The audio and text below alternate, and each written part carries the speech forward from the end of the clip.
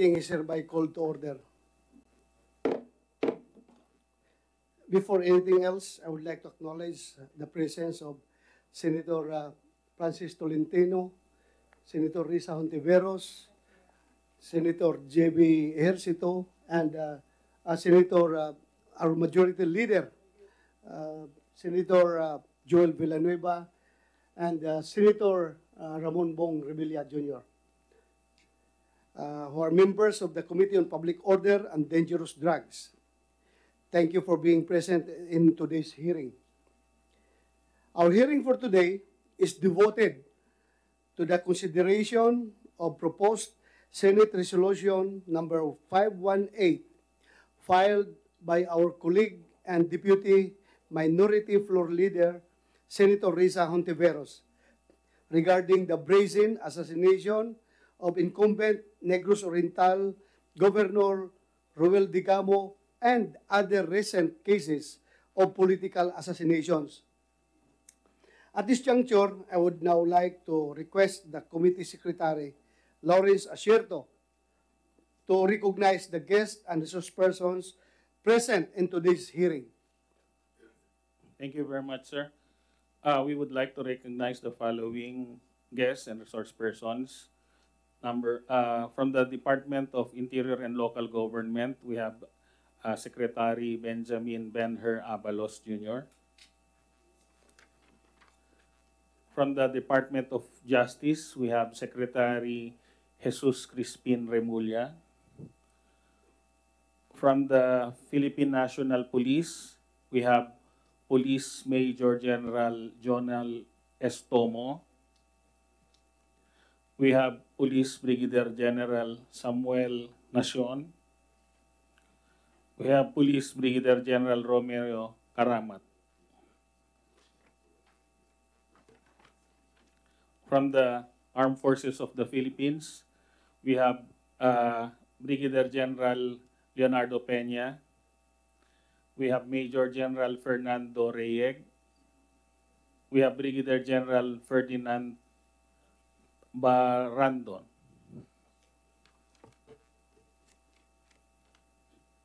From the National Bureau of uh, Investigation, we have Director Menandro de.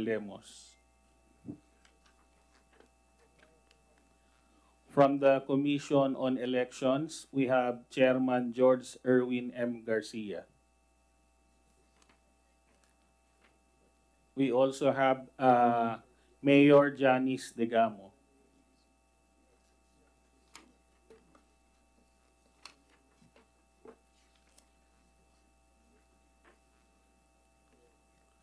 From the Civil Aviation Authority of the Philippines, we have Major General uh, Ricardo C. Banayat, AFP retired.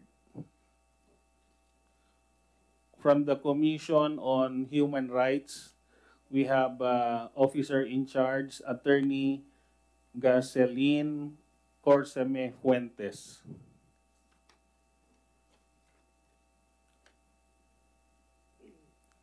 Uh, that's all, sir. We'll be mentioning them later, sir, those who will be talking, sir. Thank you, Comsec.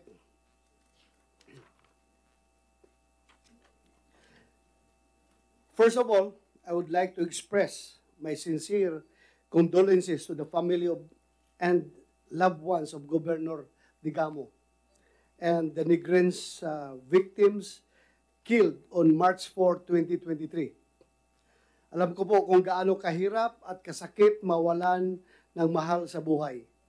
Ngunit ang hindi ko po yata kayang tanggapin ay kung ang isang mahal sa buhay ay mamamatay lamang sa mga kamay ng walang awa at walang pusong kriminal.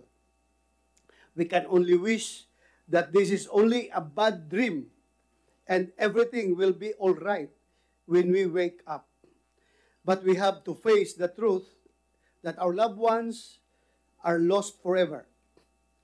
When the news came out that Governor Digamo, along with several civilians, had been mercilessly gunned down while he was in the middle of distributing provisions to his constituents, it came as a cruel shock to all of us.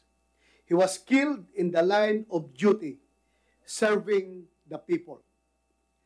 The spate of killings of several other political leaders and local government officials months prior should have served as a warning to Governor Digamo to hide and fear for his own life. But he didn't. He continued his life of public service until his last breath. Although the worst has already happened, your Senate Committee on Public Order and Dangerous Drugs will not allow impunity to prevail. The brutality committed against Governor Digamo and the people of Negros Oriental will not be swept under the rug. Violence has no place in our society. The Senate is not a court of law. However, this does not mean that we do not bear the responsibility to prevent the proliferation of evil. The Senate cannot pass a sentence upon a person whom it believes has committed crime. But it is expected to craft laws to secure and maintain the peace and order in our communities. An unfortunate and reprehensible event has exposed policy gaps that hinder our law enforcement agencies, our Justice Department, and other government agencies for the speedy administration of justice to the victims. We intend to bridge those gaps through legislation and hopefully the tragedy that the people of Negros Oriental experience would be the last. For the record, I personally know Governor Ruel Digamo and his wife, Mayor Janice Digamo, and the alleged mastermind and the alleged mastermind of this act, Congressman Arne Teves. In the spirit of fairness, we invited in this proceeding resource persons that the committee believes to be relevant in our quest to improve our policies for the preservation of peace and order in the country. We grieve with the victims. We condemn the wrongful acts of the perpetrators. We refuse to be bystanders. And ultimately, we are here to fulfill our mandate. May today's hearing be irrefutable proof of that. Before we begin our discussion, may we know if any senators present today would like to deliver their opening statement? Okay. You have the floor, uh, Senator uh, Risa Hontiveros. Salamat kaayo, Mr. Chair. Una, nagpapasalamat ako kay Chair sa pagpapatawag ng hearing na ito ngayong umaga. Ang mga negrense na narito sa Pasay ngayong umaga ay naglaan ng oras, tapang at seguridad para sa katotohanan at katarungan. Nagpapakita ito na tayo ay nagkakaisa para lang makatulong na matuldukan ang isong ito. Kaya para kay Rep Teves, sana'y umuwi na kayo para harapin ang mga issue at kasong ipinupukol sa inyo. Sir, sa ipapanatag ng lahat, sana po ay magpakita kayo dito sa ating hearing physically at hindi virtually. In fact, may sulat nga po si Mayor Janice objecting to Rep Teves' virtual testimony, an objection with which I concur. I believe that our rules of procedure governing inquiries in aid of legislation require that witnesses to our proceedings be placed under oath or affirmation prior to giving their testimony. Nasa US o ibang bansa ba si Rep Teves? Nasa aling embassy ba sila? How is he going to take his oath as a witness? Because if a potential witness is abroad, he has to be sworn at the embassy or consulate and give his testimony there Just like Mohit Dargani and Singaporean businessman Huang Tzuyen when they testified for the Farmally hearings. Imbes tuloy na makapagsimula tayo kaagad, nadidelay pa tayo sa basic procedure. Ikalawa naman po, Mr. Chair, sa ating lahat na narito, maraming salamat po sa pagdalo. Dahil ang pagdinig na ito ay makakatulong para sa pagpapanatili ng kapayapaan at kaayusan sa bansa. Patuloy po akong nakikiramay sa pamilya de Gamo at kaisa tayo sa paghahanap ng hustisya para sa kanila at para sa lahat ng mga pamilyang nabiktima at sa iba pang biktima ng karahasan. Nakakabahala na kasi, hindi lamang ang pagpaslang kay Govruel, ngunit maging ang sunod-sunod na patayan ng mga lider sa ating mga probinsya. At mga lider na ito ha.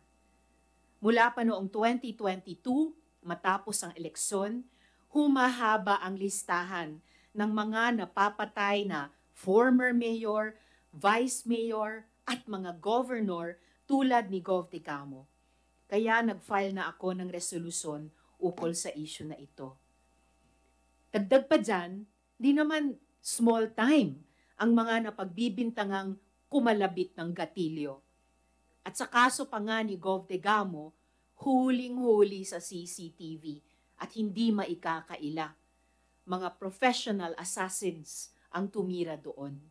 They were allegedly former members of the Scout Rangers and other elite units of our armed forces.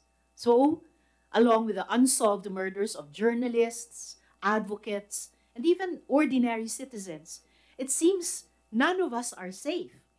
Not even the people in this room. Kaya ngayong umaga, pagtulungan po natin sa pamumuno ni Chair, hindi lamang ang paglutas sa kaso ng pagpatay kay Gov. Degamo at iba pa nating mga mamamayan at lider. Pagkaisahan din nating mabigyan ng kapanatagan ang mga Pilipino na ligtas pa rin tayo dito sa ating bansa. Salamat kaayo, Mr. Chair.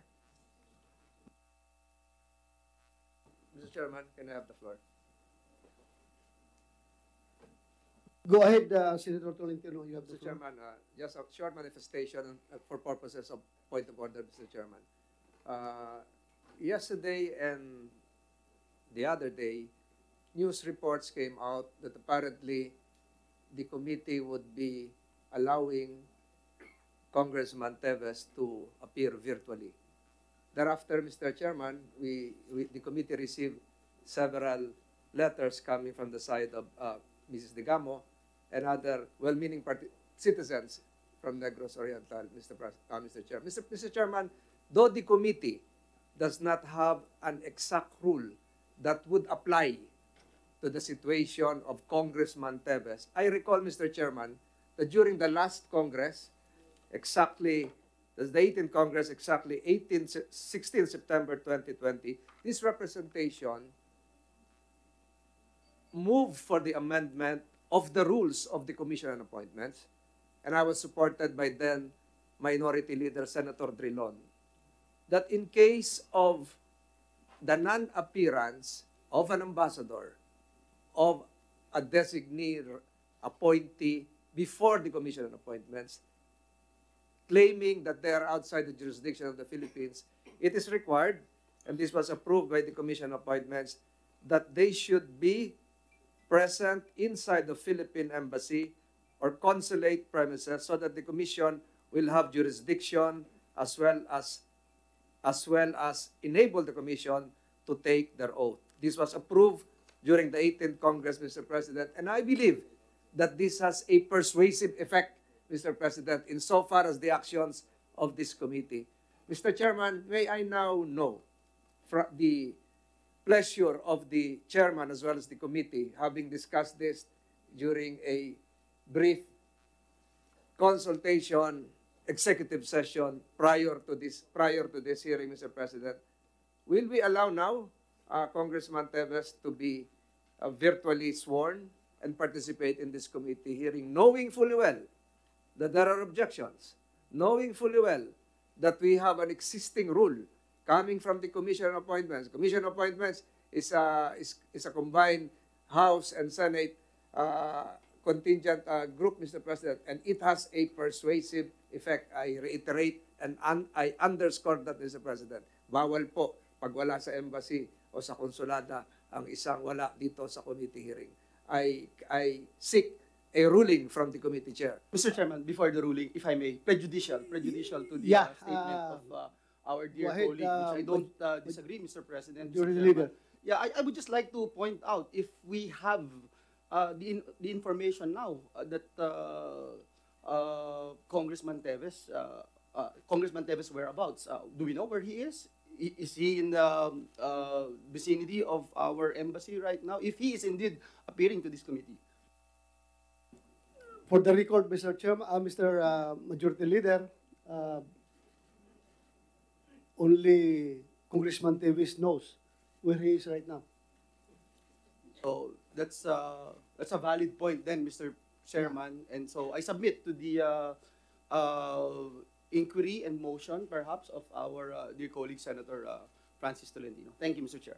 Thank you, Majority Leader. Uh, before I respond to the manifestation of uh, Senator Tolentino, I would like to acknowledge uh, Senator uh, J.B. Ercito for additional comment on that uh, issue. Thank you, Mr. Chair. Likewise, uh, even legal counsel will not be, uh, I- if I may, may not be allowed to um, to appear in this committee. The, the legal counsel of uh, Congressman Teves, if he's not physically present, will not be allowed also by the body because um, um, it shall be the legal counsel is only there to to advise no? the you- the the resource person. So he may he or she may not uh, should not be allowed also to uh, appear in this committee, Mr. Chair.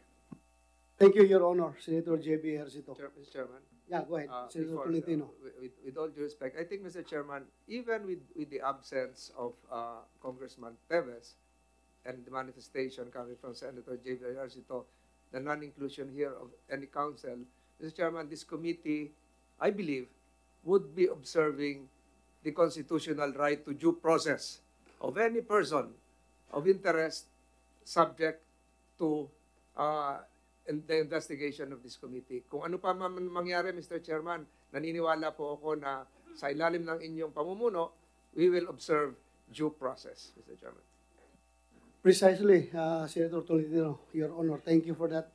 And uh, if I may read Section 14 of uh, the Rules of the Senate, Section 14, right to counsel.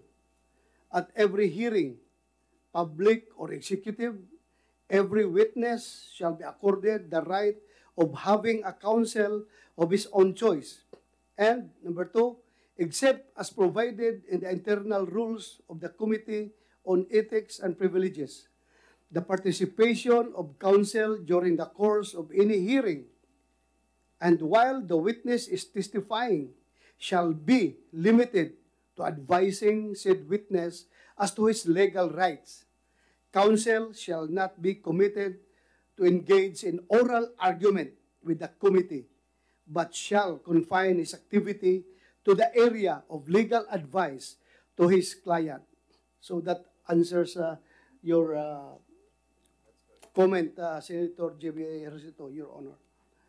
Thank you. And uh, now I would like to respond to the comment of uh, our dear colleague, Your Honor, Senator Tolentino. Uh, at the outset, the committee sent an invitation to Congressman R.D. Teves to attend our proceeding today. He accepted our invitation with a condition that he be allowed to attend virtually. This committee is a collective body composed of its members, including ex officio members. And for this, for that matter, we have here our uh, the highest official of uh, the Senate today, our majority leader, Senator Joel uh, Villanueva, who participated in our uh, earlier deliberations uh, inside the, the lounge.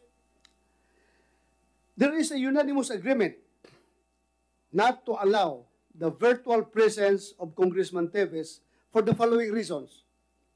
Number one, there may be legal issues that will arise as to the taking of oath as a basic requirement in taking testimonies of any resource person or witness.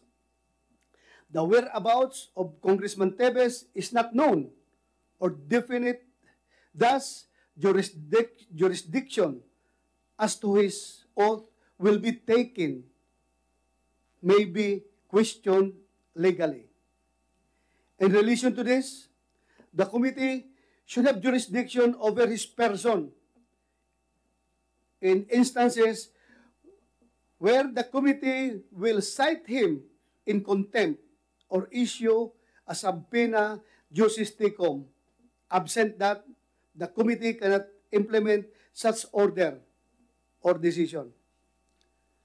The issue of observance of interparliamentary courtesy was also mentioned by the members of this committee. Again, the members of this committee unanimously agree not to allow the virtual presence of Congressman Teves. But the, the doors are not completely shut down to Congressman Teves. If he wants to come here physically, then by all means, we will entertain. Lahat na gusto niya sasabihin, pakikinggan po natin. In uh, the spirit of fairness, this committee would not like to be misconstrued as a, a one-sided committee.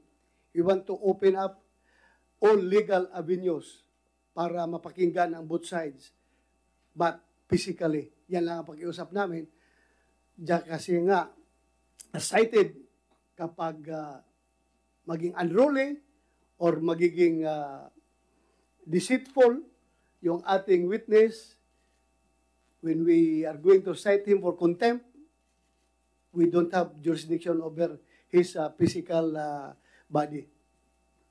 So the decision is very clear.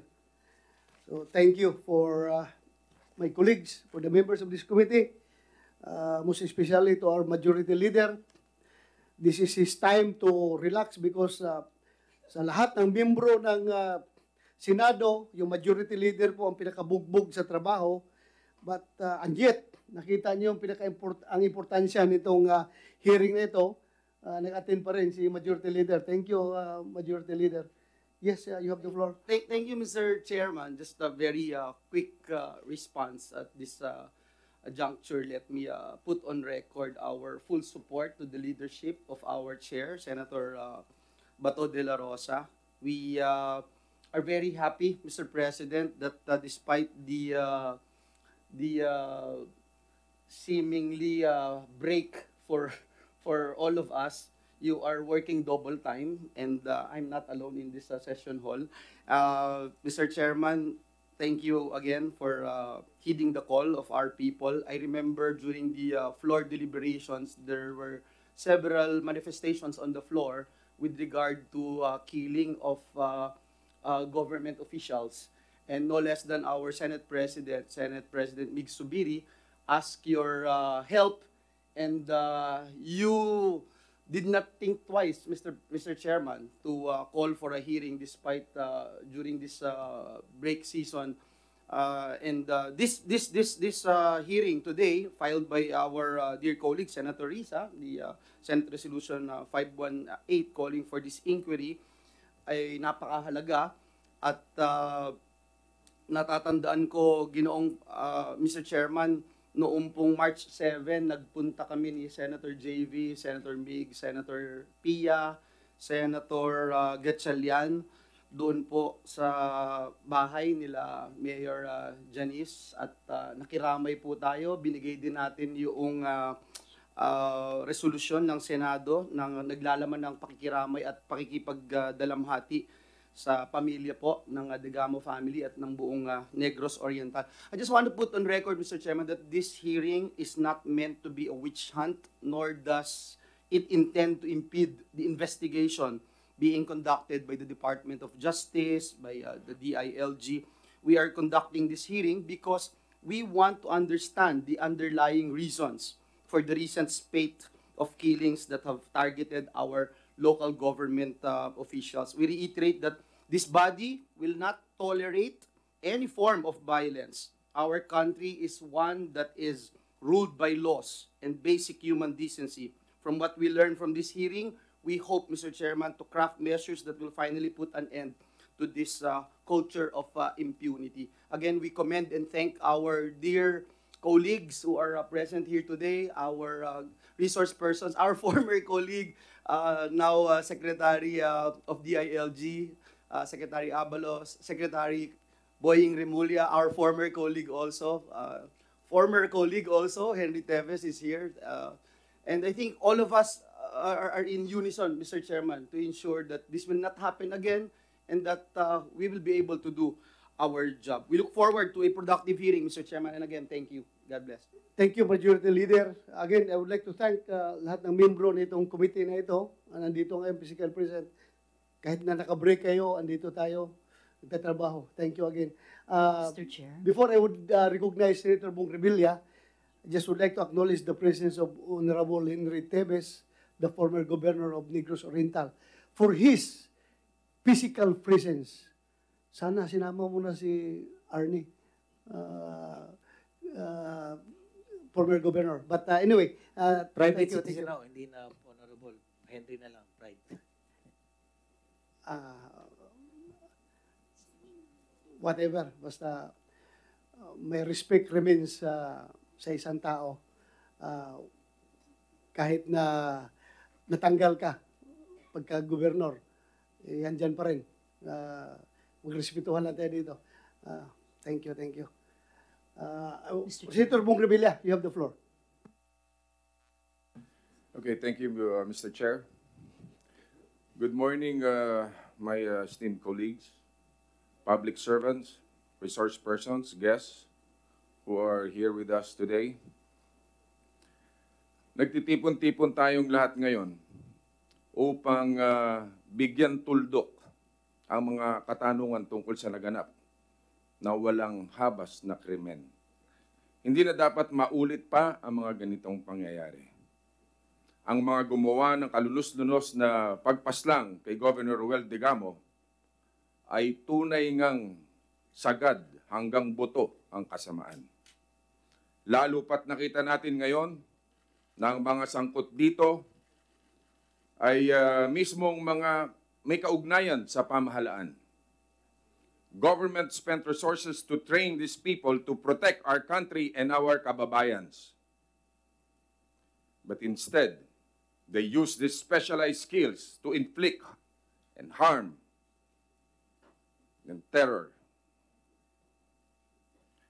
Ang pagtugis at pagbibigay ng leksyon sa mga nasa likod ng krimen na ito ay hindi lang nangangahulugan ng hustisya para sa mga biktima, kundi pagpapakita rin na may ngipin ang ating batas laban sa mga tila pagdyos-diyosyan ng mga na mga halang na kaluluwang mga kriminal. Nararapat lamang na ilagay sila sa dapat nilang kalagyan upang hindi pamarisan ng iba. This could not be emphasized enough. There's no place for this cruelty and lawlessness in our country. Your brutally will never be tolerated. Alam kong nakikinig sila ngayon at lalong hindi namin hahayaan gamitin ninyo ang kapangyarihan at impluensya ninyo upang makaiwas kayo sa pananagutan. You can never escape liability, especially under our watch. Ang kalapastangan ng ito ay kahindik-hindik, kasuklam-suklam at kamuhi-muhi. No matter which we uh, uh, which way we look at it, we can never reduce this into a mere political rivalry. It is no less than an affront to our democracy. Higit pa ito sa alitang politika sapagkat niyurakan ito hindi lamang ang nangingibabaw na batas sa ating, sa ating bayan, kundi ang mismong demokrasya sa pamamagitan ng pag-ahasik ng lagim at takot sa taong bayan. But the blind belief of those who perpetrated this heinous crime that they are untouchable ends today. Habang humahaba ang inyong sungay, papatalimin naman namin ang ngipin ng batas upang hindi kayo makatakas. After all, regardless of your audacity, one thing still remains constant. The rule of law will always prevail in our country. Nawa sa lalong madaling panahon sa pamamagitan ng sama-sama nating pagsisikap, ay tuluyan na nating mapanagot ang nasa likod ng karumal-dumal na krimen na to. Sa mga naiwan, kaisan nyo kami sa paghahangad ng katarungan. Sana ang pait at sakit ng nararamdaman nyo ngayon ay maibsan sa pangakong hindi kailanman yuyuko ang nabali, ang nababali at hindi mababali ang hustisya. Kasanggan nyo po kami. Thank you, Mr. Chair. Thank you, Senator Bong Rebilla. Uh, when you when you mentioned a while ago yung special special skills, parang tumatayo yung balahibo ko kasi na ma- maalala ko yung video, yung pagpasok doon sa bahay ni Governor Digamo. And uh, ito ngayon, uh, this would be one of the policy issues that we are going to to to cure lalong-lalo na sa armed forces of the Philippines, paano natin i-monitor yung ating mga tao, lalong-lalo na yung dis- honorably discharged with special skills. Can just imagine, isang AOD, explosive and ordnance uh, disposal expert na nasanggi, natanggal sa serbisyo, tapos na-hire ng isang uh, isang masamang tao, for that matter, whether terrorista or whoever, basta merong uh, evil uh, intentions, maggamit itong special skill nila. Di ba? Pagpasok nila doon sa sa pagpasok nila doon sa compound, eh para lang pumasok doon sa sa isang bay ng uh, yung CQB kill house na parang namamaril lang ng uh, namamaril lang ng mga target board na walang kabuhay-buhay. Parang parang gano'n lang. So, Ita, isa ito sa pulisya na ating uh, tutukan. Uh, at, and we hope to achieve that policy before, uh, uh, after this uh, hearing. Mr. Chair. Now, I would like to recognize uh, Senator uh, uh, Risa Tiveros, the, the main author of this uh, resolution. Salamat Yeah, you kaayo. have the floor. Saliwat, Mr. Chair. Uh, wini-welcome ko po at nagpapasalamat ako sa ruling ng chair dun sa inquiry kanina ni uh, Sen Francis uh, which I in which I share na yung ruling po ng chair na i-require ng komite si Rep Teves to physically uh, be with us to to uh, answer our questions. Idagdag ko lang po chair na if ever the committee or and the chair would allow him to testify virtually at the very very least kailangan sa isang consulate, isang embahada ng ating republika where an embassy official uh, should administer the oath. Pero just for the record, Mr. Chair, uh, pwede po bang matanong bakit nag-decline si Rep. Teves uh, mag-attend ng hearing ng uh, Honorable Committee in person? For the record, Mr. Chair. Well, for the record, ah, uh, for transparency purposes, tumawag sa akin si Congressman Tevis kahapon. At uh, sabi ko, bakit hindi ka mag-attend uh, physically? Ang rason niya is uh, he was uh, he is under threat. At sigurado siyang papatayin daw talaga siya pag uh, andito siya. Sabi ko, ako mismo magbaligal sa iyo dito sa Senado, safe ka. But uh, sabi niya, oh, diyan sa Senado, pwede ako safe, pero paglabas ko, baka mamamatay ako. So with that, I, I respect his uh, decision. And afterwards, sige siya tawag ng tawag sa cellphone ko, but hindi ko na sinagot. Uh, that's for uh, transpar- transparency uh, for the record, uh, Your Honor. Salamat kayo, Mr. Chair. And I stand with the chair and the whole committee in requiring Rep. Teves to appear physically before our committee. Salamat Mr. kayo, Chairman, Chair. Thank just, just for the record also, did Yeah. he mention where he is? Ha? Did he mention where Ah, he tinanong is? ko. Tinanong ko, saan ka Yes. ngayon? Ah, hindi ako magsabi. Baka mamaya, ay, alam ko na, alam, alam na niya na Hindi siya, mag, hindi siya magsabi kung saan siya. Oh, so you asked, Mr. Chair. Yeah, I- I asked him. did not, uh, Saan ka ba? Nasa Pilipinas ka o nasa abroad? Sabi ko. Hindi siya magsabi. Thank you. But Thank you, anyway. Mr. Chairman. I, Yes, uh, go ahead, Thank you. Senator Tolentino. Uh, I, I- I commend the chair for, uh, for an immediate ruling uh, relative to my query. But in addition to that, the committee should likewise take note of a recent Supreme Court circular regarding proposed guidelines on the conduct of video conferencing. And I cite therein section four, video conferencing from Filipino, from Philippine embassies or consulates and in those involving cases, criminal cases involving Filipinos overseas, it has to be done it has to be done inside the premises of Philippine embassies and consul- consulates. Uh, that is in addition to the rules I mentioned a while ago. Thank you, Mr. Chairman. Mr. Chair, Th- Thank you. Uh, but then again, uh, if uh, this is a hypothetical situation, Senator Tolentino, if Senate, Senate, uh, Congressman Davis right now is in uh, Cambodia, then he will uh, manifest his intention to go to our embassy in Thailand to to take part in these uh, proceedings. So, what will be the pleasure of this committee?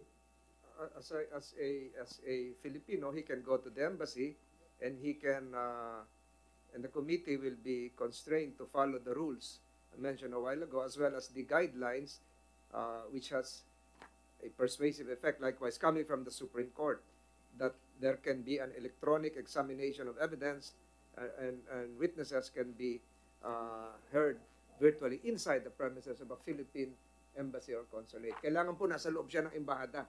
Okay, what if, I know you, you're, you're an expert in international law. Uh, this chairman is not a lawyer, so I am seeking your advice. What if, uh, during the course of uh, his uh, statements, and he will, he will become evasive and he will not, uh, he is not telling the truth. It's very obvious that he's lying. And uh, a member of this committee would uh, uh, move to cite him in contempt, and I will rule for him to be cited in contempt. How are we going to do that? It will can we send the PNP to arrest him uh, inside our uh, our uh, embassy? I believe, Your Honor, that we can ask the Philippine, there is a Philippine police uh, officer inside, uh, even a military attaché. There is a, Phil- a, police attaché inside an embassy, and, and that covers the area where, wherever, wherever he is. So we can ask the Secretary of the DILG to make proper instructions to the Filipino uh, police officer inside the premises of the embassy to execute your contempt order, uh, Your Honor. Thank you for that advice. Uh, Mr. Chair. so, ca- ca- can I ask uh, any uh, legal opinion from DOJ, uh, Secretary Rimulya, pertaining to that? Your Honors, if the inquiry is about uh, the appearance of, of uh, Congressman Teves before this body, well, uh, the first question that comes to mind is uh, how do you cite him in contempt if he is not uh, within the country or within our territory? Precisely. But if he is inside our embassy, whether it is in another country, he is still under our uh, jurisdiction. He's, Yes, Your Honor. Yes, Your Honor. So, Well, if uh, he is uh, inside the if, in the area of Philip, uh, within Philippine jurisdiction, the appearance may, may be allowed, uh, s- uh, subject to the rules of the Senate, Your Honor. Okay. Uh, thank you. Thank you for that. Uh, I think, Mr. Chairman, if I may. I- I Yes, think- go ahead, I think uh, it's very clear now, Mr. Chairman. I think it's very clear uh, that your decision as chair of this committee is sound. You were able to get the uh, overwhelming consensus of the members, and uh, we are in full support of your uh, decision uh, of, uh, as chair of this committee not to allow anyone who would uh, uh, participate in the, this committee hearing without our jurisdiction, Mr. Mr. Chairman, and that's crystal clear. Thank you, Mr. Chair. Mr. Chair. thank you. Because uh, my, my original intention as a chairman of this committee is to get hold of him physically here inside the Senate, not outside the, we- whether or not we consider uh, our embassy as an extension of our uh, territory, and it is within the Philippine jurisdiction, but still, I want him to be physically present here uh, inside this. Uh, inside Mr. Senate. Chairman. That's my original intention. Yes, Uh, my it's observation, right, uh, Mr. Senator. Chairman, kung talagang wala naman siyang kasalanan, anong dapat ikatakot niya? Para wala tayong pinoproblema dito. Umuwi na lang siya dito. Di ba? Kung talagang wala siyang kasalanan, umuwi siya. Harapin niya to. Thank you, Senator Bugrimilla. For the record, uh, we would like to hear from Sen- uh, Secretary Remulla. Meron bang standing warrant of arrest si Senator uh, as Wala pa po. Congressman? Uh, he has subpoenas uh, issued to his name. But, even uh, even sa ibang kaso, not not not wala uh, pa, ho, Digamo wala pa, case. ho. wala pa ho siyang So, wala standing talaga? warrant of arrest. Wala pa ho. So, Congressman Teves, if you are now monitoring, wala kang warrant pala. We have no reason for uh, you to be uh, arrested when you come home or uh, when you uh, surface. Hindi ka pwedeng arestuhin, wala ka pang warrant. So, pwede ka pumunta dito. Ah, hintayin ka namin hanggang gabi. Ah, bumiyahe ka. Ah, maghintay kami sa'yo dito. Dito sa loob ng Senado. Mr. Chair. How about uh, Secretary of Interior and Local Government? Can you give us an assurance na hindi mamatay si Congressman Teves pag pumunta siya dito? Yes, sir. Papunta at palabas. Yes, sir. Walang babaril sa kanya. Ako mismo magbabantay, sir. I assure you 100%. So kung mamatay siya, ikaw mananakot. Yes, sir. Oh, thank you. So, usapang lalaki yan. ha? Kung Yes, nakikinig ka ngayon sa Congressman Teves, Thanks. Pareho kami lalaki. Kung lalaki ka, lalaki rin kami kausap. Hindi ka mamamatay kapag uuwi ka dito sa Pilipinas o kaya kung nasa loob ka ng ah, Philippine ah, territory, kung mag-surface ka, pumunta ka dito, punta ka lang sa police station. Paeskurtan ka ni Secretary Abalos ng police para pumunta dito at kahit isang ah, isang gasgas ng katawan, walang ah, wala kang aabuting gasgas. Mr. If you Chair. are uh, listening right now, uh, Congressman Davis, go ahead, uh, Senator uh, Rizat Ontiveros. Salamat kaayo, Mr. Chair. You for that assurance, uh, Secretary of Interior. Yes, sir. Yes, sir. Thank you And, po. and dagdag dun sa sinabi ng chair, kahit usapang babae, katulad namin ni Mayor Janice, may katapangan din po iyon. Um, point of information, Mr. Chair, kahit kaugnay po ng SC rule on video conferen- conferencing na inisyu ng SC noong 1st December 2020 sa Admin Memorandum Number 20-12-01, there is the additional requirement that the concerned Philippine Embassy or Consulate has allowed use of its facilities for video conferencing since it may only be conducted inside an embassy or consulate of the Philippines. Maari pong Mr. Chair sa anumang dahilan ay hindi sila pumayag. And kaysa ma, uh, ma-subject ang komite natin na kailangan pa nating hulaan kung nasa ang bansa si Rep. Teves. Baka Mr. Chair, pwede nating tanungin ang Bureau of Immigration kung alam po nila kung nasa saan sila. Uh, sigurado yan, ang malalaman natin ay yung record kung, yung exit uh, record lang niya at saka yung in, uh, uh, uh, entrance record dyan sa ating immigration. Pero as to the Uh, but anyway, uh, kung meron tayong taga Bureau of Immigration dito, please uh, inquire about the travel records of uh, Senator uh, Congressman Davis. Salamat Ah, kayo, sir. Mr. Chair. At least yung Thank you. unang destination nila paglabas sa Pilipinas. Yes, yes. Salamat kayo. We will do that. Senator Tolentino. Mr. Chair, ah, tama po yung sinabi ni Senator Ontiveros na kailangan pumayag yung embahada natin sa ibang bansa bago po i-allow yung video conferencing. And for the record, Mr. Chairman, ah, meron pong mga bansa na bilang na bilang lang na in-specify ng ating Office of the Court Administrator na pwedeng gawin po ito. Mr. Chairman, for the record, pwede po siyang pumunta sa Germany, pwede po siyang pumunta sa embahada natin sa Macau o consulate, pwede po siya sa Portugal, pwede po siya sa Qatar, pwede po siya sa Singapore, sa Switzerland, at sa bagong circular po ng Office of the Court Administrator, pwede po siya sa France at sa Indonesia. Bilang na bilang lang po, yung po pwedeng ah, kung saan siya pwede, kung saan pwedeng humingi ng mutual legal assistance ang committee ito para mag-appear siya sa isang embahada. And I I will uh, submit these uh, circulars to form part of the records of this committee, Mr. Chairman. Thank you, Your Honor, Senator Tolentino. Uh, Yeah, Majority Mr. Leader, you want Mr. to say Chairman, something? I, I, I, I, I, I, I was having a I'm having double double thoughts on on whether or not I will uh, uh, share this uh, point of information that uh, this representation received about two days ago, two days and three days ago, for two consecutive days. Uh, some friends of mine have seen him in South Korea in Lotte Hotel eating in a buffet, and uh, uh, I asked if, if they are very sure that if it, it is uh, Congressman Teves indeed that, that, they, that they have seen. And uh, according to them, and I spoke to one, two, three, four. So four persons with uh, two eyes. You're talking about eight eyes, Mr. Pres, Mr. Chairman, na nagsabing nandun po siya at uh, kumakain.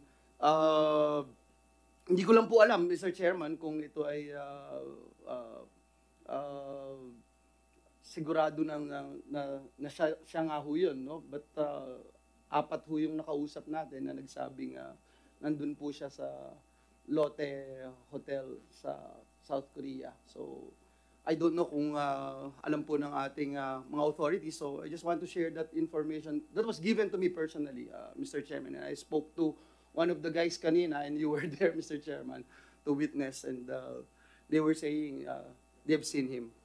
Thank you. Thank you, uh, Majority Leader, for that very vital uh, piece of information. So kung nasa Korea siya ngayon, uh, Congressman Teves, you can go to the uh, Philippine Embassy in Seoul at makiusap ka doon kung pwedeng pagbigyan ka na doon ka mag-attend virtually at uh, our uh, secretariat is ready with the Zoom link na ibibigay namin sa iyo kung uh, nandun ka na sa loob ng embassy. Mr. Chair. That's it. Yes, uh, Senator Risa. Chair, pwede kaya nating itanong sa Philippine Embassy in Seoul kung alam nila kung nandun nga sa Seoul si Rep Teves, Mr. Chair? Th- Thank you, uh, Senator Antiveros. Uh, Kumsek, please inquire with uh, our uh, embassy in uh, Seoul if monitor nila na nandoon si Congressman Teves. Also, also the, with our uh, immigration, patulong ka doon na monitor. Thank you.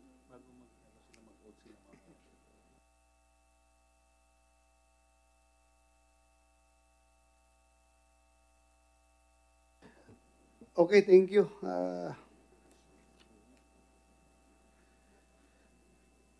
I, may I uh, request uh, our committee secretary to uh, administer the oath of all resource persons physically present into this hearing.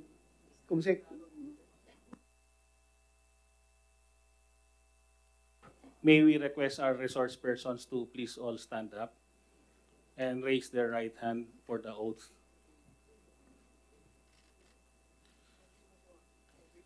Do you swear to tell the truth, the whole truth, and nothing but the truth in this investigation? Thank you very much. Please take your seats.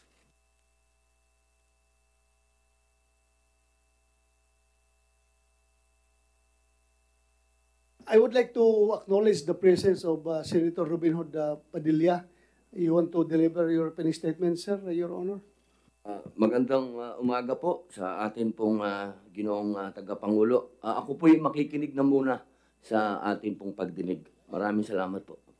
Thank you for uh, breaking your break just to attend this uh, hearing. With the consent of the members of this committee, before we start our discussion, we would like to set forth the following. Number one, for our orderly proceeding, only resource person acknowledged by the chair or any of the members may speak. Number two, due to the number of resource person present to, today, we will give five minutes for each resource person. Kumsik, ilan bang resource person natin nandito? Kumsik, ilan? 40, 50, isang daan. Please give us the number.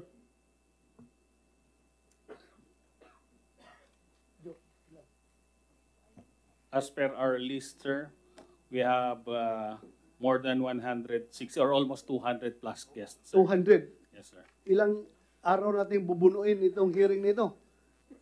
We hope to finish it today, sir. Oh, kaya mo? Ako hindi ko kaya yan. If possible. Anyway, sir, we also reserve uh, this uh, session hall for tomorrow and for Wednesday, sir. Okay, thank you. sir.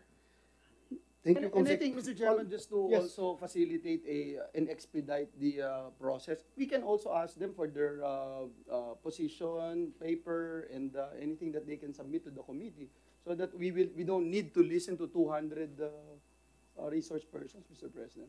Yes, uh, Majority Leader, we will do that. But uh, still, uh, bumiyahe pa ng malayo itong mga resource persons na ito. As much as possible, I would, we would like to hear them, right?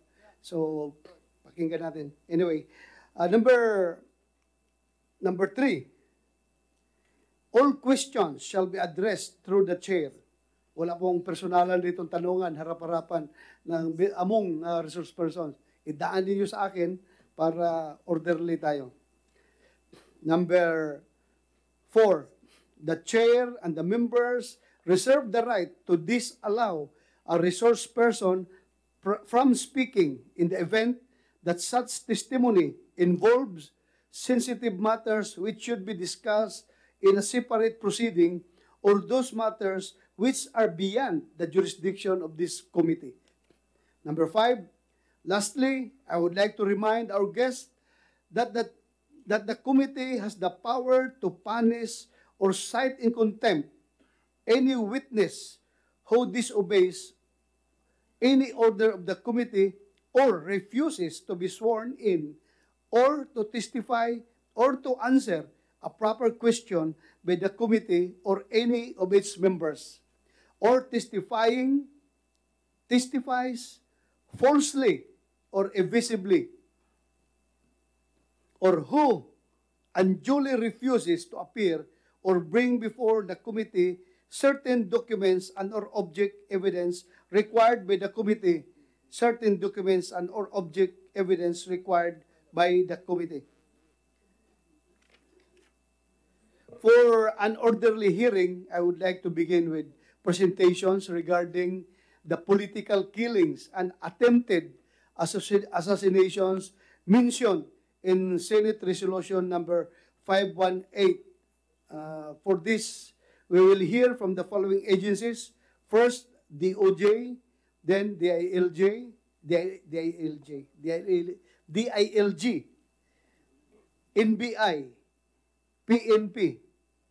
After those presentations, we shall listen to Mayor Janice Digamo, then Honorable uh, Henry Pride Teves, the Commission on Elections, AFP, uh, CHR, and uh,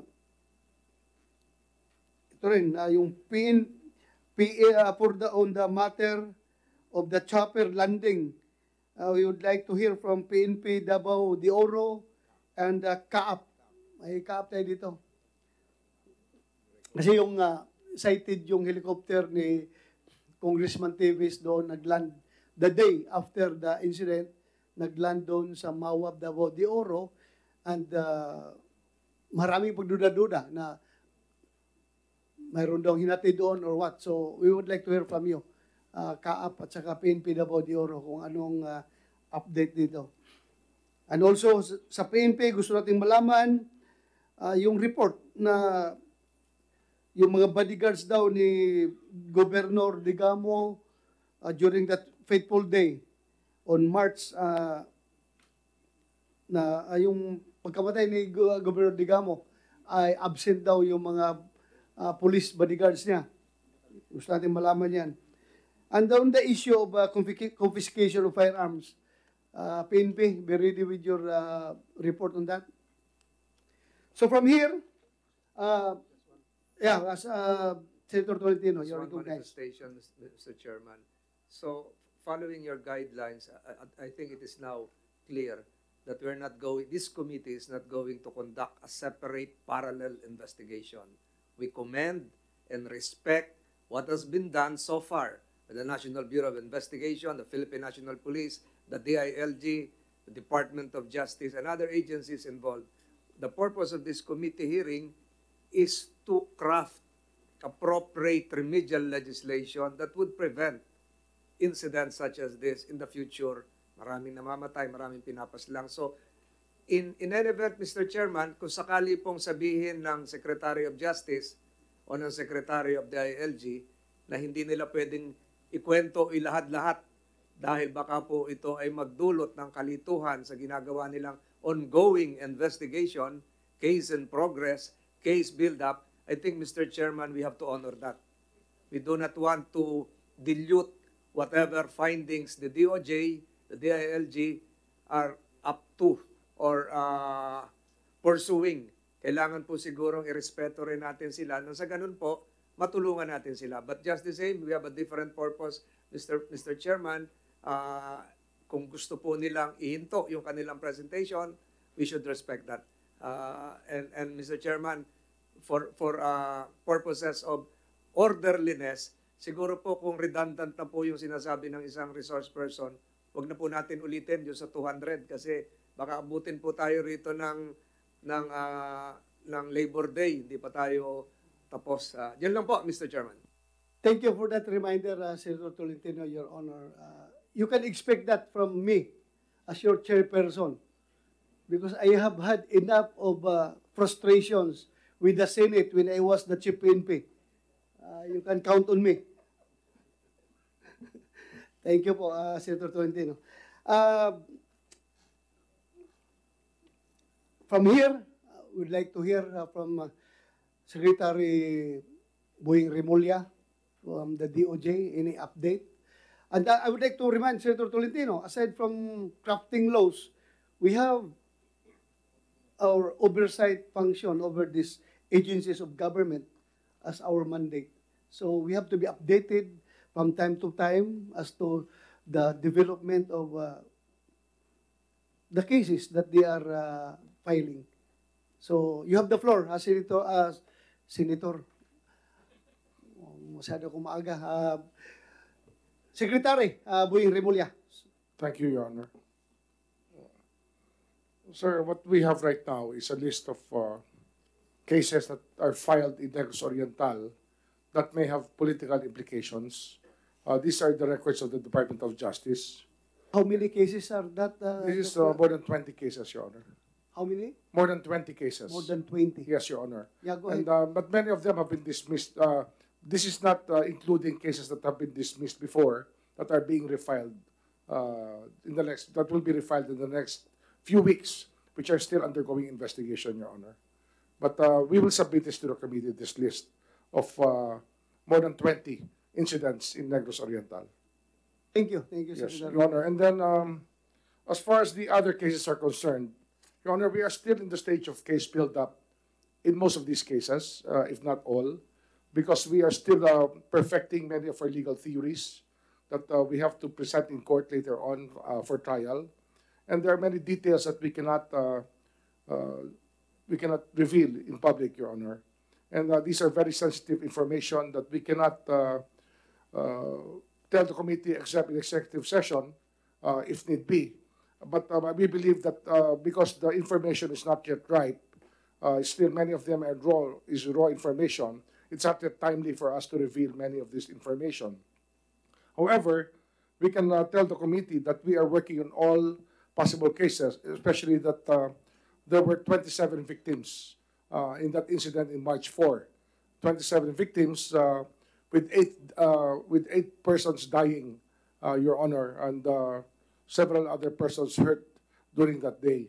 And um, Your Honor, we also also we are also currently um, looking at the anti-terror law as a as possible uh, law that we may use in the future uh, because of this incident, and that uh, if there is a need to proscribe uh, any person within the list of suspects as a terrorist, we will uh, pursue that angle, Mr. Ch- Mr. Chairman.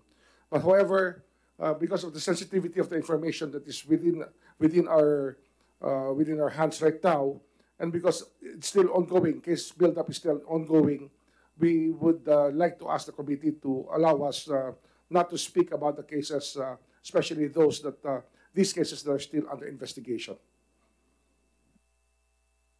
Thank you, uh, Secretary Remulla. Uh, how about uh, if you have any updates uh, If not, then uh, the PNP will uh, maybe can give us updates on this. Uh, Cagayan Vice Mayor Romel Almeida, Lanao del Sur Governor Mamintal Adjung Jr., Mayor Otto Kaumbo, Muntawal of Dato, Muntawal, Maguindanao del Sur, Vice Mayor Danilo Amat of Quezon, Quezon Province, former Vice Mayor Romeo Solit of Lubo, Batangas, and former Mayor Rosita Furigay of Lamidan City. Uh, do you have any update on these uh, cases? Mr. Chair, Yeah, uh, before uh, you answer uh, PNP, you would like to hear uh, Senator uh, Salamat. Mr. Chair. Para rin sa pagsagot ng PNP, just to add uh, a few other cases na, uh, nakas- uh, actually a couple more cases na nakasite dun sa resolution ko, yung si former Vice Mayor Narciso Amansek ng Dipakulaw, Aurora, at saka si former Mayor ng Calbiga, Samar, Miguel Abaygar uh, Jr., uh, Mr. Chair. Salamat kaayo. Thank you, Senator Ontiveros. But before you respond, uh, PNP, I would like to hear from uh, uh, Secretary uh, Binhor Abalos for his opening statement. you have the floor, sir. Maraming salamat po, Ch- Chairman uh, Bato de la Rosa, and of course sa other mga members ng ating committee. Magandang umaga po sa inyo lahat. Well, nakita po natin, no, nung ito yung Marso 4 pa sa Pamplona, ng CCTV camera ang ilang armado mga lalaki na kung saan bumarel at uh, kaawa-awang individual ang nag-iwan na siyam na patay at labing walo ang sugatan. No? Bagamat ang pandinig na ito ay tulong sa paggawa ng batas, iisa lamang ang ating layunin, ang paghahangad ng hustisya. Para makamit ang hustisya, ang ating Pangulo po ay lumika ng Special Task Force de Gamo na formal na ginawa sa pamamagitan ng Administrative Order Number 6.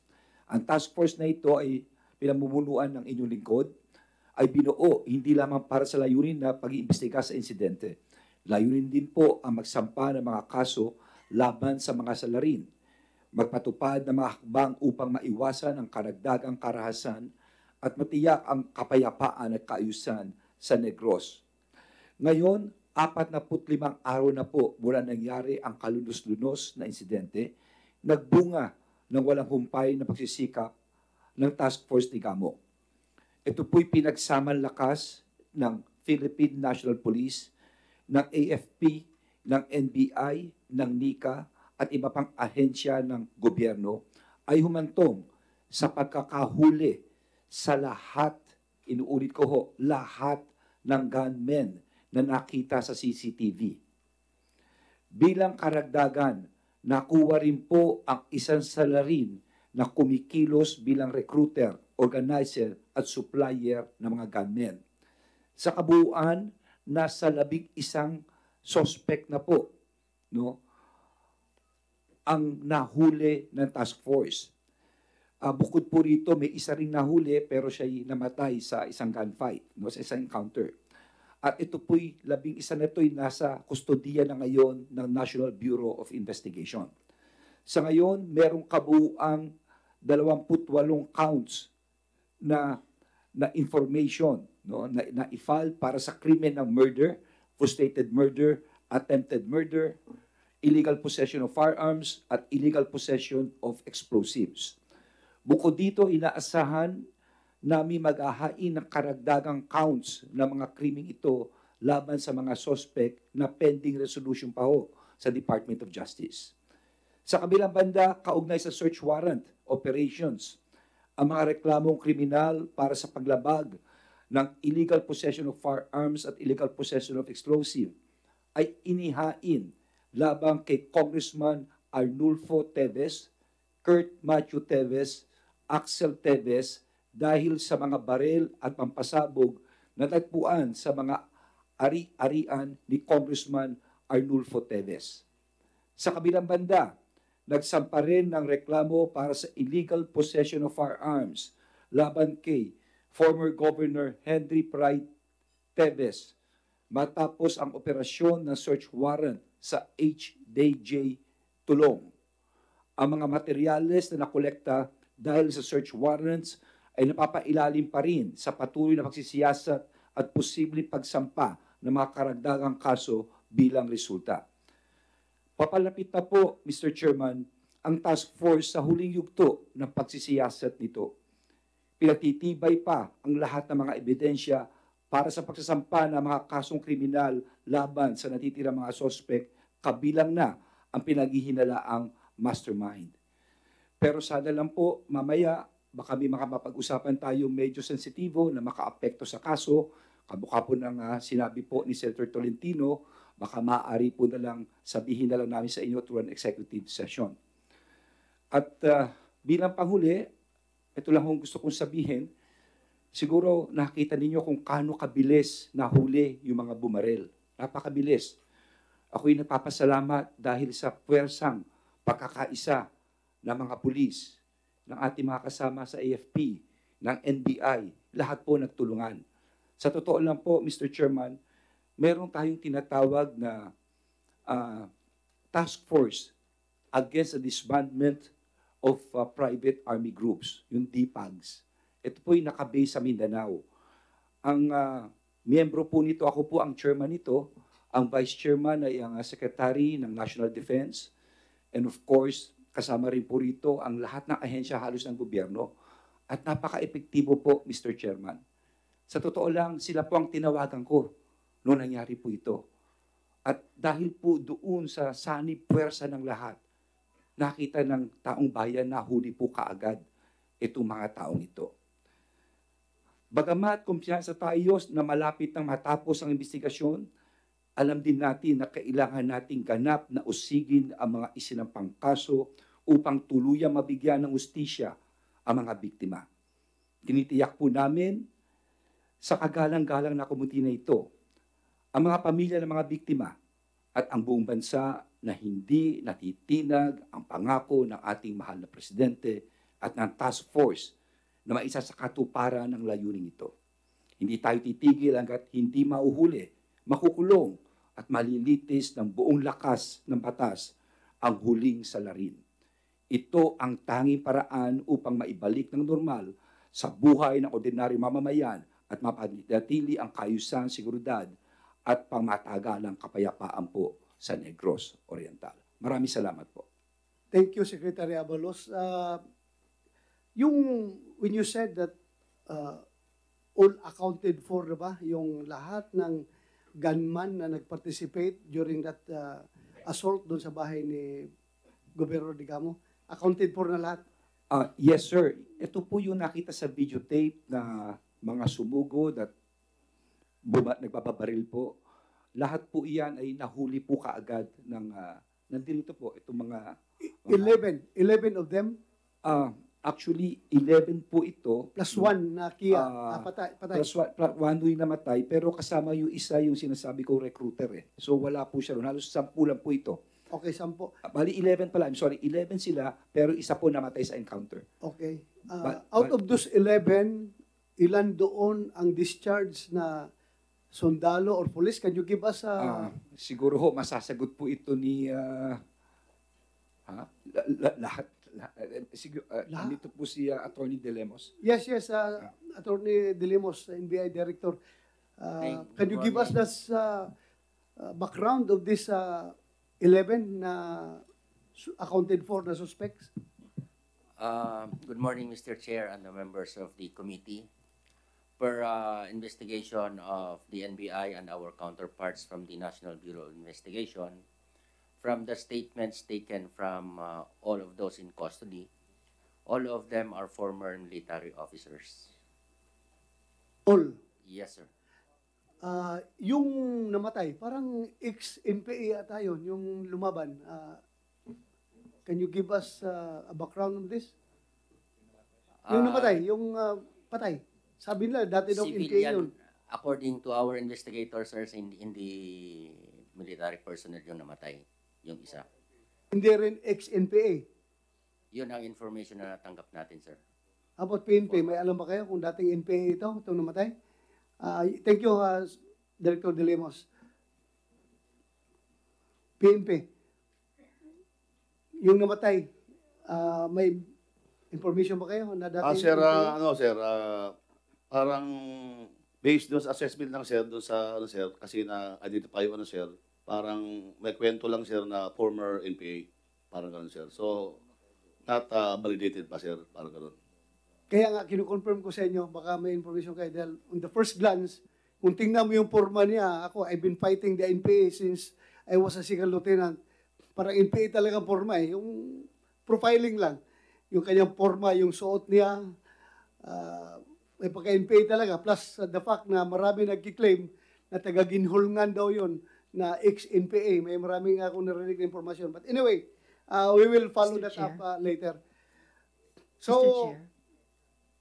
may we, ay, you want to, uh, Senator Hontiveros, please. Salamat, Mr. Chair. Uh, in a way, konektadong tanong. Kasi ah, yung sinabi nga ng resource persons na lahat ng mga naarestong labing isa ay mga dating military officers, that's uh, disturbing enough. Meron din pong isang, well, chismis na merong dang mole or espiya sa loob ng security detail ni Gov. Degamo. So, anong mga hakbang ang ginagawa ng ah, ng DILG, ng PNP at iba pang ahensya na may kinalaman sa peace and order para i-vet, i-vet yung mga police officers, i-vet yung mga sundalo na ina-assign para i-secure yung ating mga elected officials, Mr. Chair. Can anybody answer uh, that query? Uh, PNP, General Stomo. Maybe the uh, Director of CIDG will answer the uh, question, sir. Yeah, yeah, but before you answer, uh, I would like to, I just would like to encourage no, our, mem- the members of this committee na ipatapusin mo natin, mag-brief sila lahat, then uh, we will go on with the questioning later afterwards. But uh, you can respond to the query of Senator Hintuberos. General Karamat, you are recognized. Good morning, uh, Mr. Chair and to other fellow senators, fellow workers in the government. To answer the question of uh, Senator Risa ma'am, uh, that's true. Uh, we are uh, looking into possibility that there was a mall uh, inside the premises of the Digamo. Uh, that's what the CIDG is investigating. But uh, up to now, um, there was no uh, there is no result yet uh, on our investigation and we have no valid information up to now kung meron talagang mga mga mall na nagtimbre doon sa mga suspect nung pumasok sila kung saan yung location ni Go- ex-governor Digamo. So, yun po yung pinag-aaralan namin, pati yung CCTV, pati yung mga position at ng mga tao during the time of the incident. So, under investigation po rin po yun, ma'am. So, Salamat, we General. cannot discount the possibility na meron yun. So, tinitingnan namin lahat ng angulo po, ma'am. Thank Salamat you. po. Salamat Uh, kayo, Chair. Thank you, uh, Senator Risa. Uh, andyan ka, rin, ka na rin lang. Can you address the query of uh, Senator J.B. Ercito? Yung naobserbahan niya na absent daw yung anim na, ah, lima? Five, five out of six ay absent daw. Uh, nag-imbestiga na ba kayo dito? Yeah, go ahead. To answer the question of uh, Senator uh, Ejercito, uh, we had an initial uh, investigation doon sa mga bodyguard ni ex-Governor Digamo. And most of them, matagal nang nagsisilbi doon kay Governor Digamo at some of the policemen uh, were relatives of Governor Digamo. So yung anggulo na nagtraidor ay malabo yon. So yun base Yung- sa yung absent, information. bakit Ah, yung yung absent, ah, based doon sa provincial director ng Negros Oriental, ah, they had their valid ah, reason at nagpaalam naman daw sila. So ganun. So tinignan namin ah, so yung possibility na talagang nag hindi intentionally na absent ay ah, inaalis namin sa anggulo na yon. So yung other kin, yung IG, sila po yung nag-imbestiga doon but nagkaroon na kami ng investigation doon. And I think uh, Ma'am Digamo will answer that dahil kilala na yung mga bodyguard, matagal na sila. And some of them are close friends and relatives nung ni Governor Digamo doon. Based on our investigation uh, to answer the question of Thank you. Senator Uh, Senator. JB. If you may alam, Mr. Chair, um, kasi po parang napakahirap, ano, that fatal day, five out of six ang talagang wala, no? Uh, Anyway, sabi niyo, mayroong valid excuse. And uh, Mr. Chair, I was also told that the only person, security detail to report on that day, yung pampinsan talaga ni Governor Digamo. So, ang tanong ko lang, Mr. Chair, kung tapos na ba yung investigation dito ng PNP na talagang cleared na kaagad yung lima doon sa anin na security detail who failed to report on that fatal day, Mr. Chair. Thank you, Senator JB. Uh, can we... Ah, na- sir, Yeah, pwede, uh, wait. pwede patawag ko yung DRDO ng PRO7 para pantagdag lang doon sa mga tanong niyo, sir. Yeah, pabilisan mo. Ah, Colonel ah, Flores ba? Yeah, while we are calling uh, out the DRDO Piero 7, would like to acknowledge, uh, give the floor to Senator Risa Hontiveros. Salamat kaayo, Chair. Isa na lang po at this point kasi directly related sa line of questioning nito tungkol sa identity ng mga uh, perpetrators, no? The gunmen in this case were clearly highly skilled professionals. Uh, karamihan nga, sabi nga ng ating resource persons, Mr. Chair, mga dating sundalo, discharged from the armed forces. Yung isa po sa kanila ay trained pa bilang scout ranger, so elite war fighter. Ano po yung ginagawa, Chair, ng PNP at pati na siguro ng AFP para i-keep track of, lalo na po yung mga dishonorably discharged na mga sundalo at pulis, at lalo na po yung mga sa kanila na may special forces o commando training, Mr. Chair. Yes, uh, but uh, before uh, we would like to, the, PN the AFP to answer that, uh, ku- kuha muna yung DRDO muna uh, regarding the absence of those uh, security detail. Uh, Kumsek, can you administer the oath to the DRDO? Yes, sir. Uh, may we request that you stand, sir? Sir, kindly state your rank and uh, designation, sir, before taking the oath, sir. Yes, sir. I'm Police Colonel uh, Noel R. Flores, the Deputy Regional Director for Operation of PRO7. Thank you very much, sir. Do you swear to tell the truth, the whole truth, and nothing but the truth in this investigation, sir? Yes, Honor. Thank you, sir. Please take seat, sir. Yeah, you have the floor. You state your name and your personal circumstances and uh, mag-respond ka doon sa issue about the absence of your uh, people from uh, the Digamo premises during that fateful day. Yes, uh, Your Honor. I'm Police Colonel Noel R. Flores, the Deputy Regional Director for Operation of PRO7. Uh, hindi po, sir, anim yung absent. Actually, sir, yung naka-detail po kay Governor Dibamo is four lang. Ang dutihan nila is dalawa lang, sir. Dala-dalawa lang, sir, tumba-tumba. And during that time, sir, si Gonzales at si De La Peña, sir. Yung De La Peña lang, sir, ang absent. So actually, there is no such thing na anim yung absent po during that time. Thank you for that uh, clarification. So apat lang, Apat lang po. nagre-relibo. Yes, Absent sir. yung dalawa, present yung dalawa. Yes, sir. And on that fateful day, isa ang absent, isa ang present. Yes, At sir. yung present namatay. Hindi po, sir. Ah, hindi pa namatay? Hindi po, sir. Nasaan siya ngayon? Andito po, sir, yung, ah, ah, yung isa sa security ni Governor Digamo. Ah, nandito. Yes, sir.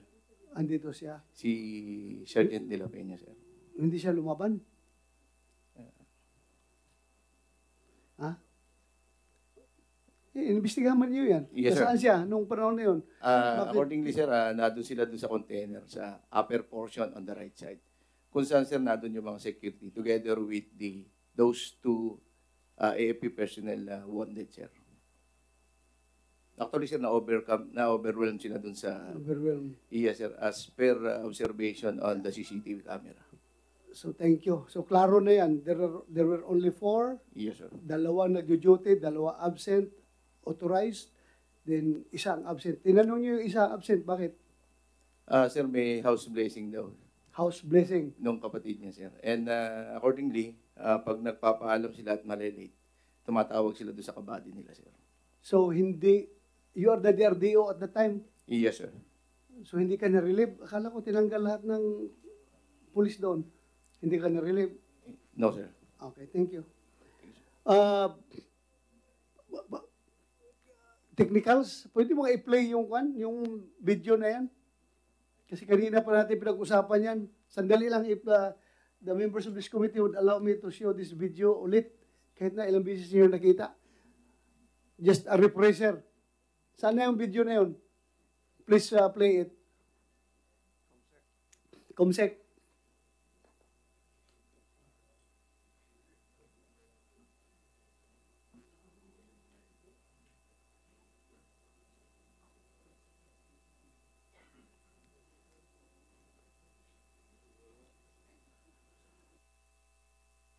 While hinahanap pa nyo yan, i-play nyo yan mamaya, ha? Huwag uh, ready na. Ah, pakinggan muna natin yung, meron kayo opening statement, PNP? Ah, ito na, ito na. Balik muna tayo.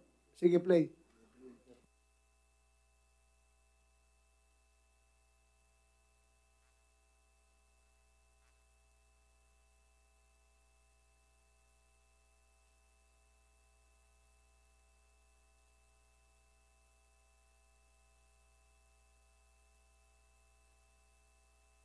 Tatlong sasakyan, no? Montero, Pajero, at pick-up. Naka-blinker, Mr. Chairman. Naka-blinker pa. At naka-uniform pa. Eh, Mr. Chair, kanino ba sasakyan yung mga yan? Ah, PNP, have you post mo na post? Napagalaman ninyo yung mga may-ari ng sasakyan? May-ari ng sasakyan? Yung tatlo? Kanino sasakyan yun? Um, yes, sir. Opo, sir. Na-identify na po sila yung tatlo. Kaninong sasakyan yun? Uh, Mr. uh, Chairman, Yes, would you, uh, would you indulge us, please? yes, uh, Uh, uh, Isa LG, you have the floor, sir. Yeah. Um, uh, sir, meron kaming present before, if you want. Pagpasok po nila, may mga pangalan na kung sino-sino ito. Ah, mas maganda yun. Mas maganda. Ito po yung mga taong na kung saan po ay ah, nakasampa na Can po. you share it with this committee? Uh, yes, sir. Kinukuha lang po namin at dadalhin ko po sa technical team po ninyo. Sir. Okay. Just give us about Please. five minutes, sir. Uh, technicals, once it is ready, just uh, show it to us. But habang piniprepare yan, oh, huwag na natin. Uh, tuloy na ito. Ah, tuloy, tuloy muna ito, tuloy. Sige, play, play, continue. Sige lang, raw, raw video ito. Raw video. Please, continue.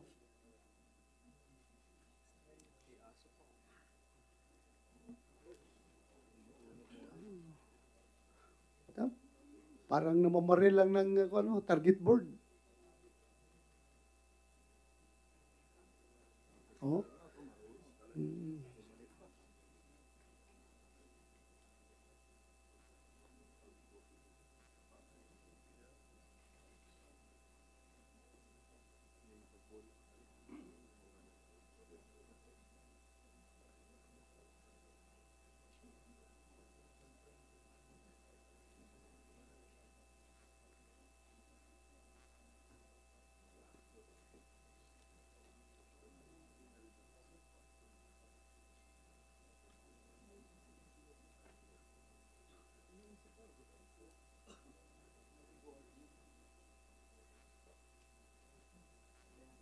Yun.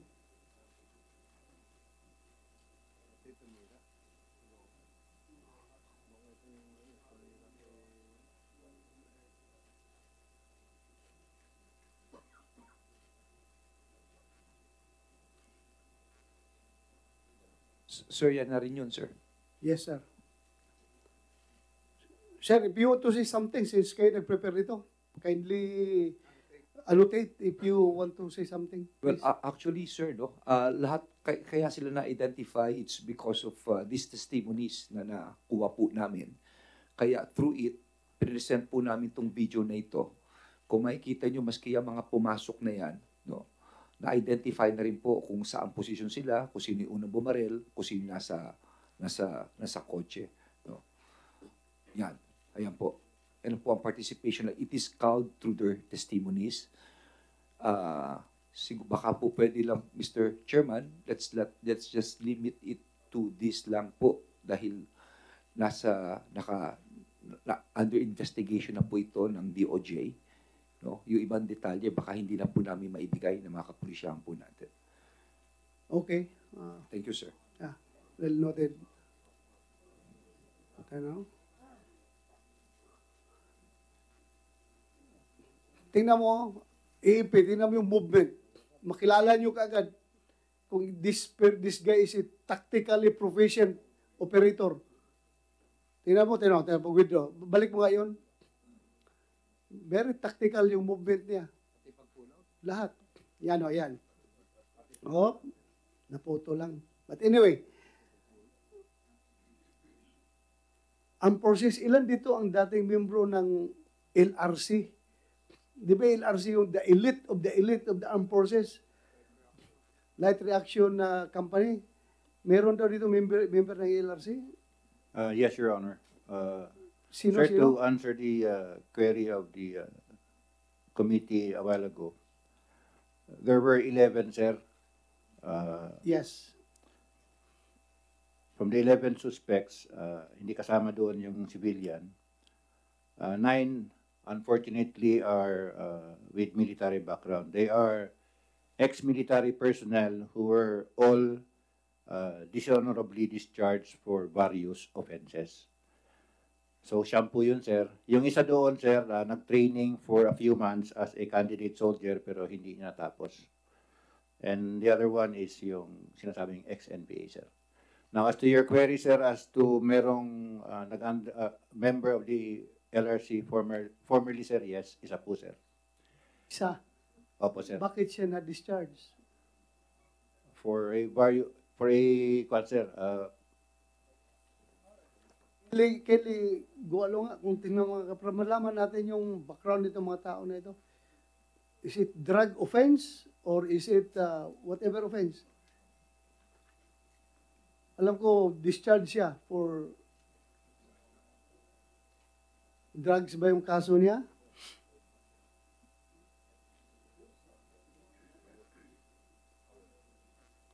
he was on uh, AWOL, sir. AWOL. Yes, sir. Iwol. So, out of the nine na sinabi mo, ilan doon ng dating Scout Ranger? We- We have to in, uh, inventory these people para makakrap up tayo ng policy ng uh, na paano i-monitor itong mga tao after they, they are uh, dishonorably discharged na hindi magamit ng masasamang tao. Lalo-lalo yung mga specially skilled soldiers. Ilan Scout Ranger? Sir, uh, isa doon yung, uh, as per our verification, uh, dating sa Ranger, sir. But yung sa LRC kasi, sir, ano rin yun, eh, before you become an LRC, uh, you have to take uh, Ranger qualified ka? Or SF qualified, sir. SF qualified. Yes, sir. Now, to the query of uh, uh, Ma'am Hontiveros, uh, Senator Hontiveros kanina, on what the AFP has done with regards to this, uh, uh, those, the suspects with uh,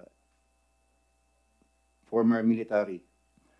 Sir, uh, when we, when this incident happened, our leadership immediately uh, came up with the following actions.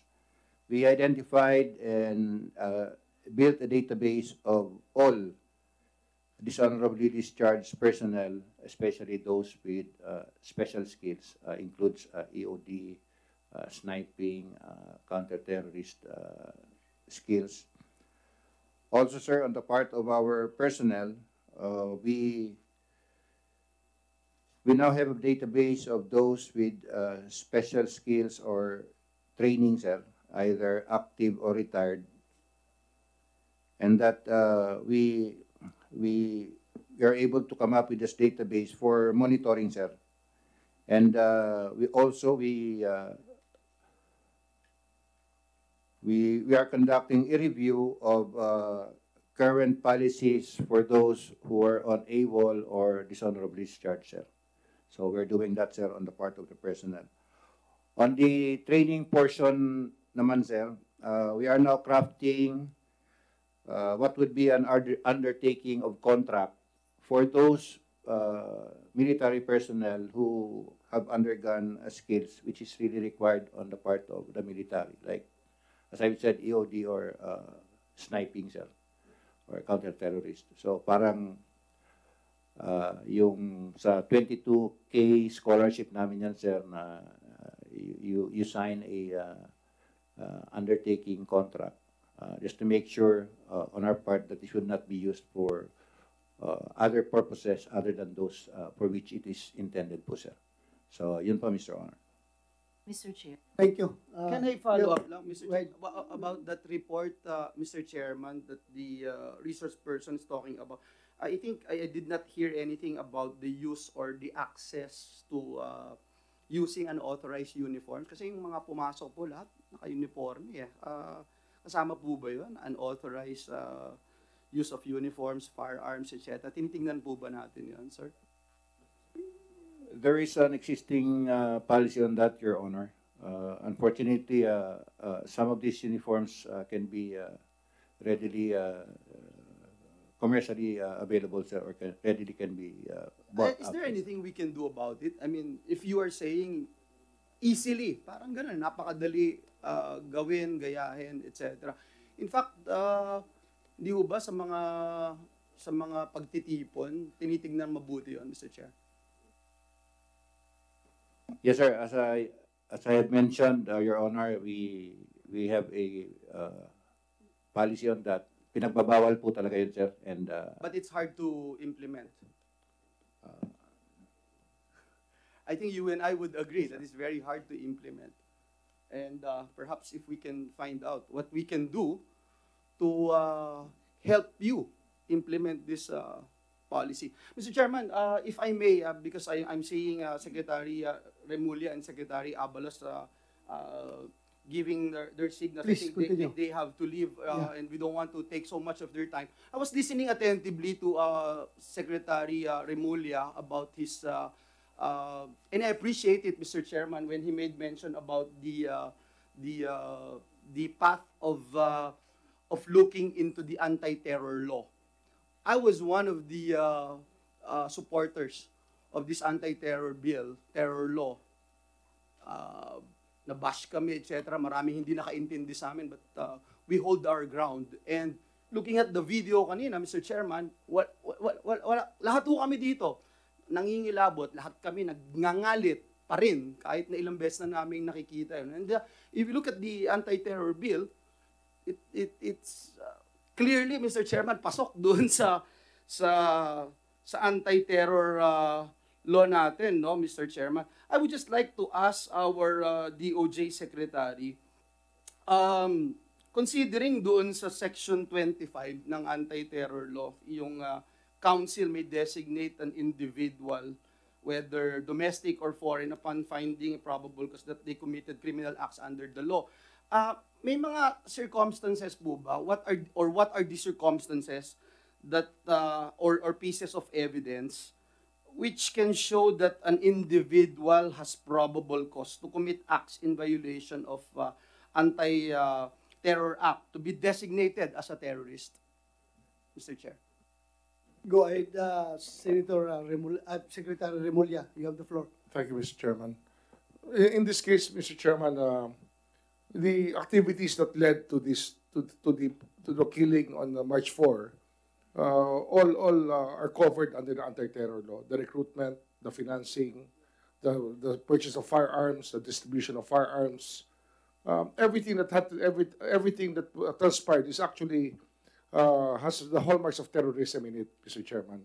However, um, when when the when the cases were filed individually, we could not really file an anti-terror case immediately, or we cannot actually file an anti-terror case immediately because it takes a lot of legal theory and a lot of uh, research to be able to to prove a terrorism case. And uh, we, we, we, are afraid right now that if we immediately file an under uh, terrorism case uh, based on the, the crimes that transpired, it may it may prejudice other convictions that can be secured easily with the same punishment for murder, uh, for, for for multiple murder, Mr. Chairman. However, as a solution to the to the impasse here about the surrender of Mr. Teves or Congressman Teves, we are looking at uh, designating him or proscribing him as an as a terrorist to have him proscribed by the Court of Appeals or dis- and designated by the Anti-Terror Council because of the acts that happened. Because the other persons are in custody already, there's no more need. But as far as Mr. Teves is concerned, Congressman Teves, we, we may need for him for for for him to be to be uh, designated and proscribed, Mr. Chairman.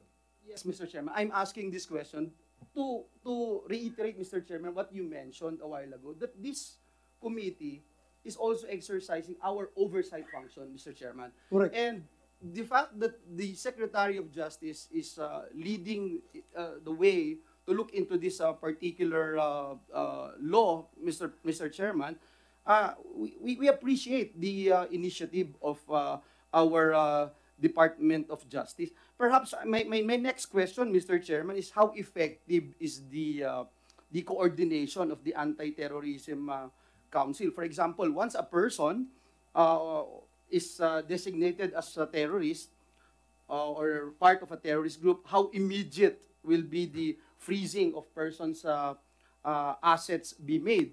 Yung cancellation din yan ng passport, yung right to travel, etc. And that's the main reason, Mr. Chairman, why I supported you, Mr. Chairman, uh, in this uh, particular uh, law that we passed uh, in this Congress. Thank you, Mr. Chair. If I- Yeah, can you respond, uh, Senator, uh, Secretary Remulla, then uh, Secretary Abalos later? Um, Please, sir, go ahead. Yes, Mr. Chairman, that is really the intent, is really to look into all of these uh, acts that transpired and, and the prescription and, and the designation to be our, our, our, our goal further down the road. Because if, if the person will not surrender, then we will have to make the world smaller for him. And that is really the purpose of the anti-terror law, is that the, the whole world will actually will actually not tolerate any act of terrorism. That's why the, the, when we were reading through the law, we, we found it to be the most applicable in this case for a person who has not surrendered, Mr. Chairman. And uh, I think we're on the way there already. Thank you, Mr. Chairman. And that means uh, we are uh, testing now the law that we passed, uh, Mr. Chairman. Thank you, Mr. Chairman. Uh, I have some other questions, but I will let my, my colleagues to to to. uh, Yeah, uh, first. you want to- Mr. Chair. Uh, uh, Secretary Abalos, you want to add? Ang sa akin lang po, no, ah, kamukha po ng sinabi ni ah, Senator Villanueva, tamang-tama po itong batas na ito. Dahil dito nakapaloob ang lahat na dapat nating gawan. Tanggalan ng passport, lahat talaga ipiti na po. Kaya angkop na angkop ang anti-terror law sa mga nangyari pong ito. Talagang 100% agree po ako dito. Salamat po. Thank you. And if I may add, alam mo, pag ganun ka powerful ang suspect, ganun ka yaman, ganun kadami ang pera, kapag na-freeze yung kanyang asset, ay yung, lahat ng kanyang pera sa bangko, ano pa magagamit niya para to bribe or to hire uh, more uh, killers? Wala na. Hindi na niya ito magagamit. So, napakagandang batas ito. But, uh, you know, silang dalawa, ang dalawang sekretary andito ngayon ay nagpapaalam na na marami pa silang gagawin. But before they leave, I would like to give the opportunity to my colleague. Baka may itatanong pa sila sa inyo, sir, bago kayo umalis. Ah, okay lang ba? Ah, magtatanong pa sila. Ah, si Senator Ruben Padilla muna. Ah, Senator Ruben Padilla, yeah. Ah, okay, after uh, Senator Tolentino, Ruben Padilla, then Senator JB. Salamat po kay Senator Padilla for uh, allowing me to use the microphone again. Magpapaalam po yung dalawang kalihim natin pero nakikita ko rin po na para magpapaalam na rin si Chairman George Garcia. Alam po natin marami ang ginagawa ng COMELEC. May tanong po kay, kay Chairman Garcia. Yung sa listahan po na binanggit kanina ni Senator De La Rosa as well as Senator Ontiveros, yung mga mayors, vice mayors sa Cagayan, yung gobernador natin sa Lanao del Sur, yung isang mayor natin sa Leyte, ito po ba ay ah, merong mga electoral protest? Kasi gusto ko pong malaman o kung mabibigyan nyo ng in- information ang committee ito, ano po ang relasyon noong may mga naka-file na election cases doon sa mga ambuscades at mga assassination na ganap. At kung marami pa ho na election-related cases, na nasa inyo na hindi pa nadidesisyonan, perhaps a policy reform uh, that would entail informing beforehand the Philippine National Police. Ito yung may mga may mga naka-file na cases ito, eh dapat po siguro uh, level B ang inyong proteksyon dito sa mga ito o mag-ingat-ingat yung ating provincial police office. Oh, can you provide this committee or are you willing to say something relative to that question, uh, Honorable Chairman. Yes, uh, Kumilig Chairman uh, George Garcia, you have the floor. Maraming salamat po, Mr. Chair. Magandang umaga po sa inyong lahat. Uh, as far as the public is concerned, yung pong mga naka, nasa list kanina na mga na-ambush, wala pong mga pending cases sa Commission on Elections yan. Pero uh, for policy direction, ang problem po ng Commission on Elections, and that's the concern also of the resolution of the Honorable uh, Risa Hontiveros, Number one po, kapag nangyari yung ganitong insidente, yung magpag-ambush, yung mga pagpatay, wala pa pong election period kasi. Under our Omnibus Election Code, yung pa rin po yung existing natin, dated December 5, 1985 na Omnibus Election Code. Ang election period po kasi papasok 120 days pa before the election. So nandun pa lang po yung effectiveness ng kapangyarihan namin. Ito po'y dinagdagan pa, nag-wars noong decision ng Supreme Court sa kaso ng Peñera versus Comelec ano po yung Peñera versus Comelec? Sinasabi po ng Supreme Court na in accordance with Section 15 ng Republic Act 9369 in relation to Republic Act 8436, ang isang kandidato ay kandidato lang sa unang araw ng campaign period.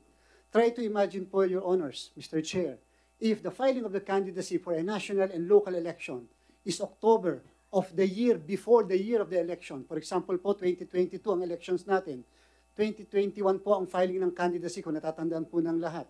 By that time na nag-file po ng candidacy ang lahat ng kandidato, national man o local, maliban sa wala pang kapangyarihan ng COMELEC, papasok po ang kapangyarihan namin ng January, papasok din yung pag-deputize namin sa AFP at PNP sa January, by that time po hindi pa kandidato ang lahat ng kandidato. Kandidato lang sila 90 days in the case of the national uh, candidates and 45 days in the case of local candidates. So yung po yung isang uh, problematic situation po as far as the COMELEC is concerned. Additionally po, yung pong uh, issue ng nuisance candidacies. Madami rin po kasi nagpapahal hanggang sa kasalukuyan kahit na automated tayo. Mas na-discover po ng mga kandidato mag- mag-file ng nuisance candidacies. Hindi po kasi kayang pigilan ng COMELEC because under the law, ministerial po yung duty namin to, to accept the certificates of candidacy. Hindi po pwedeng sabihin ng mga local COMELEC officials namin, a nuisance to, ito hindi to nuisance. They still have to undergo the, the required due process, the constitutional right to due process. So magpapile at magpapile pa rin ng petition. In this case po, maganda rin pong madinig ng lahat. In the case of uh, uh, Governor Digamo, there was a, a, uh, candidate, ca- candidate who filed his certificate of candidacy. And yung po ay na-desisyon na ng COMELEC Division as early as December of 2021. Isa pong nagngangalan na Ruel na ang family name ay Ari, uh, ang uh, Digamo rin, tapos ang pangalan po niya ay uh, Ruel, R-U-E-L. And uh, nakakuha po siya ng more or less 49,953 votes. Uh, and uh, therefore, nagkaroon po ng decision ng Comelec Division na, na siya po ay uh, disqualified for being a nuisance candidate. Kaya lang po, hindi kaagad na decision na ng NBank sapagkat um, for record, yung pong inyong lingkod kasama yung dating chairman at isa pang commissioner, ay hindi po kami na-confirm kaagad. So, yung umiikot na resolution was set aside and uh, nung matira na po yung apat na commissioners, naging voting po sa COMELEC, Your Honors, Mr. Chair, ay 2-2. And uh, it was only when the when when yours truly was appointed as the chairman that I broke the tie, and um, in favor of Governor De Degamo, and which decision of the the COMELEC we interpreted in accordance with the case of Legaspi versus Comelec. We said that according to the Supreme Court, there must always be four votes in the Comelec. And in case there is no four required votes obtained, then the decision of the division is deemed affirmed. Yun po yung nangyari. It was raised to the Supreme Court and the Honorable Supreme Court, Your Honors, affirmed the decision of the Commission on Election. So yung pagkakadelay po, Your Honors, and I think that's also the basis of uh, the, the content of one of the, the, the resolution of the Honorable Risa Oteveros, na delay po in view of the fact that kulang po yung composition ng commission election. So what, for policy direction, what is our commitment? Our commitment is that number one, the COMELEC will resolve all nuisance cases before the conduct of the election. For example, para po sa darating na barangay and SK elections, if the filing of the candidacy is August 28 to September 2 before the election of October 30, all nuisance cases will be resolved by the NBank, by the commission at the NBank level, not only at the division level. Pagdating po ng national and local election, if the filing of the candidacy is October of 2024, kunyari lang po to October 2024, before the printing of the ballots, even before December of 2024, we will resolve all nuisance cases. However, uh, uh, we, we are also requesting the Honorable Legislature, Congress po, we have been pushing for the amendment of Section 69 of the Omnibus Election Code. Ano po yon? Yung po yung nagdi-define ng nuisance. We should criminalize nuisance candidacies. May pinas, meron na pong na, na-propose nung, nung 18 Congress dito po sa inyo. Dapat po i-criminalize na yan, either imprisonment or fine. Ang naging proposal po, 500,000 and perpetual disqualification to hold public office. And if it can be proven that there is conspiracy, then everybody involved should likewise be in, should likewise be charged for uh, not only misrepresentation or perjury, but at the same time for the filing of nuisance candidacy. That is the only way by which we can resolve ito po mga ganito dahil hindi po matitigil yung pagpa-file. Do you know that po during the 2022 election, 100 uh, for national, there were 205 cases, the 205 nuisance candidacies filed. And for uh, local, 100 pa rin po. So, natitik advantage po yan. Napiprint po kasi yung pangalan sa balota. And once printed, naturally, naturally, madami madami po tayong mga kababayan ang malilito talaga. Uh, akala nga po namin, uh, in view of the automation of the election, dapat baliwala na yung Section 69. However, in the case of Santos versus the commission election involving a councilor in Pasay, the Supreme Court said Section 69, which is nuisance candidacy, is applicable not only for manual election, but it is still applicable for automated election. Maraming maraming salamat po. Mr. Thank Chair. you, uh, Chairman uh, Garcia. Uh, nga, uh, sana before 2025 elections, yung uh, sinasuggest mo na amendment ng particular provision of, that of that law ay maamid na natin. So, siguro, uh, nakikinig ito lahat ng membro dito. Pagtulong-tulungan natin yan. Uh, we will do that. You, you, you want to, s- yeah, uh, Sal- Salamat kayo, uh, Mr. Chair. Actually, originally, babalikan ko sana yung uh, mahalagang sagot ni General Reyes. Pero dahil nakapagsalita na rin si uh, Chair Garcia ng COMELEC, salamat. Actually, nasagot nila yung huling at siguro pinaka-importanting uh, tanong ko of my few, you know, three questions na what reforms ang uh, in-institute para i-address itong concern. But just for the record, Mr. Chair, to to show uh, kung gaano sanang kahalaga kung nagawa na earlier, na- na-confirm earlier si Chair, nagawa na earlier itong mga reforms na institute, baka nga napigilan pa yung pagpatay kay Gov. Degamo at ng iba pang mga opisyal natin. Kasi for the record, Mr. Chair, Gov. Degamo petition, petitioned COMELEC Second Division October 13, 2021, yung buwan mismo ng pag-file ng certificates of candidacy. Around three months, three whole months, quarter of a year before the printing of the ballots to declare Ruel, R-U-E-L, kasi si Gov ay R-O-E-L, nagpetition si Gov to declare Ruel Degamo as a nuisance candidate. At gaya po ng sinabi ni Chair Garcia, noong December 16, a couple of months later, two months later, ang second division nag-rule na yung Ruel Degamo nuisance candidate nga at kinancel nung second division yung certificate of uh, candidacy niya. Kaya lang, yung Ruel, inappeal yung ruling ng second division sa Comelec Unbank. At dahil wala ngang ruling mula dun sa Unbank, sa paliwanag na ibibigay ni Chair, yung printing of the ballots began pa rin on January 20 na may dalawang degamo kasama bilang kandidato para sa gobernador ng Negros Oriental. At yung resulta ng May 9 elections, alam na nga natin. Ah, so, pagkatapos ng May 9 election, as in May 10, kinabukasan. So, kumbaga, by the book, gi- ginagawa naman ni Gov. Degamo lahat nung ina-exhaust nila yung, ah, yung ah, reliefs, no? Gov. Degamo asked Comelec and Bank i-resolve yung kaso niya May 10, asking that the votes of Ruel be credited in his favor. Still no action was taken. So pumunta nga si Gov. Degamo sa SC. Nag-file siya ng petition for mandamus noong June 26, just the month after, citing Comelec's failure to resolve the case within 30 to 60 days per its own ruling. At hiniling ni Gov sa SC, humingi si Gov sa SC ng temporary restraining order para pigilin yung di umanong uh, winning candidate for governor na ah, mag-assume ng office. August 16, so two months later, couple of months later, ginrant ng SC yung petisyon ni Governor Formandamos at yun ang nag-compel sa COMELEC i-resolve yung case within 10 days from its receipt of the SC order. So September 1, hindi pa nga 10 days after eh. So half month after, two weeks after, sa wakas, naglabas ang COMELEC ng unbank resolution affirming the ruling of its second division. Bagamat kanina, Chair, sinabi nga ni Chair Garcia, uh, absent a certain condition, dapat effective na yung uh, ruling ng kahit ng second division if I remember correctly. So nung October 3, the month following, yung Special Canvassing Board kinonvene para i-annul yung proclamation ng earlier proclaimed governor, winning gubernatorial candidates, transferring the votes obtained by Ruel to Rowell. Inamend niya, yes, Mr. Sa- Chair. Sen- Senator Risa, ah, since uh, Chairman Garcia manifested his uh, intention to stay longer uh, dito sa ating hearing and uh, yung dalawa nating secretary ay nagpaalam dahil may importante pang gagawin. Can, can we continue that questioning uh, later?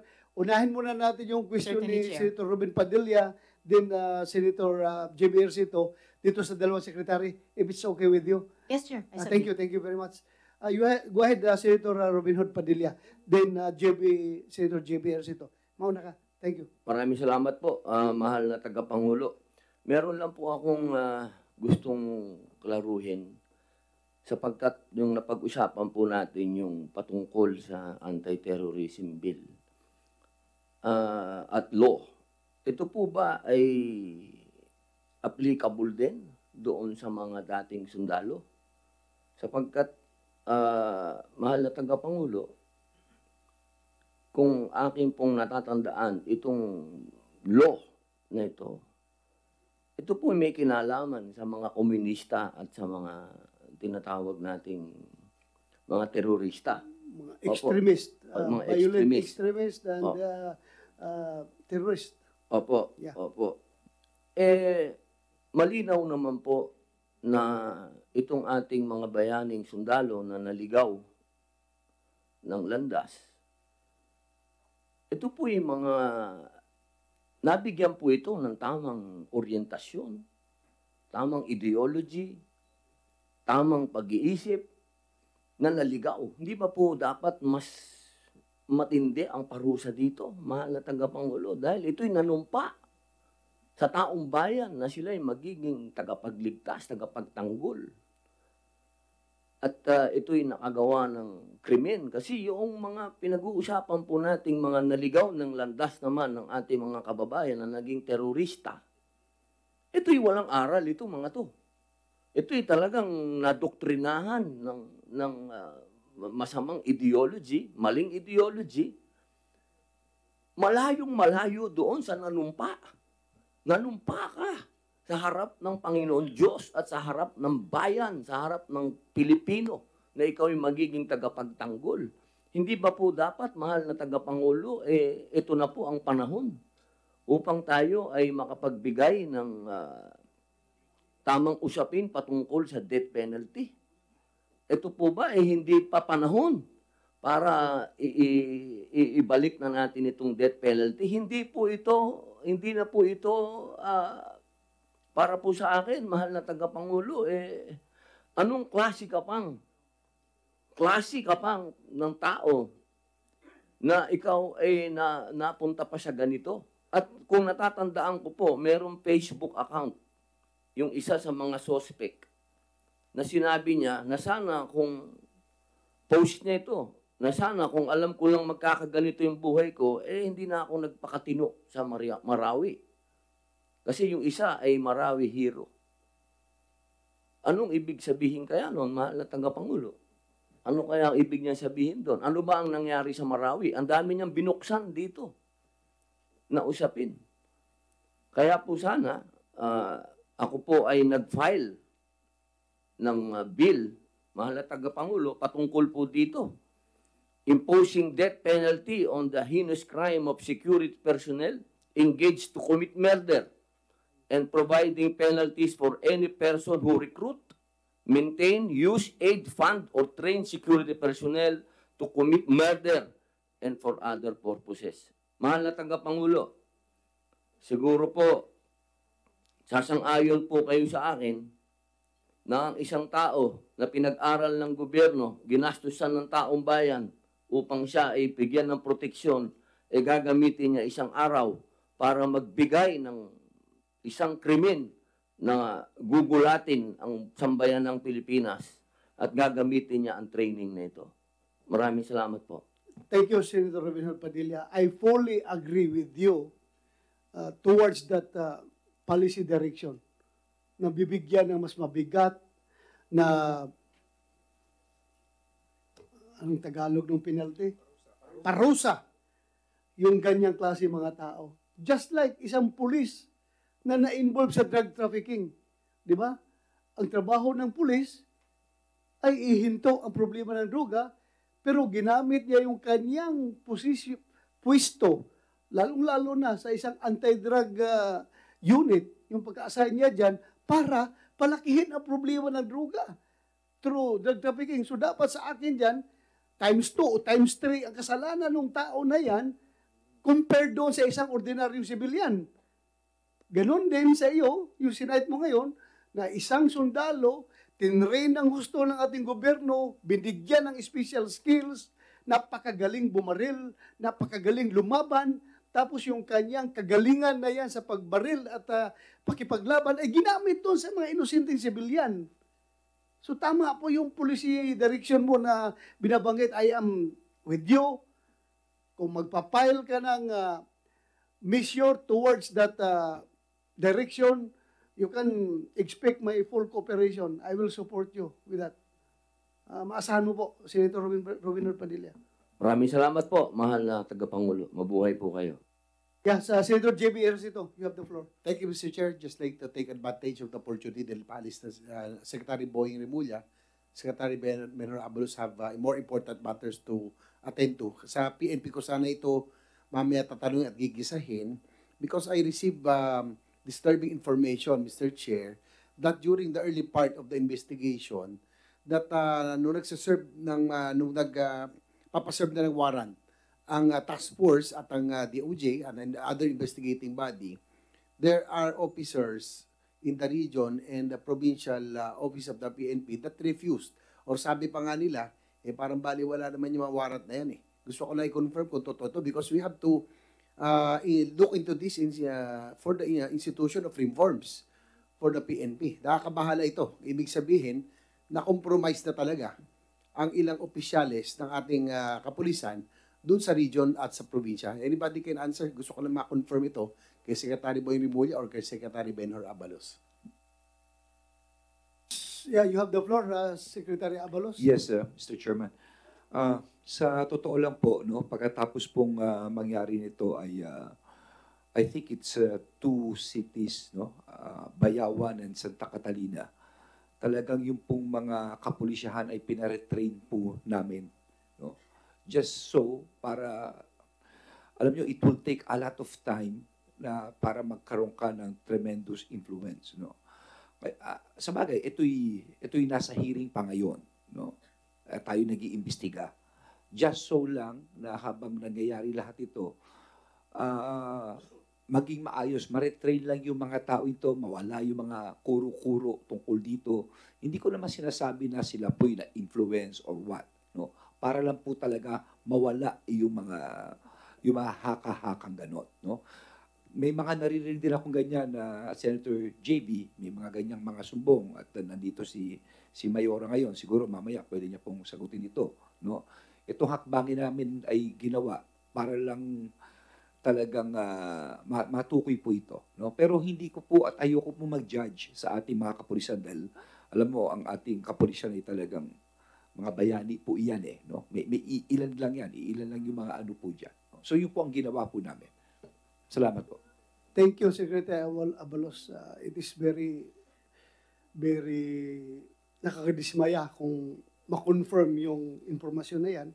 Paano na lang yung ating sinasabi sa PNP to enforce the law without fear or favor.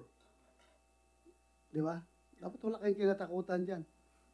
I-confirm niyo to or i-deny, hindi maiwasan sa isip ng mga tao na kung ganun kalaking ah, politician, ganun ka-powerful, at ganun kinatatakutan, na talagang somehow, ah, kayo being local police, ay nakakaroon ng takot, baka matanggal kayo dyan, mapag-initan kayo.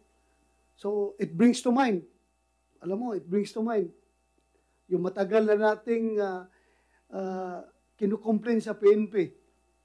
Noon pa man, nung kagagawa pa lang nitong PNP law, yung ating reklamo na sana kami ay tinrain sa academy professionally, na talagang straight kami na pagka-opisyal na hindi kami lalapit at lalapit sa mga politiko for any favor ay hindi sana mangyayari.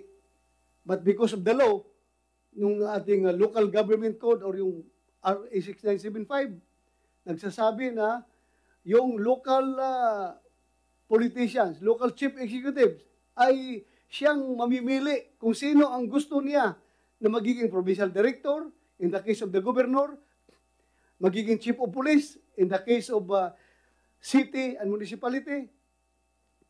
Diyan tayo, matagal na natin reklamo yan. So this is another policy na dapat natin pagtutuunan ng pansin. Na dapat yung mga politicians, particularly the local chief executives, ay sana ay ang pipili, ang mag-appoint ng uh, provincial director, mag-appoint ng uh, chief of police ay yung PNP na mismo.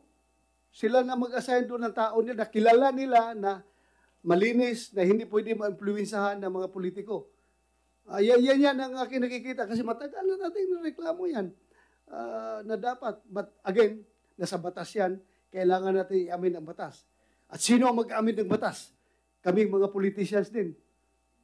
At kami ang mawawalan ng ganong power to appoint these people. Di ba? So, unless, unless, and I hope, na itong ating mga kasamahan na gagawa ng batas, ay consider nila yan na matagal na reklamo ng pulis yan. Sabi ninyo, yung mga pulis na yan, hindi yan madidiktahan ni gobernador, hindi yan madidiktahan ng congressman dahil uh, mga professional yan. Mga graduate yan ng academy. Hindi nila yan, kahit na hindi graduate ng academy, pero matagal nila pinalag, pinangalagaan yung kanilang uh, kanilang pagiging pulis. Hindi yan magpapa magpapadikta kahit sinong politiko. But then again, maging provincial maging provincial director ka ba kung hindi papayag si gobernador? Magiging chief of police ka ba kung hindi ka tanggapin ni mayor? So those are those are uh, some policy issues na dapat natin mabigyan ng uh, ng uh, attention para kung gusto talaga nating uh, um, walang uh, political intervention yung mga ginagawa nating kapulisan. But anyway, uh, that's another uh, point. Uh, meron Sir, pang... Chair, just, just one Yeah, question ito, kay- kay Secretary Remulla. Secretary Rimulya. Uh, matagal-tagal na rin, ano, itong nangyaring, uh, with the permission of the chairman. Yeah, go ahead. You have the floor. Uh, yung insidente ito kay Dagamo, ano na yung status ng ating, uh, bakit hindi pa na napapailan ng kaso itong mga accused?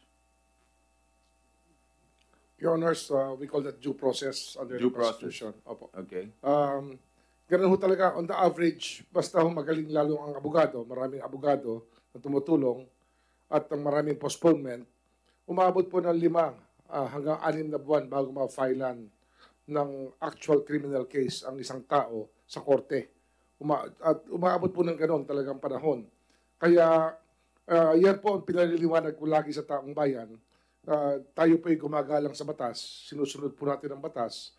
Kaya wala hong overnight dito. Dito ho talaga, unless caught in the act yung tao, ah, hindi ho talaga kayang file ng, ah, mabigyan ng warrant of arrest yan until matapos po yung due process. Ito po yung nakaset na mga period para makasagot, ah, counter affidavit, reply, tapos mga motions.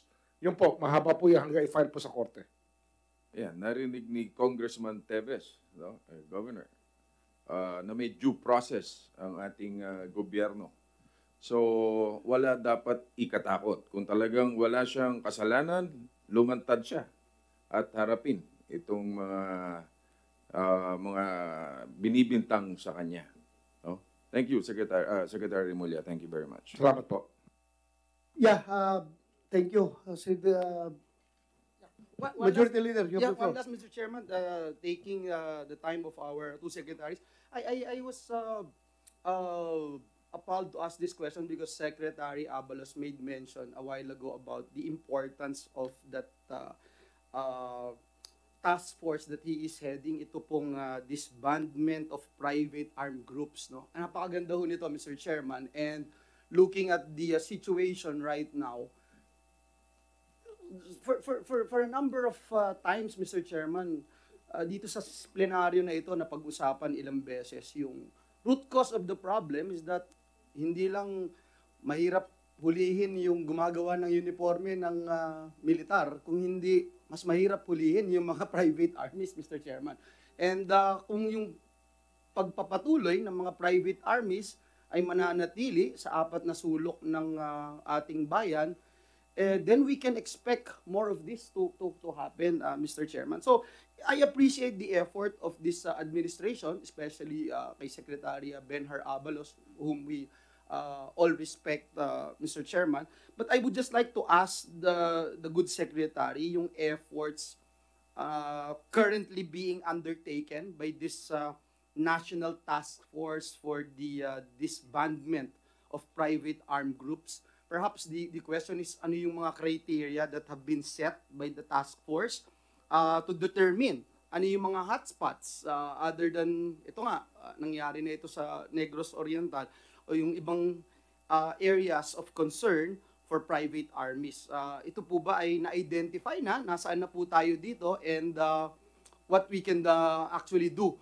to help out uh, the efforts of the administration. Thank you, uh, Mr. Chair. Thank you, uh, Sec- uh, Senator Go Joel. ahead, go ahead, uh, Senator, uh, Secretary Abalos. Yes, uh, yes, uh, Mr. Chairman. Uh, actually po, itong uh, Task Force for the Disbandment of uh, Private Army Group, ito'y confined lang po talaga sa Mindanao. No? This is uh, because of the peace process. No? It's part of the peace, it is a requirement.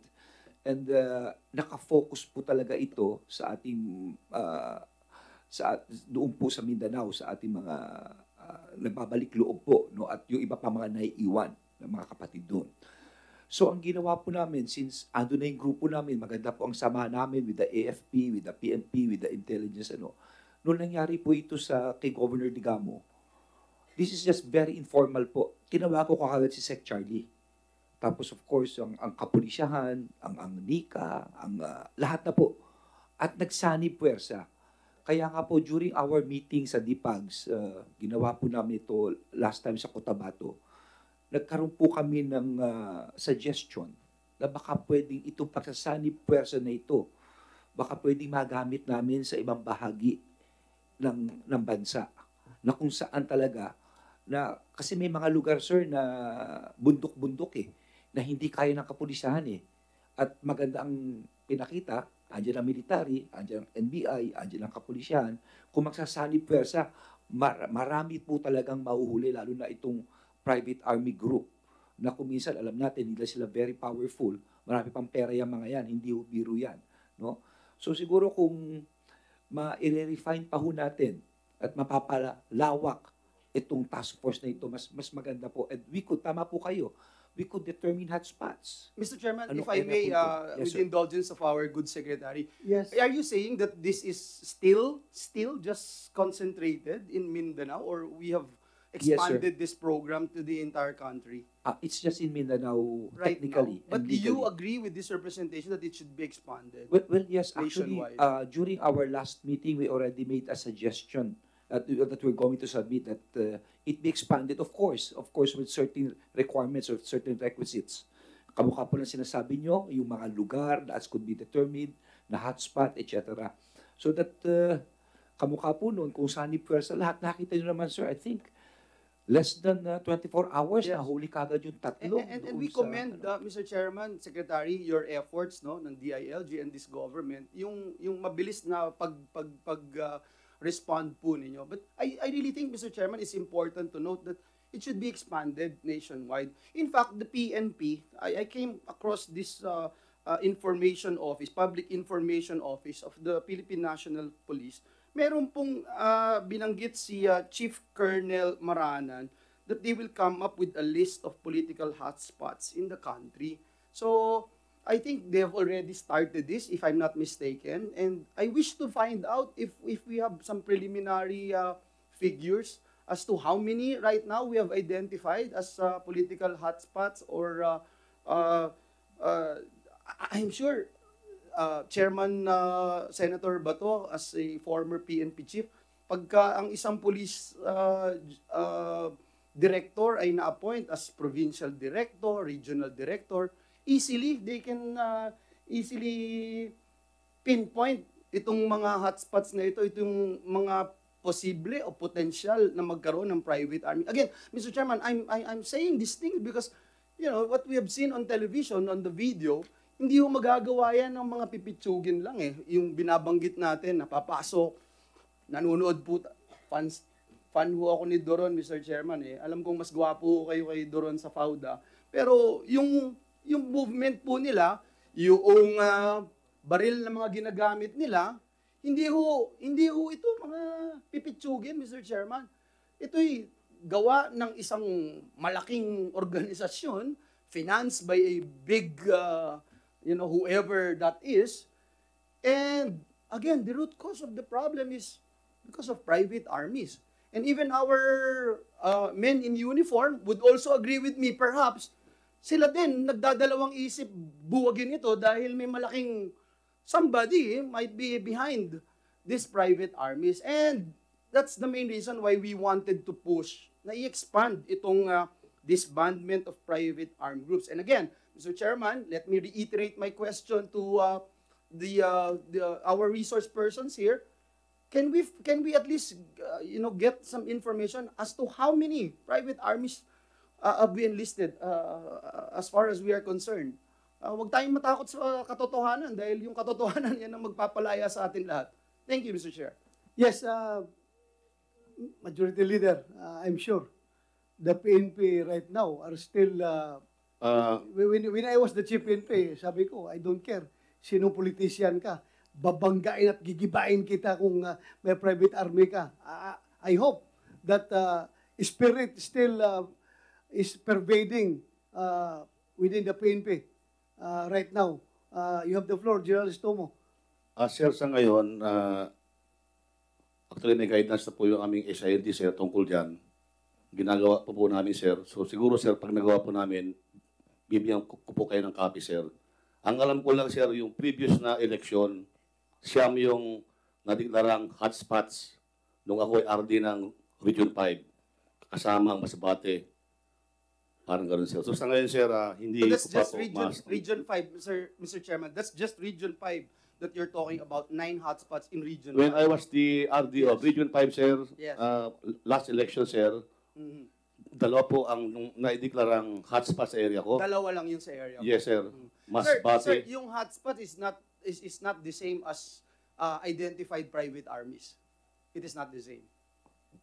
Not necessarily, sir. Potential private Yes, armies. sir. Because if Opo. you would be appointed as regional director in Region 3, for example, uh, you can easily find out saan yung mga uh, contested areas dyan na may mga historically eh, may mga nangyari na. Hindi ba? I think uh, it- it's, it's a very simple question na uh, we, we wanted answer sana, uh, Mr. Chairman. If it is not uh, uh, possible today, at least give us a bird's eye view kasi uh, the, the people are listening, watching uh, what's happening in this uh, August chamber. They wanted to be feel safe. If you're a governor, sitting governor, papasukin ka sa bahay mo just like that, how much more for ordinary citizens? I mean, if you cannot protect me, if you cannot protect our uh, Juan de la Cruzes, mahirap po ito, Mr. Chairman.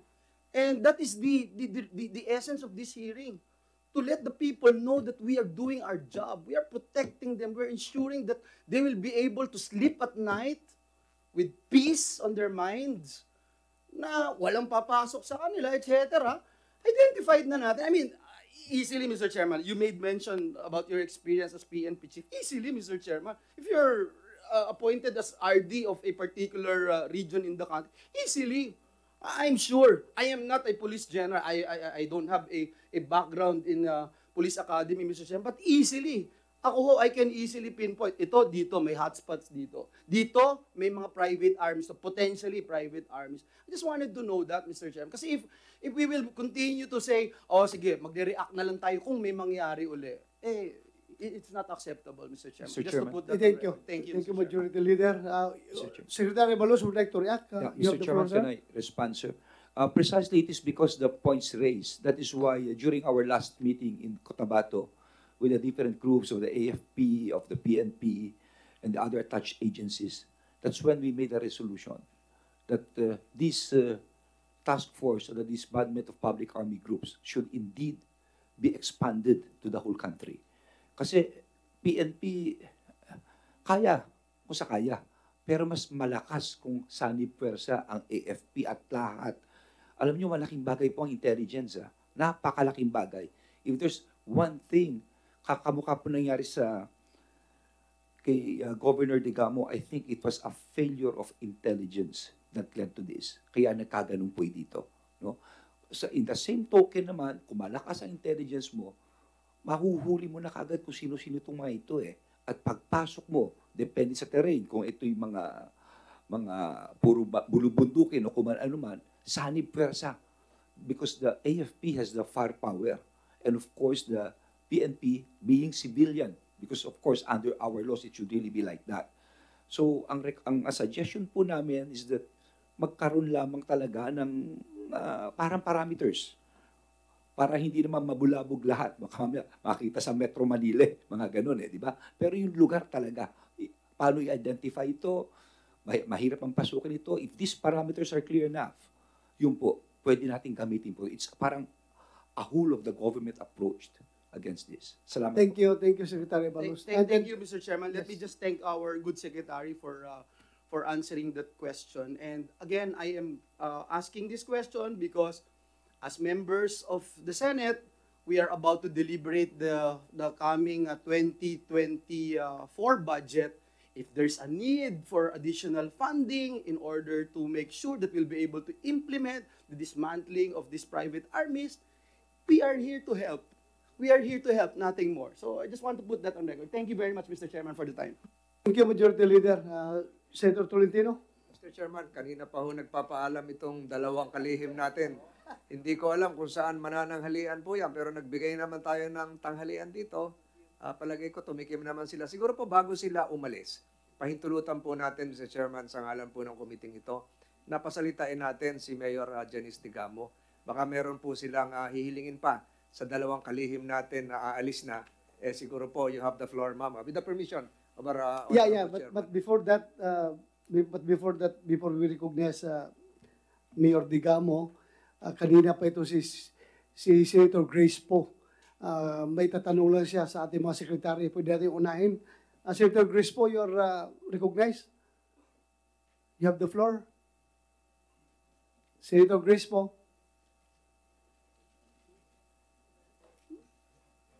Ah, kung wala pa, ah, baka mamaya ma- ma- mas lalong matagalan itong dalawa nating ah, ah, secretary dito.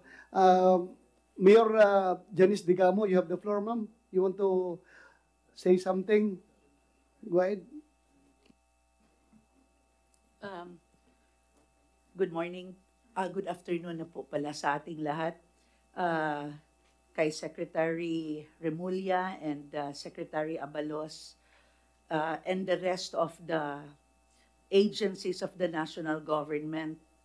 Saludo po ako sa ginagawa ninyong pagtulong na mabigyan ng hustisya ang akin pong asawa. Hayaan niyo lang po ako na i-explore pa ang ibang avenue. Hindi ko po intention na maliitin ang ginagawa ninyo dahil na-impress at na-amaze ako sa mga ginagawa ninyo na ma-discover at ma you I can see it that you try so hard to help the governor and to give justice to my husband. Pero hayaan niyo po ako na gawin ko bilang asawa ng aking na walang napaslang na na ah, partner po ang aking asawa na i-explore lahat ng avenue kung saan talaga namin makamit ang hustisya, kung ano sa tingin namin makakatulong na makamit ito. Dahil po, hindi po kami makakapag-move on at hindi po kami, I do not want to, one day soon, when we meet in heaven, ayoko naman pong sabihin sa kanya na, Ruel, kinulang yung effort.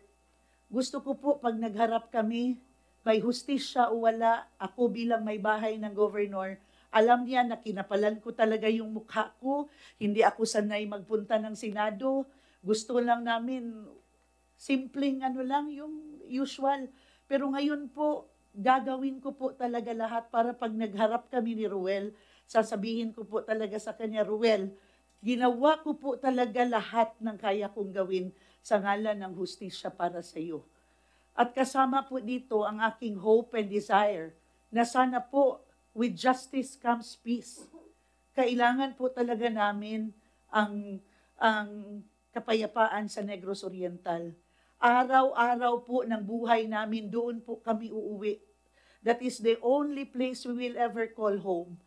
Allow us po, sana wag niyo pong mamasamain ang pagpunta namin sa Senado naghahanap talaga kami at i-explore namin lahat ng avenue na ma-return ang peace sa probinsyang aming uuwian po.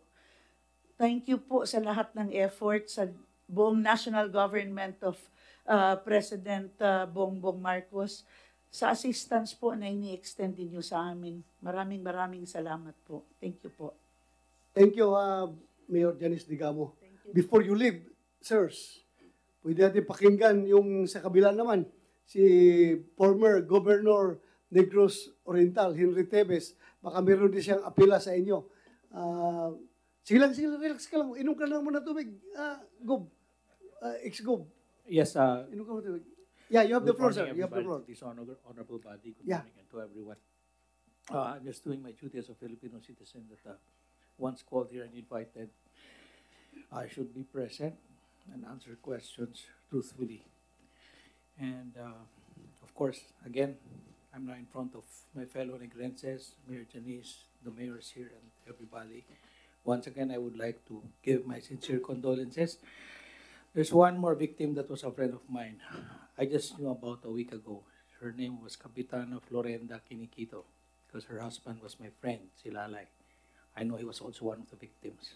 So medyo sa lahat ng biktima, may dalawa akong kilala talaga. Opo. Once again, uh, I'm here to answer the questions because that is what a law-abiding Filipino citizen should do. Good morning, Mr. Chair. Thank you, uh, Honorable Henry Tevez. Uh, thank you for your Later, sir, if you will allow me, because it's in aid of legislation, if I can also give some points regarding my small experience with PNP matters, be, ha, having been a mayor for six years. I know this is nothing compared to what your experience is, but if my observations can also help in the crafting of better legislation, if you will give me the time later, I would gladly do so, sir. Yes, by all means, we will uh, gladly hear you. Thank you, sir. Huwag kayo mag-alala. Pakinggan natin yan. So, Senator Grispo, nandiyan ka na. Bago al- umalis yung dalawang sekretary natin. Senator Grispo? La, la, Jo. okay. Uh, Mr. Chair. Before we, before we, before we let you, we let you go, uh, kuhan lang muna tayo para makapasalamat kami sa inyo. Uh, one minute suspension. Thank you.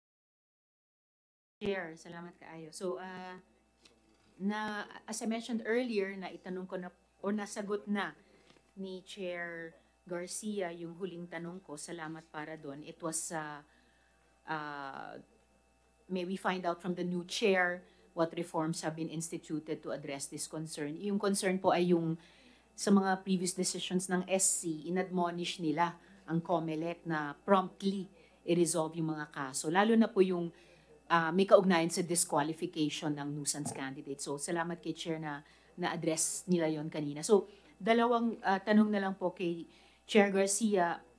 Ito particular po dun sa nangyari kay ah, Gov. Degamo. Can you confirm, Chair Garcia, that posters were posted in Negros Oriental actually showing Gov. Degamo's face but indicating the wrong name. Ruel, R-U-E-L Degamo, pati wrong number sa balota, Mr. Chair. Yes, Go ahead, uh, Chairman. Thank you very much, Mr. Chair. Your Honors, yes, we would like to confirm that. It was uh, rightly manifested before the COMELEC po, at uh, it was properly reported to us by our regional and then provincial and even our election officers in the field. Properly reported po yun. And uh, therefore po, uh, kasama rin po yun sa naging disposition ng Commission on Election for purposes of determining whether that person is nuisance or not. And likewise, yung pong uh, issue ng misrepresentation. Kasi ganun po talaga ang problem natin sa nuisance candidacies. Pwedeng palabasin ito yung mukha ng kandidato and that yung pangalan ay yung pangalan mismo ng nuisance candidate. Napakahirap po at that uh, uh, and that's the reason why even in the forthcoming your honors barangay and SK elections pinakamahirap po ang nuisance pag barangay and SK election kasi you cannot just declare as person as being a nuisance candidate simply because wala siyang political history. Barangay election lang naman po iyan. But then, but then we can easily look into the seriousness and the intent really to run for candidates. And would like therefore, again, to confirm the statement of the Honorable uh, Senator Risa Hontiveros. Salamat, uh, Chair Garcia.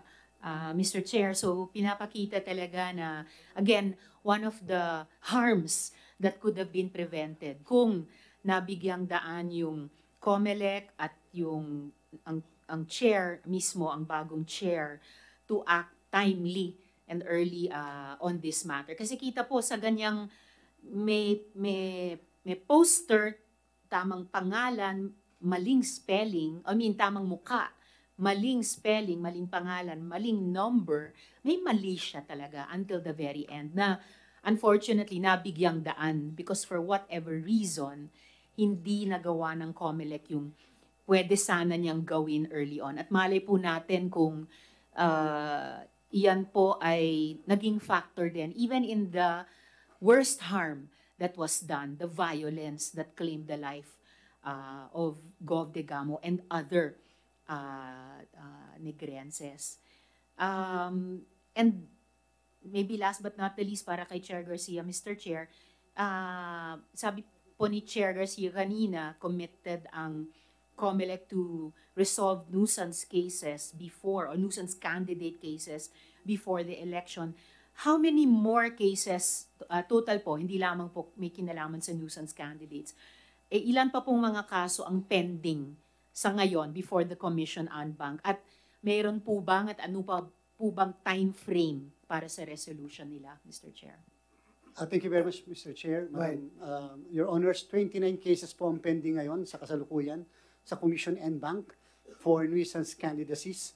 And more or less po, yung mga dis- disqualification cases, ang pending po sa amin is more or less 1,300.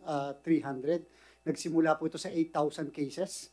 Um, you know, um, Mr. Chair, katulad po ng barangay, sa SK po, almost 4,000 po nung nag-file nung candidacies na sobrang 20, so- sobra sila sa 24 years of age.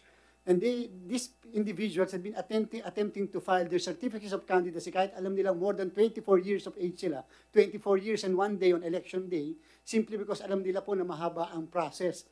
Ang problem po kasi, under the Constitution and as uh, supported by the different decisions of the Supreme Court, sa COMELEC po, pag nag-file ka ng disqualification cases, whether it is cancellation of candidacy or pure disqualification po, uh, it will have to be decided first by a division. Sana nga po, ang sabi nga namin, mas maganda sana kung en na kaagad. But unfortunately, it will have to be decided by the division. There will be process there. Uh, there will be presentation of evidence, marking of evidence. There will be a hearing. There will be submission of memoranda by the parties, and then there will be decision. And uh, take note po, it's the division level. All decisions of the COMELEC division under Rule 18, Section 2 of the COMELEC Rules of Procedure is subject to a motion for reconsideration to the NBank. So kung sa division po ay tatlo ang pumirma, pagdating po sa pi, pi- uh, pito naman po ang magsasign. Unfortunately po, perhaps this is one of the the the lapses of the the, the framers of our constitution. Kasi po, ang problem po na hindi po nila na-anticipate that there will always be a time, uh, Madam, uh, Mr. Chair, Mad- ma- Your Honors, na meron pong tatlong miyembro ng komisyon yung wala at dapat ma-appoint. At na-appoint po sila very close the election. Uh, if it can be remembered, yours truly with the former chairman and the other commissioner, we were appointed only by March. May po ang election. And then po, nung March na yon, as pointed out by the Honorable uh, Senator Risa Hontiveros, nung matapos na po yung election, there was already a resolution by the NBank na umikot affirming the decision of the division. I would like to confirm that for the record. May umikot na po. I signed that resolution as the most junior member of that uh, of the commission by that time. Unfortunately, because uh, we were not confirmed by that time, so natira po apat na commissioners. Yung apat na commissioners pong yon, they will have to reprint the resolution para iikot muli sa kanila. And unfortunately pa po, naging 2-2 ang voting doon sa decision na yon. Yung 2-2 na yun po, may solusyon naman po sana. There will be a rehearing, reconsultation, and then if the voting is still the same 2-2, then in that case, uh, the decision of the division is affirmed. But I was appointed August 3 uh, of that year, and uh, immediately after that was the first decision that we we decided. And the decision po came up by September.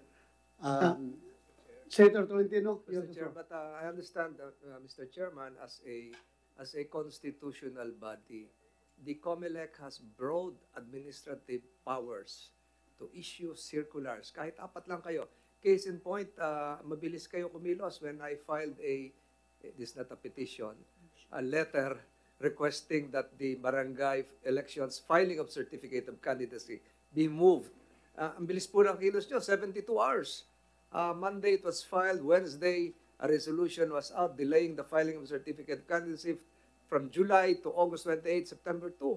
So, kaya po siguro yun, sir. Lalo na ito natitirang, how many? 4,000 uh, disqualification cases and you expect to be overwhelmed by thousands and thousands again of barangay disqualification ca- case. Siguro, administratively, it can be it can be given to the regional directors or even the municipal electoral election officers can can be given powers to decide uh, whether to accept the certificate of candidacy of a a really nuisance candidate sa barangay level or an SK candidate, di ba?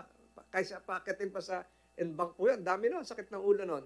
Uh, just just an an insight, uh, Ms. uh, Honorable Chairman. But of course, you have the prerogative to do uh, what you should do. Thank you, Mr. Napakaganda po talaga yon Mr. Chair, na kung, kung mangyayari po yun. But unfortunately, in the case of Fermin versus the Commission election, the Supreme Court made a distinction on the powers of the COMELEC. Dalawa po kasi ang kapangyarihan ng COMELEC. Actually, tatlo. But yung number one is yung tinatawag namin quasi-legislative power, the power to promulgate yung mga resolution. Number two po yung tinatawag na quasi-judicial power, and this is the power to resolve ito po mga disqualification cases. At ang pangatlo po ay yung aming uh, administrative function. Ang problem po namin when it comes to quasi-judicial power, which is the power to resolve petition to deny due course and or cancel candidacy under Section 78 in relation to 74 of the Omnibus Election Code, or petition to disqualify based do sa Section 68 of the Omnibus Election Code, Section 12. Ang problem po namin, sabi po ng Supreme Court, it should be decided by the COMELEC division first. Hindi po pwede namin i-delegate yung, yung uh, authority sa amin pong local of, uh, mas maganda po sana yun para yung kanilang recommendation, i-affirm na lang po namin. But uh, yung po, uh, pag quasi-judicial, since quasi-judicial po, kinakailangan i-resolve muna namin your honors, Mr. Chair, sa division level, tsaka pupunta sa NBank. Ang nire-resolve po sa, sa field, yung aming mga kasong election offense cases. Pag election offense, nasa field po yan, tapos magsasubmit sa amin na recommendation. Truly po, the COMELEC is uh, really uh, being overwhelmed by several cases prior to the election, election day, and then yung post-election pa po, yun po yung napakadami. And, and, and the, the Constitution really mandates uh, compliance with due process, the requirement of, kahit administrative uh, determination po, due process pa rin po ang i-observe ng uh, Commission on Election. But however, as committed by your commission, and we would like to take this opportunity, your honors, ito po napakagandang opportunity to announce to everyone, don't ever attempt this time to file nuisance candidacies because again, sayang lang po, we will resolve all nuisance cases at the end bank level. Bago mag-October 30, this barangay and SK election, bago mag-May ng 2025, we will resolve. In fact, by December of 2024, lahat na magpa-file ng nuisance uh, cases and petition, we will resolve with finality sa level ng NBank by December of 2024. Thank Mr. you for Chair? that, uh, Committee Chairman. Ah, okay. Uh, ah, yeah, go ahead. Uh, because after your questioning, um, the chairman is asking uh, permission to leave dahil mayroon pa na siyang gagawin. So, please, uh, continue. Salamat, Chair. I, ah, tapusin ko lang yung line of questioning ko kanina. So, sabi nyo, Chair Garcia, before October 30, ire-resolve nyo lahat ng 29 nuisance candidate cases. Sana po din, uh, mas 2020 vision natin in hindsight, pero sana po talaga kung iyan ang ginawa sa kaso ni Gov. Degamo, baka buhay pa sila ngayon. Kasi we could have asked them, hindi ba easy call na rin deklarang nuisance candidate yung Ruel Degamo? Kasi ni hindi niya totoong pangalan yun eh. At parang medyo kinukulit si Gov. Rowell Degamo ng ganyang mga nuisance candidacies. Kasi itong kay Ruel Degamo wasn't the first time it happened. Merong earlier na sa 2016, yung uh, Magdegamo, what a name, no? Magdegamo Gasendo, na ang totoong pangalan ay Walter Rosario Gasendo. Ah, nag-file, nag-file din ng disqualification case si Gov. Degamo laban kay Walter Rosario Gasendo or Magdegamo Gasendo. Pero tu- tu- tulad nung nangyari nitong nakaraang taon, at that time, COMELEC did not resolve the case early enough to prevent the name of a nuisance candidate from appearing uh, uh, on the ballot.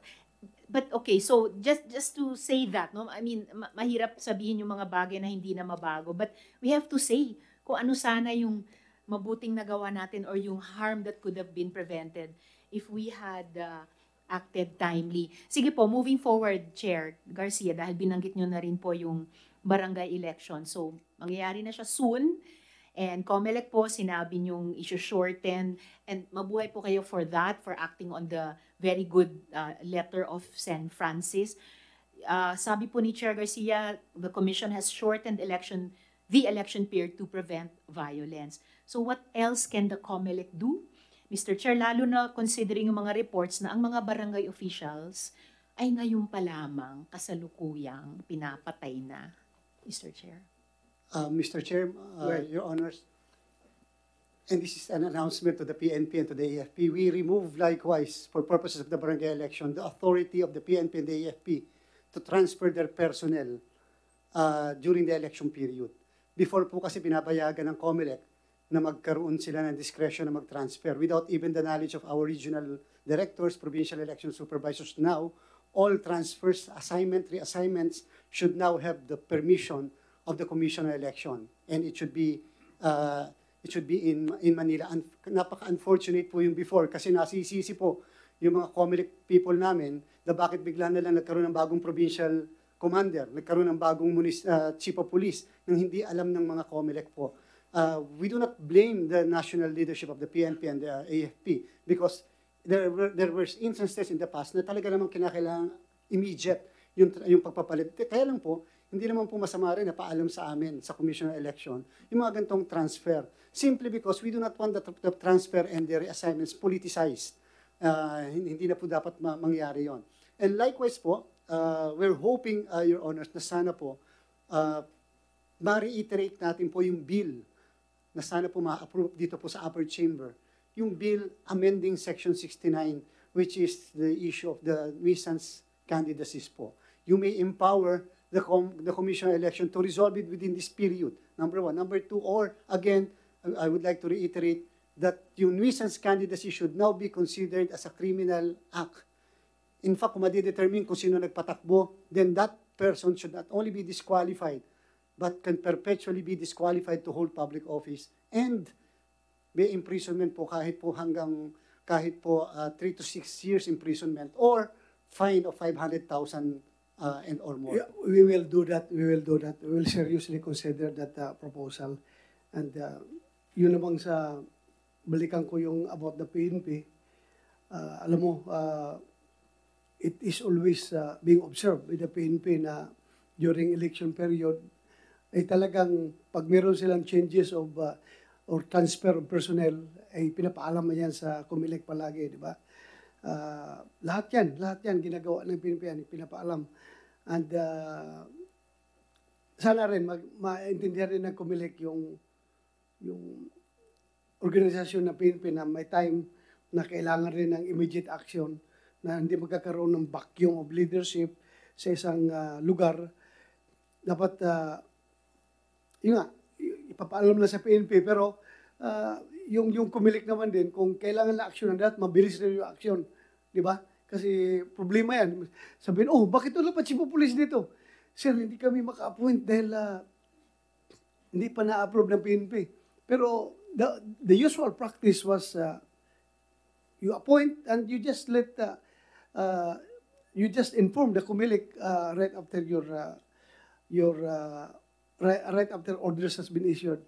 Uh, ganun yung usual na ginagawa ng uh, PNP noon. But anyway, uh, kayo nang bahala dyan kung paano nyo ayusin yan para hindi magkakaroon ng problema. At masusunod natin talaga yung uh, batas. Mr. Chair, the transfer, reassignment, promotion, appointments of uh, people in the government uh, during the election period, once uh, forwarded to, to COMELEC, is subject only to the approval the, or disapproval of the COMELEC chairman. And therefore, I commit that in a period of, within a period of three days, the same will be acted by yours truly. All requests for transfer, assignment, reappoint, uh, or appointments will be acted immediately. Thank you. Uh, thank you po. Uh, pagbalikan natin yung uh, yung uh, nuisance candidates para bang uh, in-expect na ng Filipino people na every time filing of candidacy, babalik na naman yun. May mga siraulo na pupunta doon sa Comelec office at uh, ginagawang circus, ginagawang comedy yung ating uh, uh, politics dito sa Pilipinas. At tuwang-tuwa yan sila, naghintay sila nung panahon na yan at mapapansin sila eh napapansin sila. Pero kung i-criminalize natin yan, hindi na, hindi na siguro magpa-file yan at uh, dapat nga ma- ma-address yan. Matagal na natin yan na nakikita, di ba? Uh, pabalik-balik lang yung mga tao na yan, sige file, but that, that is their constitutional right to to to file their candidacy. Dahil wala naman tayong batas na nagsasabi na bawal sila mag-file.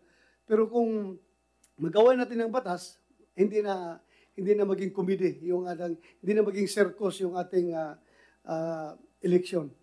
Po, Mr. Chair, timely action by the COMELEC is what is necessary. And we would like to re-agree with the statement of the Honorable Senator Risa Hontiveros. Dapat po, immediate lang po yung decision ng commission. Because in that case, that we will be able to prevent a nuisance candidate's name be included po sa balota. Once po kasi na-include sa balota, especially in a national and local election, na automated, nakaprint po kasi yung pangalan sa balota. Hindi mo na po matatanggal. Not unlike in an, even in a barangay and SK election manual po kasi ang barangay and SK. So at least po, wala pong isa-shade, mano-mano pong isusulat ng botante ang pangalan ng kandidato.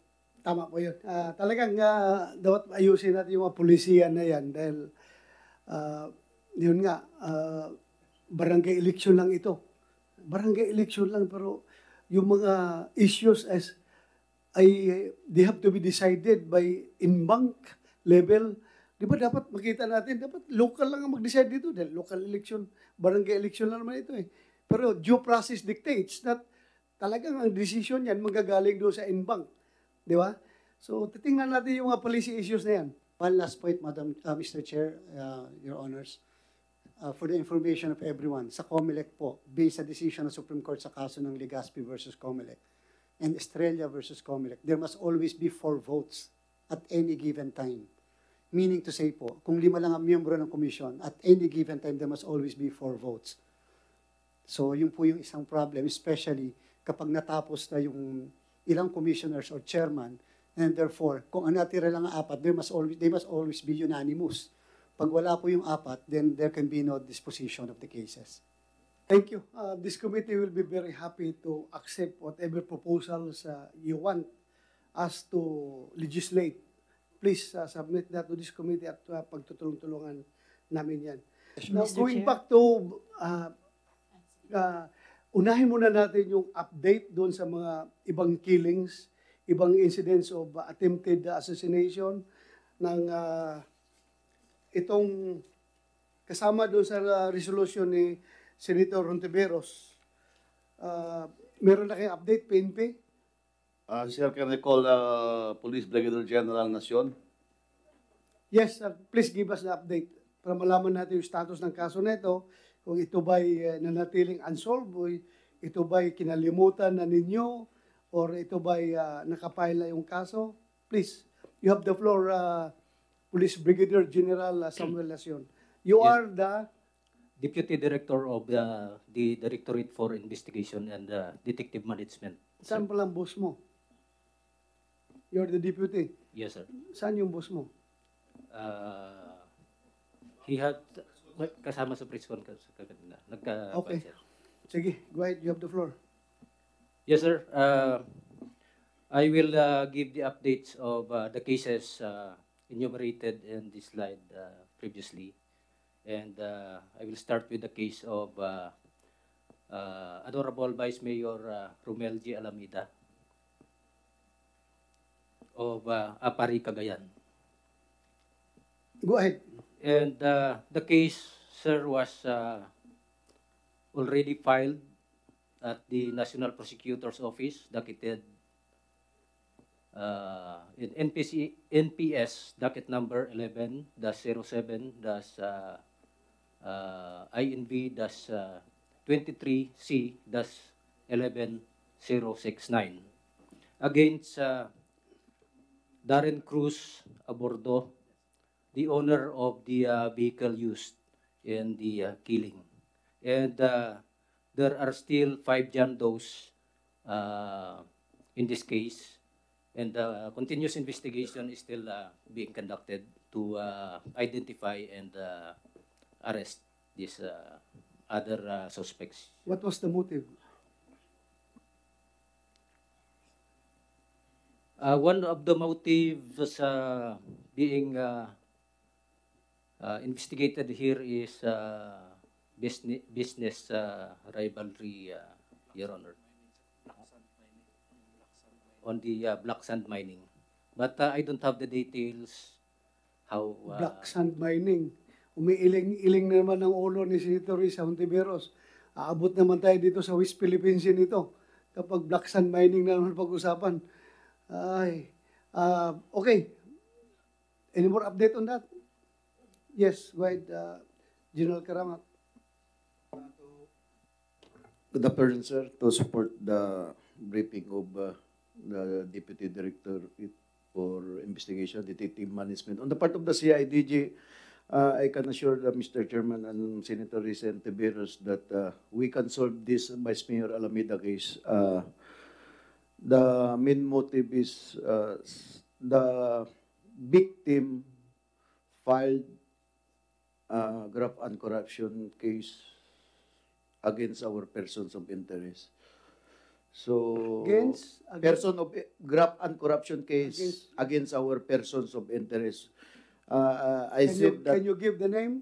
No? uh, I could give the name of uh, during uh, executive session because Okay. our persons of interest was uh, politicians also.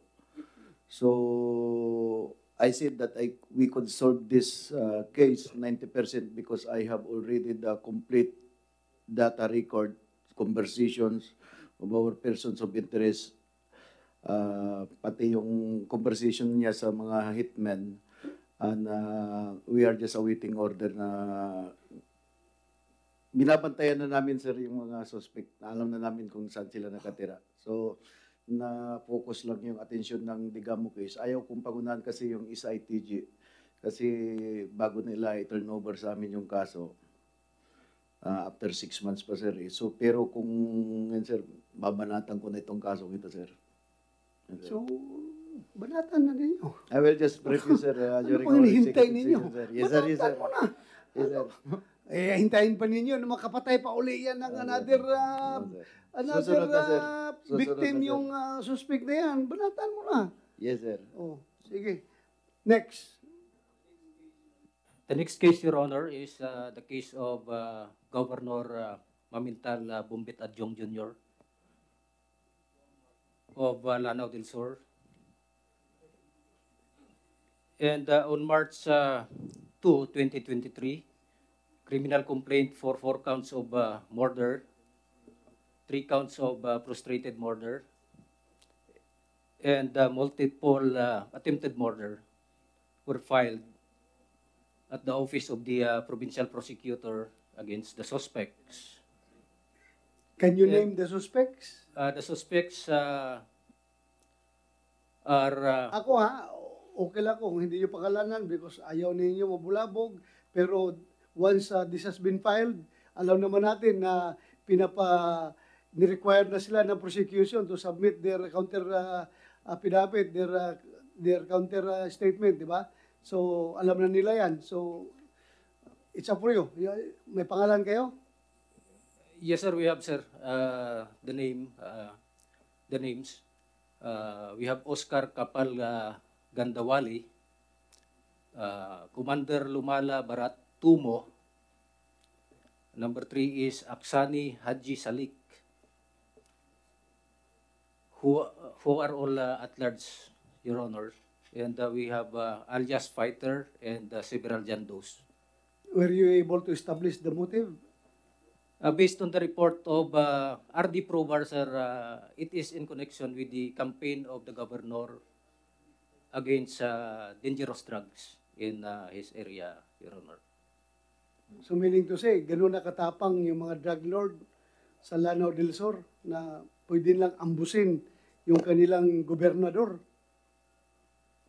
Am I correct with that? Uh, yes, sir, because uh, that, that is uh, based on the report of our uh, uh, regional Sa tingin mo, bakit sila tumapang? Uh, the, Never, never pa yan nangyari. Ever since na isang gobernador inaambos sa loob ng kanyang province ng mga drug lord. Hindi pa nangyari yan. Wala pa sa history ng Pilipinas yan. Bakit ganon sila katapang? Can you give me an answer to my question? Of course, they had uh, established their group. They had uh, firearms to use, and uh, they are, they were given the opportunity. They they have they have the opportunity to commit, Your Honor.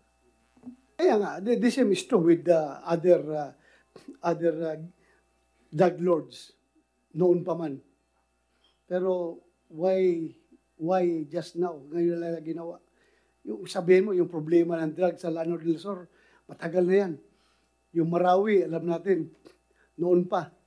Uh, andyan na yan, problema na yan. But then, bakit ngayon sila katapang? You have to address this ha? as, a, as an institution, as an uh, uh, agency who is uh, the primary law enforcement agency of the land. Yes, sir. Na kailangan huwag ninyo, huwag na tayo umabot sa punto na pati yung ating gobernur uh, aambusin sa loob ng kanyang probinsya dahil ganun nakatapang yung mga drug lords. Ay, my God. Papayag ba kayo ganun? Kung lang ambusin ng gobernur, ikaw na ordinaryong polis, hindi ka na papatayin doon, pwede lang patayin yan. So kayo, it is incumbent on your part na huwag niyong pabayaan na umabot tayo sa punto na gano'n na, na tayo nang matatakot. Ano ito, Mexico?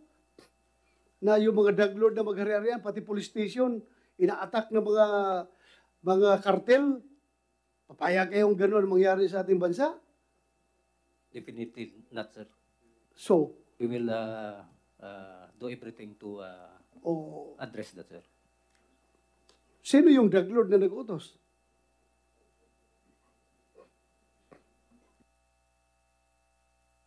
Uh, it is not stated, uh, sir. I, ca- I could not uh, give the details uh, at this uh, at this hearing, this moment, sir. You should, you should, uh, You, cannot face a, a nameless opponent here. You cannot face, uh, you cannot solve a problem created by a nameless uh, entity. I-identify ninyo yan kung sino yung drug lord na yan at upakan ninyo. Huwag ninyong pabayaan na lumaki ng gusto ang ulo ng mga drug lord na yan dahil kawawa tayo. Tayo. Kawawa ang Pilipinas. Kapag sila na magsiga-sigaan dito sa ating bansa, ano tayo, narco state? Na sila na maghari-harian? I'm sure, hindi kayo papayag na ganun ang mangyari. Yes, sir. Initially, uh, we identified this uh, as members of the, uh, the, the group, sir. The suspects. Please, please, do that. At uh, you effect the immediate arrest of these people. You use your intelligence uh, capability. You use your intelligence funds. Ibuhos yung intelligence funds doon para malukit itong mga tao na ito. At maaristo. Next. Next case.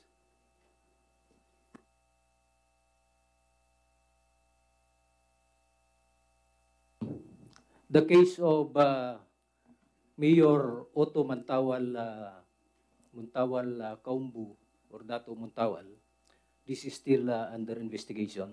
This happened an- in uh, Pasay, under uh, the uh, National Capital uh, region, region, Your Honor. So wala talagang lumabas na pangalan na posibleng suspect? As of this uh, time, Your Honor, uh, um, the case is still uh, being under under investigated. Siguro you need the cooperation of the mayor. Kilala ko itong mayor na ito. Magko-cooperate ito sa kapulisan kung lumapit kayo at makiusap. At alam niya yan kung sino yung merong grudge against him na pwede ninyo magiging persons of interest yung mga kalaban niya. Ah, mag-cooperate, mag-coordinate kayo sa kanya para magkakaroon kayo ng magandang case build-up on this particular case. Ha? Yes, Your Honor. Huwag niyo pabayaan na makalimutan lang ito. Paluapin niyo yan. You can just imagine, taga Maguindanao, itong mayor na ito. Feeling niya safe siya kasi andito siya sa Metro Manila. Nandito siya sa Pasay. Tapos dito pa siya binaril. Dapat we should be, everybody should feel safe everywhere, everywhere, anywhere he goes dito sa ating bansa. Gawin ninyo yan. Medyo mabagal ha. Mabagal yung progress itong kaso na ito. Wala pa kayo na-identify hanggang ngayon.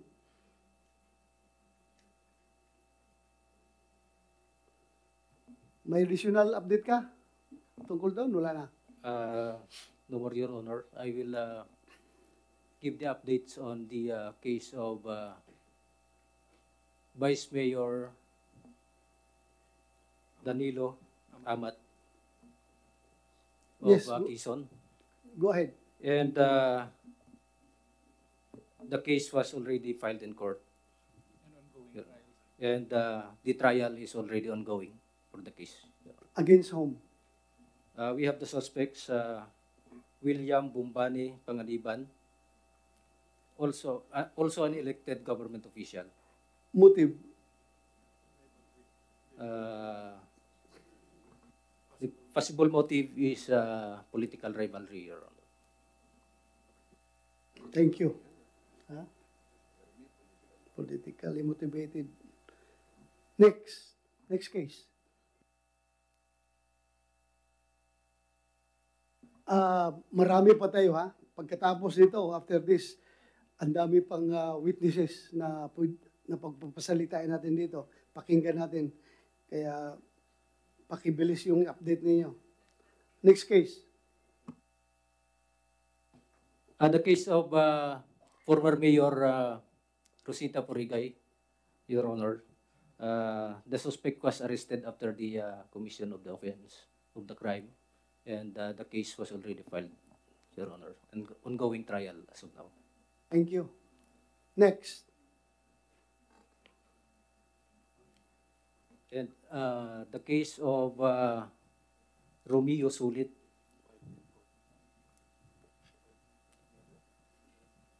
We have the suspect Carl Jonathan uh, Bustamante. This Status was, of uh, the case. This Filed. was already filed, Your Honor. What's the motive? The motive uh, was uh, I could not uh, give uh, the uh, the uh, exact uh, motive as of this uh, hearing, Your Honor. Okay. Thank you. Next. The case of uh, Vice Mayor Mansik.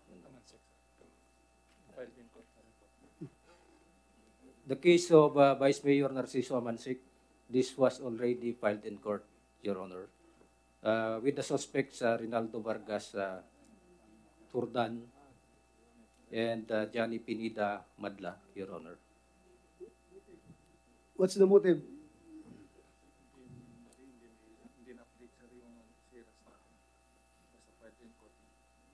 Um, we will check on this, sir, the, the motive on, the, on our uh, SIRAS. Pero nakapag-file na kayo ng kaso. Nakapag-file. file. Oh, how, how come you have filed the case and you have not established the motive? Anong filing yun? For compliance? Uh, we will uh, get the update, sir, from the uh, lower unit regarding this. Uh, dapat nag-prepare kayo. Prepare nyo gusto ito yung presentation ninyo. Hindi nyo hinandaan itong hearing natin. Next case. Ano itong update?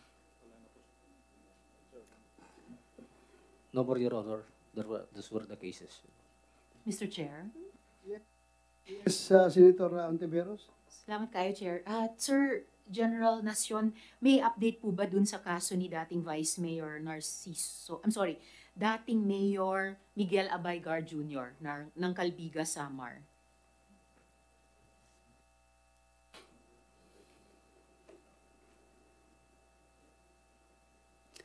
Alam niyo, itong communication namin sa inyo, binigyan namin ito ilang araw na. Uh, we were expecting you to be prepared when you face this committee. Eh, Dapat uh, automatic na yun, lumalabas na yung update ninyo dyan. Hindi yung Your, Your Honor, uh, the case uh, was already filed in court. against whom. We have the suspect, uh, Alan Malagino, uh, Your Honor, and uh, he was already arrested. Motive,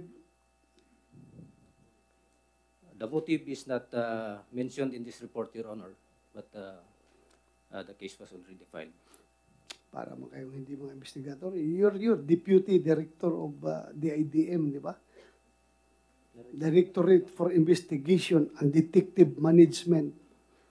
Tapos nakapag-file kayo ng kaso, hindi nyo alam yung motibo. Uh, please, pag magbigay kayo ng update dito sa committee, prepared kayo lahat, ha? Yes, sir, yes, sir, Your Honor. Salamat, General. Mr. Chair, Yeah, you. since nasa PNP po tayo ulit, meron pa akong mga dalawang tanong sa kanila, if I may continue. Yes, go ahead. Salamat kayo, Mr. Chair. Ah, siguro dalawang tanong na lang, particular dito sa kaso ni Gov. Degamo. Si, si Colonel Flores po ba ang aking tatanungin? Um, ah, we, we can re- require anybody uh, from you, the. PNP to answer. Just Sige ask po. the question na Your okay. Honor. So yung unang ah, unang tanong sa last couple of questions ko, yung mga firearms po ba na ginamit sa pagpatay kay Gov. Degamo, ah, na-capture po ba o otherwise identified ba? Registered po ba yung mga firearms na iyon? At kailangan po ba natin ng remedial legislation para lalong i-check yung proliferation ng mga illegal firearms, Mr. Chair? Ah, sir, nandito po yung director ng Firearms and Explosive Unit. Siya po ang pwede sumagot. Salamat, General Estomo. As COMSEC, uh, administer the oath.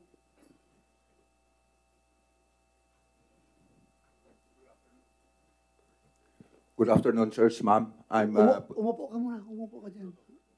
Anyway, tayo ka lang muna kasi mag, mag, mag-oath ka. Eh, okay na doon. Okay na, mas maganda doon. Sir, kindly state your rank and name, sir. Excuse me. Sir. I'm Police Colonel Paul Kenneth Lucas of the Firearms and uh, Explosive Office. Do you swear to tell the truth, the whole truth, and nothing but the truth in this investigation, sir? Yes, sir. Thank you, sir. Please take seat, sir. Good afternoon, ma'am. Good afternoon, sirs. Ah, yung ginamit po na firearms doon sa killing is uh, we recovered eight uh, firearms during the uh, hot pursuit at pursuit operations. Of these uh, eight firearms, isa po sir yung uh, license. However, nag-expire po ito nung 2006. Pakiulit. Sir, we recovered eight firearms Eight firearms. during the hot pursuit operation. Okay. Out of these eight, isa po sir yung uh, registered. However, nag-expire po ito noong 2006. Anong mga armas ito? Yung mga sinasabi mong eight firearms. Can you give us uh, some details?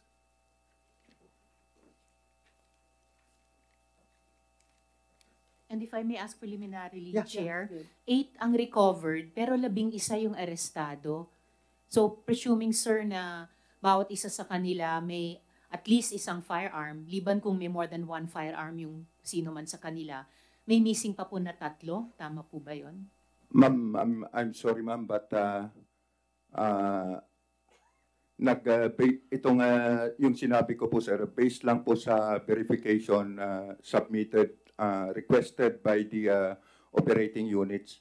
Uh, hindi po ako private kung uh, uh, kanino po sir na kanino po ma'am na confiscate itong mga baril na ito. Okay, we will we will go back to that later. Uh, ibigay mo muna yung details ng mga firearms na sinasabi mo. Yes sir. Sige, go ahead. And then, Chair, pag binalikan po natin mamaya, kung maisagot din po ng ah, PNP, PEO, ah, kasi sabi nila kanina, isa lang yung licensed, meaning pito ay unlicensed or unregistered. Tapos yung nag-iisang li- lisensyado, expired nung 2003 pa. So, se- I'm sorry, 2006. Ma'am, So, uh, I stand to be corrected ma'am. 2007 po, December nag-expire pa ito. 2007. Gayun pa man po, so 17 years na pong, or 16 years na pong maaring in use, pero hindi po lisensyado. Yes ma'am. Ka- kanino nakarehistro? It was uh, registered to Mr. uh, Ramos Ho, uh, resident of uh, Dumaguete City. Tapos, uh, natanong na ninyo, yung Ramos Ho na yan, bakit na-involve yung baril niya? We tried to locate, sir, pinapuntahan namin yung uh, address dahil uh, based doon sa registration ng firearms niya, uh, andun yung address. Pinapuntahan namin doon sa address uh, in coordination with our RCSUs. Unfortunately, sir, hindi na mahanap sir itong tao. Pero andun pa yung bahay niya. Andun pa yung pamilya niya. Yung tao lang ang hindi malukay. Yes, sir. Pamilya andun. Sir, ah, hindi ko categorically masagot po yan, sir. Pero yung ah, address, it may be na fictitious, sir, yung uh, And alam mo- inilagay, sir, na address nun, sir. Colonel Lucas, dapat yung mga ganyang detalye, ganito kasensitibo itong kaso na ito, eh yung mga si issue naman na nandun sa region, under sa inyo yan, dapat ah, handa na kayo sa ah, mga sagot dito. Eh, pinuntahan ng bahay, kung nandun ang pamilya, pamilya lang ba ang doon, ang tao ang wala, or ah, to, to the, up to the last details, dapat alam ninyo. Dahil uh, para, para bang ah, hindi lang ko masasabi na ill-prepared yung mga sagot ninyo, kundi para bang ano, hindi kayo interesado ah, mabigyan ng hustisya itong ah, mga namatay na ito. Ah, please, Tapos, please, upin mo ha, kung saan yung mga saan yung tao na yan, nandiyan pa bang pamilya niya, siya lang ang sumibat, hindi malocate, or talaga, or fictitious itong tao na ito na ah, wala talagang totoong tao na ganito. Yes, questions like like that should be answered, ha? Yes, sir. Then, Mr. Chair, Yeah, uh, may- yeah, yes, sir. Sa, Ah. pasagutin muna natin yung NBI, si Atty. De Uh, Limos. Chair, uh, we'd like to uh, volunteer information on the statement of uh, Colonel Lucas, General Lucas, that the firearm identified was actually a subject of a case investigated by the NBI, where we filed a case of illegal possession of firearms against Mr. Anthony Ho. And the said firearm was surrendered to the court, uh, Regional Trial Court Branch 39 in Dumaguete. And the same firearm was received by the supply officer of,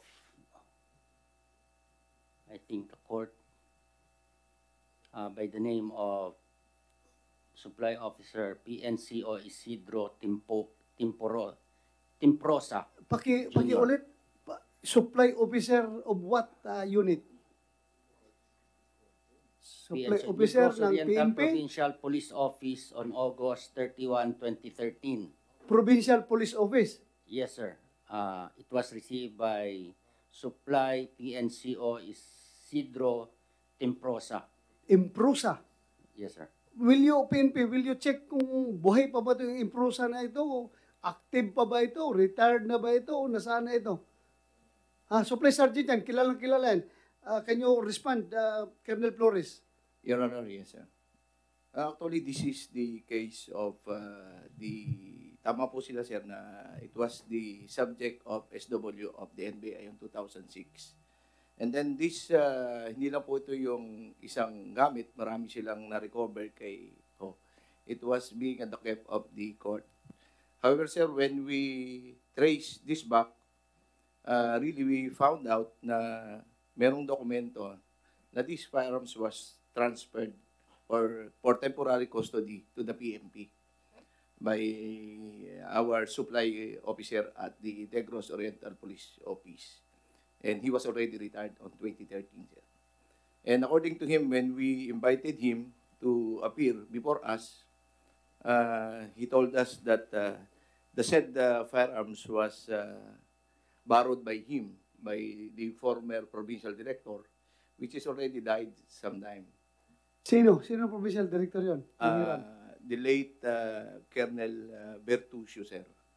Bertus Hill? Bertuccio. Ah, Colonel Bertusio? Yes, sir. Patay na po to. We invited also his wife. And then when we verified sa ARPOR namin, is um, meron siya tinan over na M16 but it's not the M16 that was being in question. Then when we check, sir, wala ho sa LDIMS to ng PMP, yung po ating Logistic Information Database System, wherein doon po nilalagay natin lahat ng organic na firearms ng PMP. So therefore, we concluded, sir, na tinan over to sa kanya without the logging or uh, recording for temporary custody. Then I asked him to verify some personnel of the supply kung meron bang mga uh, firearms na naroon. And then when we check, uh, we gave it to them, the list that was turned over. Isa nga po doon sa nakalista yung baril na yun. However, sir, that firearms is tampered. Yung first number at uh, huling number, nung serial number ng baril, ng, uh, ng uh, inimbestagahan ng FPU, lumalabas, sir, na tampered yung first number at saka yung last number, which is, sir, the same serial number that was the firearms confiscated uh, 2006 during the search warrant of the NBI, sir. And for information, sir, we already filed a case against our uh, uh, retired uh, supply officer in a criminal case. We have uh, here our uh, legal officer who can attest to that. sir. Mr. Chair, follow-up question. Yeah, go ahead. Salamat, Chair. So, uh, Colonel Flores, sir, someone in the PNP sold or gave firearms to criminal elements. Yung officer po ba na may custody liable para dyan? Uh, that is subject for our investigation, ma'am. Uh, hindi po namin ma masabi sa ngayon kung ibinenta to o nawala o somebody get it from the from the uh, custody of the PMP. But we already filed a case against this retired uh, supply officer of ours. Salamat, Okay. sir. Mr. Chair, may isa pa po ako Yeah, tanong ahead, sa ahead. PNP, if I may. Pero baka hindi na kina Colonel Lucas, ah, dahil ah, kanina lamang pinag-uusapan natin yung firearms dito sa kaso ng pagpatay kay Gov. Degamo. Gusto kong itanong yung mga sasakyan. Kanina po dun sa video na ipinakita ni Sec Abalos na may ah, pangalan pa yung mga attackers, may, may nakita po tayong tatlong sasakyan na pumasok. Ina-identify nga ni na Chair Chair, ano ang mga, sa- yung unang dalawang sasakyan, ah, ano ba yung isa? Paje, ah, Isang Tatlo. Pajero, isang Montero, isang Pajero, at isang pick-up. Yeah. Opo. So, na-identify po ba ng PNP at na-locate, ah, nakuha, na, na, nasa kamay na po ba ng PNP yung tatlong sasakyang iyon, Mr. Chair? PNP, can you... Actually, identified po lahat, sir, yung tatlo. Pati yung may-ari. Uh, maybe, uh, kung nandiyan ang SPG para ma-spell niya lalo. HPG? Highway Patrol. Dapat ready kayo palagi. Ah, dito po si General Raul Bargamento, sir. Yeah, but before that, uh, Director uh, De Limos is raising his hand. You, you have the floor, uh. Attorney De Limos. we can also help as to the uh, ownership of the three uh, vehicles used. The Montero with plate number YAP163 gray were previously owned by Mr. Ramir Babao, Miguel Casquejo, and the last uh, owner is a certain Asan Habjib. Hajib. The Pajero plate number NCQ735 were previously owned by Chris Abelio Villadulid and the last registered owner is Altron Logistics Incorporated, uh, owned by Mr. Marvin Jan Dor- Doroni. And the Isuzu Fuego plate number GRY162 Uh, the last uh, person uh, who owns this is uh, Mr. Androgo as of March 1, 2023. And uh, Mara- are yes, these yes, people Chair. being investigated? Ah, yes, sir. Yes, sir. What happened? Uh, may subpoena. Subpoena were sent to all of these uh, registered owners and our Bacolod uh, NBI office is uh, investigating Mr. Androgo as uh, Mr. Androgo is based in Bacolod City. Thank you for that. Uh, Highway Patrol. Yes, as Mr. Chair, bago po sa HPG. Uh, well, maraming salamat po, uh, Director De Lemos. Then, uh, as the Chair has directed, I will also uh, transfer my questioning kay Sir Commanding of, uh, uh, Officer of the HPG. So, ito pong pagka-identify po ng NBI sa Montero, Pajero, at Isuzu Fuego, ah, pareho rin po ba yung na-identify ng HPG na mga may-ari o dating may-ari? Sina But, Babaw, but before you answer, Yes, Mr. uh, Chair. you you take your oath, uh, please. Kindly state your rank and name, sir. Police Brigadier General Raul Loy Bargamento, Director HPG. Thank you, sir. Do you swear to tell the truth, the whole truth, and nothing but the truth in this investigation, sir? Yes, on your honor. Thank you, sir. Please take your seat, sir. Yes, uh, please uh, answer the question. What our the, uh, NBI Director have said, Your Honor, is the same with the, what we have in, in PNP HPG, sir. So, Salam, yes, Mr. Chair. yeah, uh, inimbestigahan na niyo ito? Yes, sir. Pumunta. Anong sabi nila? Bakit na-involve yung sakyan nila? Basically, sir, yung first two sakyan na pinikita nyo sa video, yung Mentero at ang uh, Mitsubishi, puro to binenta na, sir. Hindi ito mga bago. Napasapasa na ownership nito, sir. So, na-trace lahat po ito, sir. Kasi nakikita Kaya sa... kaya as far as the last owner is concerned, anong rason nila, anong explanation nila, why are these vehicles involved in that uh, fateful day of uh, that massacre? Basically, sir, nahuhulog to sa isang tao lang ang bumibili nito ng panghuli. Which Isang tao? Yes, sir. Ah, binanggit na po ni NBI Director, ah, ang Andrew Go ang lumalabas na huling bumibili ng sakyan na to. Yung tatlo, Yes, sir. nakausap niyo yung si Andrew Go. Nakausap na po ng ating mga investigador sa SITG. He is very willing to give his statement. Oh, very willing. Ah, ilang araw na. Ano statement niya? Ang kanyang statement kasi, sir, buy and seller siya ng sakyan. Ha? Buy and sell ang kanyang negosyo ng sakyan. Buy and sell. Yes, sir. Buy and sell. Namimili siya ng Eh, sakyan, so- sir, binibenta rin niya uli. Bininta niya uli. Sinong uli nakabi, nakabili nung sasakyan na yun? Siya na ang huli, sir, nakabili nun. O siya ang huli. Yes, So sa kanya pa rin ang last na kuha nito. Yes, sir. Last touch. He is the last touch. Last task nga po siya, sir. So sinama na niyo ito sa filing ng kaso. Yes, sir. Itong tao na ito. Yes, sir. Very good. Mr. Chair. Salamat.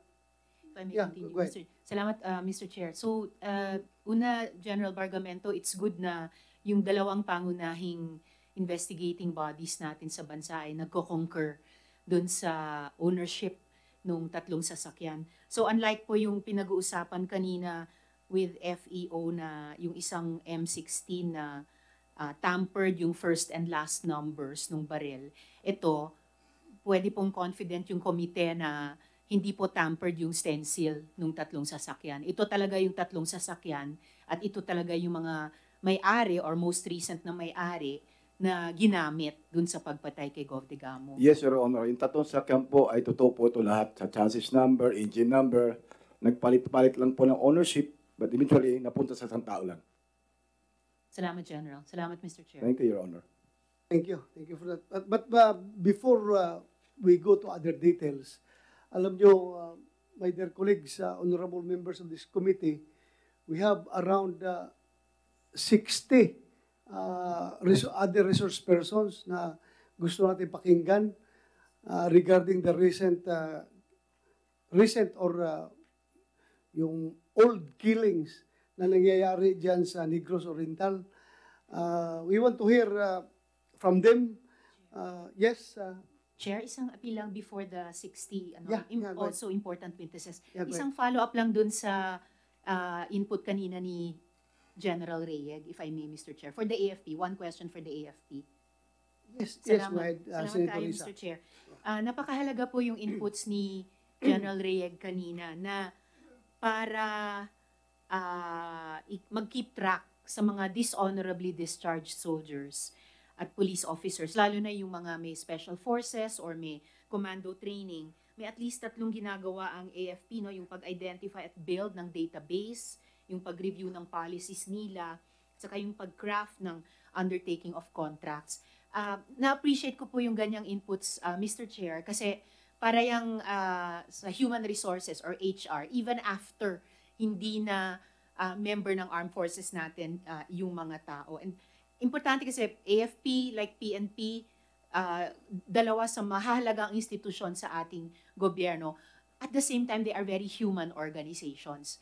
And lalo na kapag mataas yung antas ng training, yung capacity ng mga tao, importante yung ganitong kahit after employment, uh, after care as it were. So ang ang follow-up question ko na lang po dyan, Mr. Chair, uh, General, hindi kaya uh, bukod sa mga uh, ginagawa na natin ngayon and for the future, dun sa step one pa lang, hindi kaya kailangan ding i-screen yung mga kandidato for special forces training more rigorously pa na hindi lang sa skills uh, and knowledge level sila magaling pero yung capacity din, capacity din nila mentally, emotionally and otherwise, Mr. Chair. Thank you, uh, Mr. General uh, Rieg. Yes, sir. Rieg, Reyes. Reyek, sir. Ha? Reyek, sir. With a G. With a G. Yes, sir. Hindi kaya na wrong spelling lang yan Ah. ng mga ninono mo? Uh, derivative ng Reyes, sir. Derivative ng Reyes. Yes. Kaya kasi ang G, parang S rin yan eh. But anyway, no, no disrespect intended to your uh, last name ha. Um, kasi karo- ngayon lang talaga ako nakarinig ng uh, pangalan Reyeg. But anyway, please, uh, you have the floor.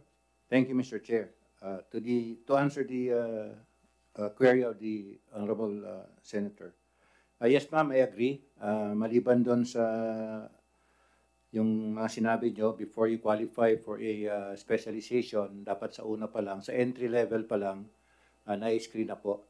Uh, for the information of this committee, uh, bago, bago ka pa man ma-enlist, ma'am, uh, you undergo med thorough medical exam, kasama po yung uh, neuro, neuropsychiatry exam, sir. So, lahat po yan, ma'am, uh, sa basic and sa entry level pa lang ginagawa na po yan. Then if they progress to undertake uh, specialization uh, courses, uh, there's also a uh, uh, kaakibat na qualifying uh, mga requirements, ma'am, before you could qualify for that. So, uh, just so happened that uh, the persons involved here, uh, they had a history of uh, offenses doon sa when they were with the uh, organization, and so rightfully they were uh, meted punishment and they were dishonorably discharged from uh, uh, the service, ma'am. So, uh, yun po, ma'am. Salamat General, salamat uh, Mr. Chair. Uh, as a last note lang sa ngayon, mayat maya tinatanong ni Chair yung posibleng papel ng illegal drugs dito sa iba't ibang issue ng political and electoral violence na pinag-usapan natin. And uh, importante we keep that uh, also at the back of our mind kasi halimbawa yung Zeta, Zeta cartel sa Mexico, it was actually founded by Mexican Special Forces. At kailangan po nating siguraduhin na hindi yan mangyayari dito. Salamat, General. Salamat, Mr. Chair. Thank you for that information, Senator Risa. yeah, uh, be- before we, uh, ito muna, bago natin pasalitain yung mga witnesses, uh, including uh, Senator uh, Mayor Digamo, I would like to uh, ask the chairman of Human Rights, Commission on Human Rights, Ma'am, uh, nakap- nakapag, uh, ka na ba? Nag, nag, Yes po, Mr. Okay. Chair. Mr. Yes, ma'am. Uh, uh, you want to deliver your opening statement? um, you, you, you have yes po, something? uh, a little something to say yeah, po. go ahead, please. Um, good afternoon po to this body. I am Attorney Fuentes po. I am the officer in charge of the Dumaguete City Provincial Office. Um, hindi po kasi pad makarating ang aming mga superiors because they have equally important uh, engagements, prior engagements to attend to po. Si yung head po ng ating information investigation office ay nasa Davao po. Okay, so um, we are here po to uh, to inform this body of the interventions of the Commission on Human Rights in the killing of uh, Governor Ligamo and several others.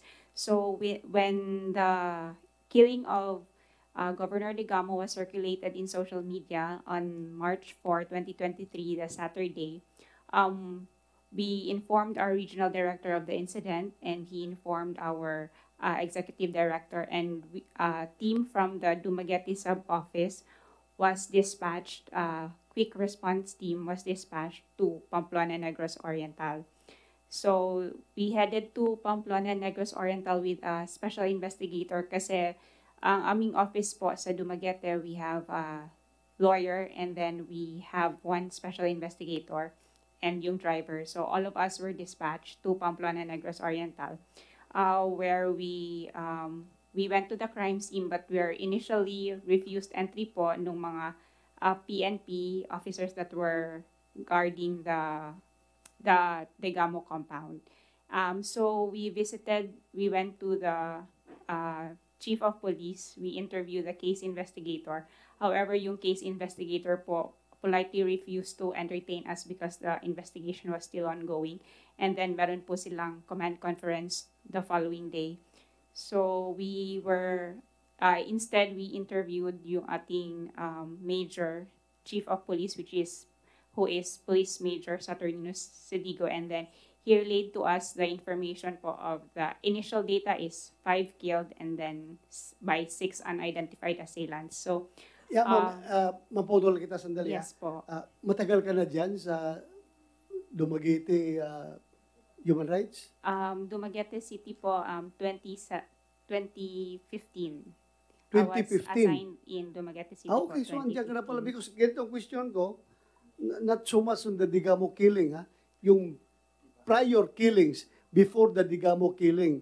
Kasi during the 18th Congress, last Congress, ha? this committee conducted an investigation on the spate of killings in Negros Island.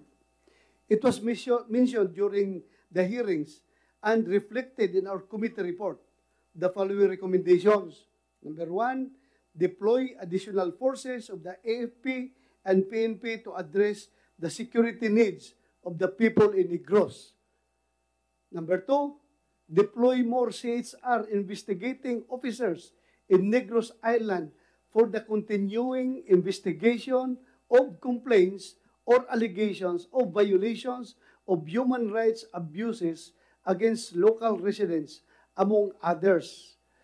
Uh, may we know if uh, this, uh, recommend these uh, recommendations of uh, this committee were uh, addressed by uh, the Commission on Human Rights because uh, after that investigation, during uh, budget hearings, I was the one sponsoring the budget of the CHR at palagi ko yung tinatanong ano nang update doon sa mga Negros killings. Gusto natin wala nang mamatay dyan, kaya dapat kayong Commission on Human Rights should actively actively participate in the investigation. So, nagdagdag ba kayo? Kasi ang reklamo noon ni late uh, Chairman Gascon, kulang daw kayo ng mga investigators dyan sa uh, Negros. And one of my recommendations was uh, for you to deploy additional uh, lawyers as investigators uh, doon sa Negros Island. And sinabihan ko pa nga sila na marami kayong abogado dyan sa central office ninyo, hiramin nyo muna yan, i-deploy nyo muna doon sa Negros para mahinto na itong Negros killings. Uh, what were your subsequent actions uh, after those uh, hearings, uh, uh, ma'am? Chair, Go ahead. kung pwede kong dagdagan yung tanong ng Chair. Yeah, go ahead. Salamat kayo, Chair. Ah, gusto ko lang dugtungan yung tanong ni Chair kasi naalala ko nung kinonduct nila yung hearing na iyon, it was also on my resolution. So, salamat sa, kaayo sa liwat sa Chair for conducting it then. I remember clearly yung mga recommendations ng committee report nila. And I also remember so clearly, uh, valuable yung inputs ng CHR sa amin noon. And si Gov Degamo attended the hearing. Iyon, tungkol yun sa namatay na mga magsasaka, pati isang human rights lawyer during Oplan Sauron sa Negros Oriental. And hindi ko malimutan si Gov Degamo, Chair, naalala ni Chair, I'm sure, dumating po si Gov Degamo, nag-testify din sa komite on behalf of the victim. So, doon ko siya sobrang na, na-appreciate din, aside of course from the inputs ng CHR. So, I joined the chair in uh, being very interested kung na-implementa nga ba or hindi ng CHR yung recommendations ng kanilang uh, committee report at that time. Um, ang sakit lang, Chair, na the same violence na inimbestiga natin noon, nagsalita laban doon si Gov Degamo, ngayon a similar violence claimed naman yung buhay Siya na. nila. Salamat Siya na kayo, ang Chair. biktima. So wala nang gobernur na magsasalita pa sa hearing na ito. Dahil wala na si Gobernador Digamo. But anyway, before you answer, ma'am, I would like to uh, excuse uh, Chairman uh, George Garcia. Alam kong busy-busy ka dahil uh, coming na naman yung barangay elections. Uh, sir, uh, unless you have to, you want to say something or meron tayong question sa kanya? Wala, wala. Uh, you, you are excused, uh, Mr. Chairman. And thank you for your presence. Salamat po. Yeah, ma'am, go ahead. You, you may respond. Yes. Um, when I uh, was first assigned in the provincial office po, isa lang po ang aming investigator, which is Investigator Jesus Cañete. Unfortunately po, he uh, nag-resign po, nag-retire po si Investigator Cañete in 2021. And then in 2022, may new investigator po kami and then recently, nag, uh, she tendered her resignation din po. So, ganun po. And if you're asking po ano ang policy ng, ano na ang ginawa ng commission, um, recently po kami sa, sa, sa regional offices and provincial offices were um, asked to comment on the proposal to increase the personnel po of the of the regional and the provincial offices po. So, meron pong measures ang the Commission on Human Rights has measures to increase the personal complement of the regional as well as the provincial offices po. Pero sa Dumaguete po, as of this time, ah, ako na lang po ang natitira and a job order. Imbis dagdagan, ikaw na lang natitira. Um, pero po, we, to investigate the cases po, we will ask for augmentation from the Cebu, from the regional office po. Ito po mga kasama kong investigators, as well as yung investigation office namin sa Central. They can send investigators po to deploy po or to investigate the cases. Thank you, thank you po. Sana huwag kayong matakot doon ha. Uh, please continue doing your job in the interest of justice. Ha? Huwag kayong matakot doon. Uh, patuloy niyo yung ano nakikita ninyong uh, dapat imbestigahan pertaining to human rights. Ay, yes po, we also seek the protection from the PNP and the AFP po. Sana po, uh, we will coordinate po sa mga cases nga dapat i-investigate po. Yeah, yeah, I know. They're, they're very much willing, uh, PNP at saka yung armed forces. Um, magkaibigan lang naman kayo doon sa field lahat. Magsama-sama naman kayo sa investigasyon. Mr. Magtutulungan kayo. Uh, thank you po. Uh, Thank you, Mr. Attorney Mr. Chair, follow-up question lang Fuentes. kay Attorney. Yes, go ahead, uh, Senator Risa. Bakit po nagre-resign yung mga ano, mga investigator? May may natatanggap bang mga banta or bakit po sila nagre-resign? Yung isang investigator namin resigned due to personal reasons po. So, parang may health issue din po siya. Yun po. And yung isa po na Si nag-resign? yung prior investigator namin na nag-retire po siya, early retirement due to health reasons. Okay, thank you very much for that. Uh, I think from here, you would like to listen to these resource persons na andito ngayon. Uh, Kumsek, can you call on um, Maria Luciana Tizon, Rolinda Neri, Monserrat Tabacag, Derne, Dernet de Vinagracia, Sherwin Liz uh, Dianco, and Gina Palma. Puntahin mo nga dito.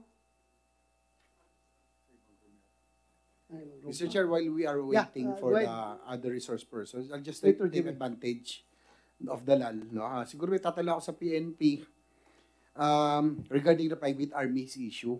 Ah, considering uh, as we saw on the video, talagang well-trained, no? talagang coordinated, mukhang nag-practice ito talaga ah, in, ah, in ah, undertaking the assassination of Governor Digamo. Ang tanong lang sa PNP, sabi nga ito failure of intelligence. 'Di ba? Um, siguro marami sa inyo naging regional or uh, pro- provincial uh, uh, heads no uh, ng ng PNP. Imposible, parang imposible na hindi maamoy na merong ganitong private armies o ganitong klaseng uh, operation uh, na nangyayari na nagre- nagre-rehearse. Wala ba nakaamoy nito doon sa regional office or sa provincial office?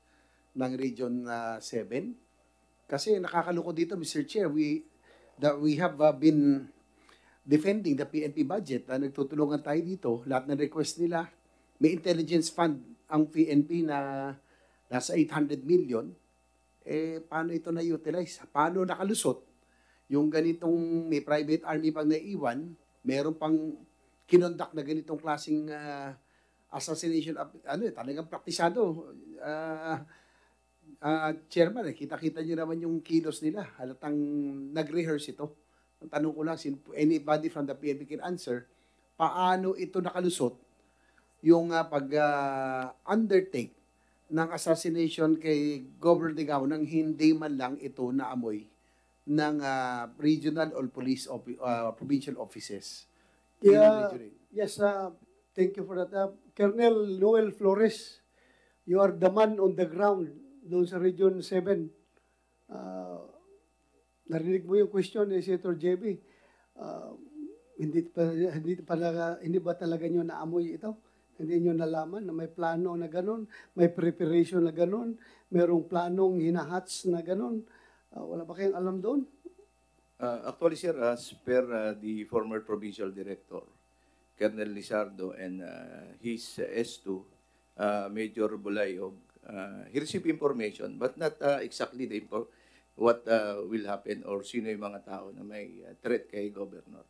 Uh, it, my memory serves me right, uh, Colonel, uh, the, the former PD uh, advised also the, the late governor. And uh, as we notice sir, yung mga player po is coming from Mindanao. So, yung iba po, as per our investigation, dumating to noong uh, March 3. And then kinabukasan, sir, uh, in-implement nila yung plano. So, ibig sabihin, Mr. Chair, ah tanong ko lang, sorry, ah, yung ano, hindi doon sinagawa yung pagpapractice niya. Kasi talagang praktisado ito eh. Di ba?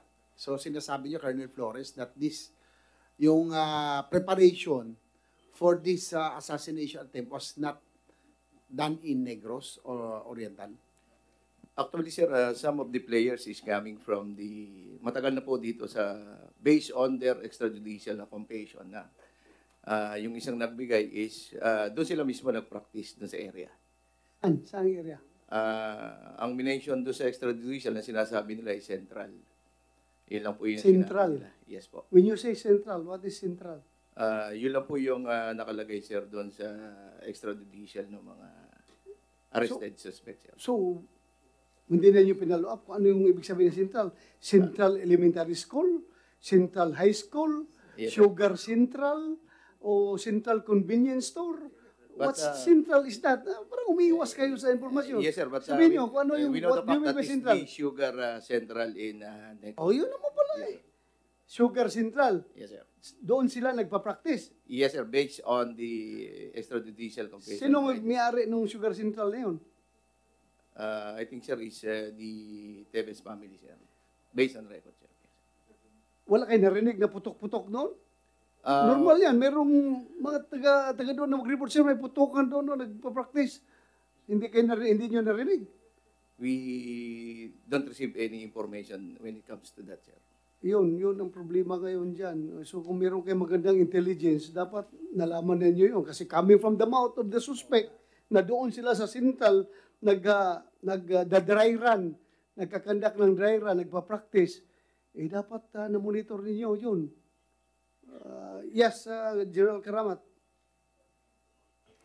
Sir, uh, I just would like to correct the in the notion that uh, the PNP has a complete uh, failure of intelligence. Hindi naman actually failure of intelligence ang PNP at saka AFP dahil one year before uh, we had monitored already na may threat talaga sir si Governor Ruel Digamo. Actually, there are there were many groups commissioned to assassinate Ruel Digamo at nagko-coordinate na kami ng kanyang pinsan who, who happens to be my mista, Colonel Ray Lopez, uh, regarding the threat. Na actually may plano na kami doon sa main suspect natin na apply ng search warrant at medyo nahuli lang dahil nga maraming busy-busy pa yung PNP. On the part doon sa tanong ni Senator Ejercito, ah, that's true. Yung mga main player, nag-practice po yan sa sugar mill ah, days before. Ah, that's the reason why the CIDG implemented a search warrant. And we were able to this uh, to recover the clothings and the empty capsules used during the practice uh, for the test of testing of their firearms to be used. For other details, sir, I cannot elaborate, sir, for uh, uh, for in, sir. Nakakas, nakafile na, it will might affect our uh, filed cases, sir. Yan lang po, sir. Okay, thank you. Uh, so, the owner of the sugar mill is uh, uh, former Governor Henry Teves. Anong masasabi mo tungkol dito? Uh, You, you, you're here. You're here to answer uh, questions. So, yes, uh, just to kita, ano clarify, mo? Tolong is owned by HJ Corporation, in which I own 10%, and I run it as president. So, you are the president. Yes, I'm the president of two sugar mills. That's one in Tulong and one in Bukay. So, It's run as, by... as president, uh, both has managements. Yeah. Tanungin kita, as president, uh, Wala ka ba na-observe doon na nagpa-practice doon? Kasi sabi nga ng CIDJ, nakapulot pa sila ng mga seals na ginamit sa rehearsal. Hindi so mo far, may na-observahan? nakikita akong mga, in the past, meron namang nag, nagpapaputok to ng katuwaan, but wala akong nakita nagpa-practice. But that was November, December, mga ganon. But Katu that, katuwaan. When we, you say katuwaan, uh, Honorable Tevez, uh, meron ano kasi nun? dating parang makeshift na parang, parang may, Makeshift. alam mo yung parang may cliff na ganyan. Tapos? na yung dati pa kasi, way way back, since I was young, yun yung parang target area ng mga kung sino-sino. So meron yan siyang parang, ano yung malaking cliff na ganyan, na lalagyan nila ng target-target. Backstop. That's what I, that's what I say. But after that, wala akong nakikitang movement na may mga taong marami na pupunta doon na strangers. Uh, let me clear, be clear, no? The, the HTJ compound of Tolong is about 52 hectares total. The gated area, which I normally go to, is 10. It's gated, it has guards all around. You turn left here before you enter the gate. That's the rest of the 42 hectares. It's like a sitio. Ang nakatira dyan is about 100 houses at least, maybe at least 200 residents. Parang sitio na yan eh. People there living two, three generations. Lalo na dito sa 42, in-out lang yan, in-out as pleased. Sa 10, gated yan. Meron akong logbook. I know who comes in, who comes out. But dito sa 42, lalo na yung, kunyari, yung makeshift na may backstop na yan, normally grazing area yan. People bring cows, goats, uh, carabaos, ilalagay doon sa umaga, ipapasture, kukunin sa hapon. Yun ang normal area na yan. But you can just imagine 42 hectares. That's 420,000 square meters. So for the record of this committee, uh, hin- hindi mo alam na may nagpa-practice doon? Na, Wala akong nakita nagpa-practice, no? Kung sinabi mong seven days before, or a few days before, well, for the record, I was abroad from February 12 up to February 25. 25. I came home February 25. February 26, I was in Bayawan. Because fiesta po yun ng Bayawan eh. I joined the Shoot Fest in Bayawan City. February 27, I was in my farm. 28 and March 1, I was in Tulong. Maybe 4 hours in February 28, 4 hours in February 29, in March 1. March 2,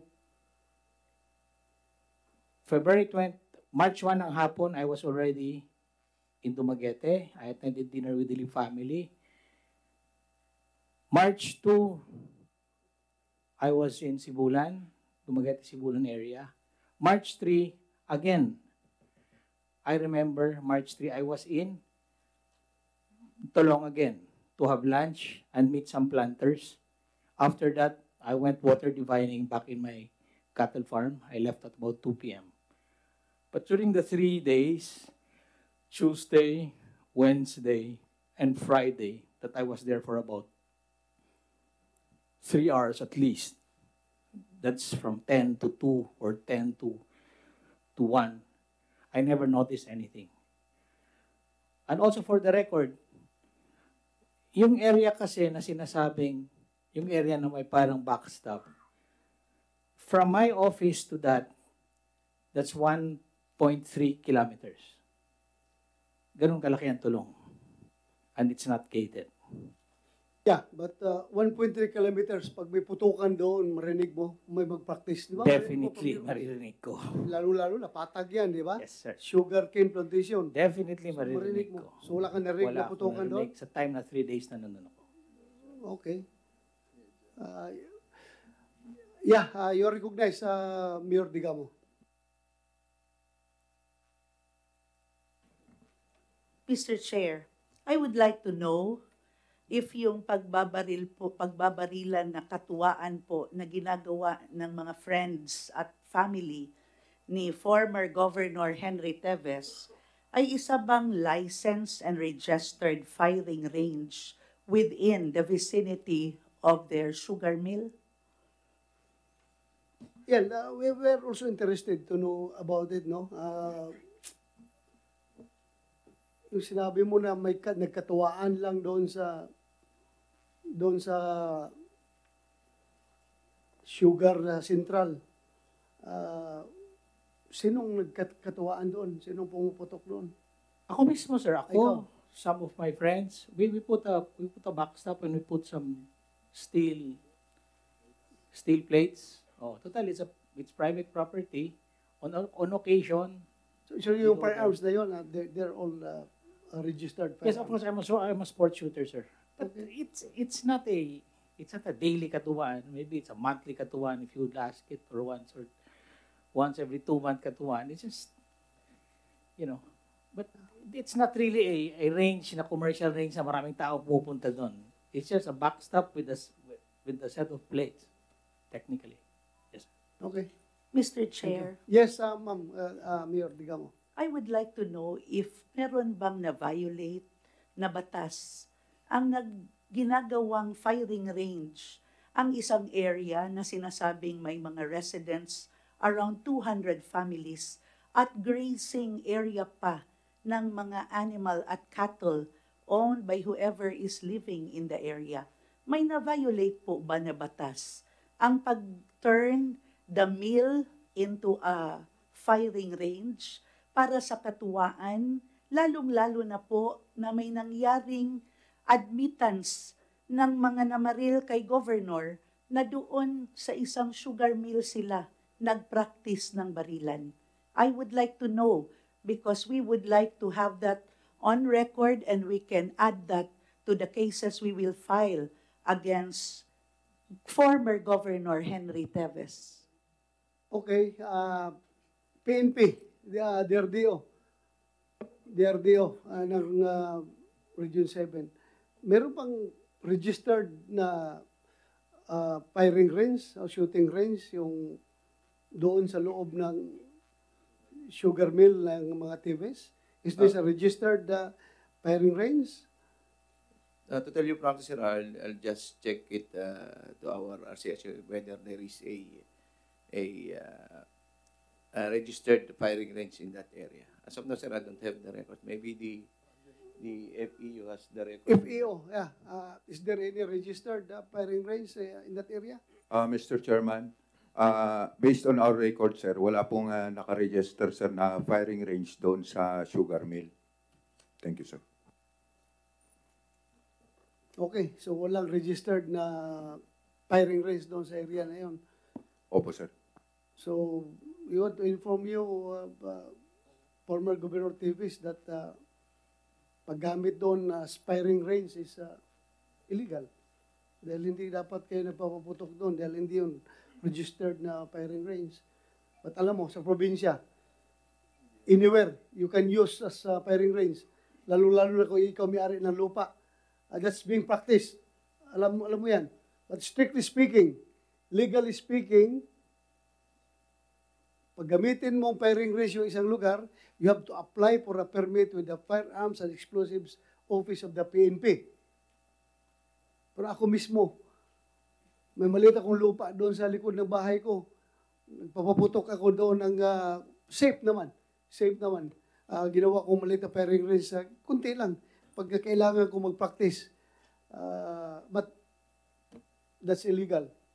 Kung Yes, sir. range ang ginagawa nyo doon, ha? I have observed that even in the headquarters of, of, of PNP and military, some firing ranges of the same sort exist. But I submit to your wisdom, Your Honor. I submit your wisdom. Yeah, uh, even uh, I, I can say that uh, yung ibang firing range sa loob ng kampo ng PNP are not registered with FPO.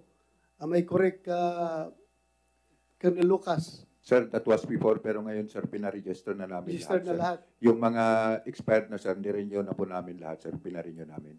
Of course, with all the parameters uh, na nasa batas po natin, sir. Kinumply naman po lahat nila, sir. Thank you, sir. Thank you. Thank you for that. Uh, Ma'am, ah, May yes, I uh, add Mayor Digamo. one more thing ahead. po? Po. Uh, yung sinabi niyo po na nagpa-practice ang military at ang police, syempre po, military and police, trabaho po nila yung mag-practice talaga dapat para hindi sila maungusan ng teroristang grupo.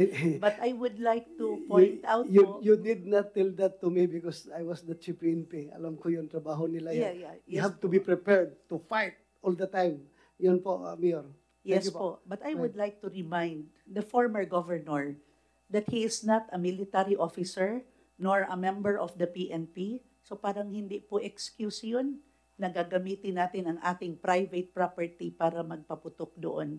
Lalong-lalo na, I will reiterate, sinabi niyo po, sinabi niya po, merong maraming bahay, around 200 houses around the vicinity, merong grazing area, meaning may cattles po doon. At if there's one more point, I would like to ask uh, Mr. Chair, ipagpatuloy ko po, pero mag-shift po ako ng tao na tatanungin po. I would like to address, Uh, um, you, you, you cannot, ay, uh, sorry. uh, you cannot uh, direct your question to a particular Ay, resource okay po. person. Sorry Idaan po. mo ito lahat sa akin kung meron kang gustong uh, ipaparating.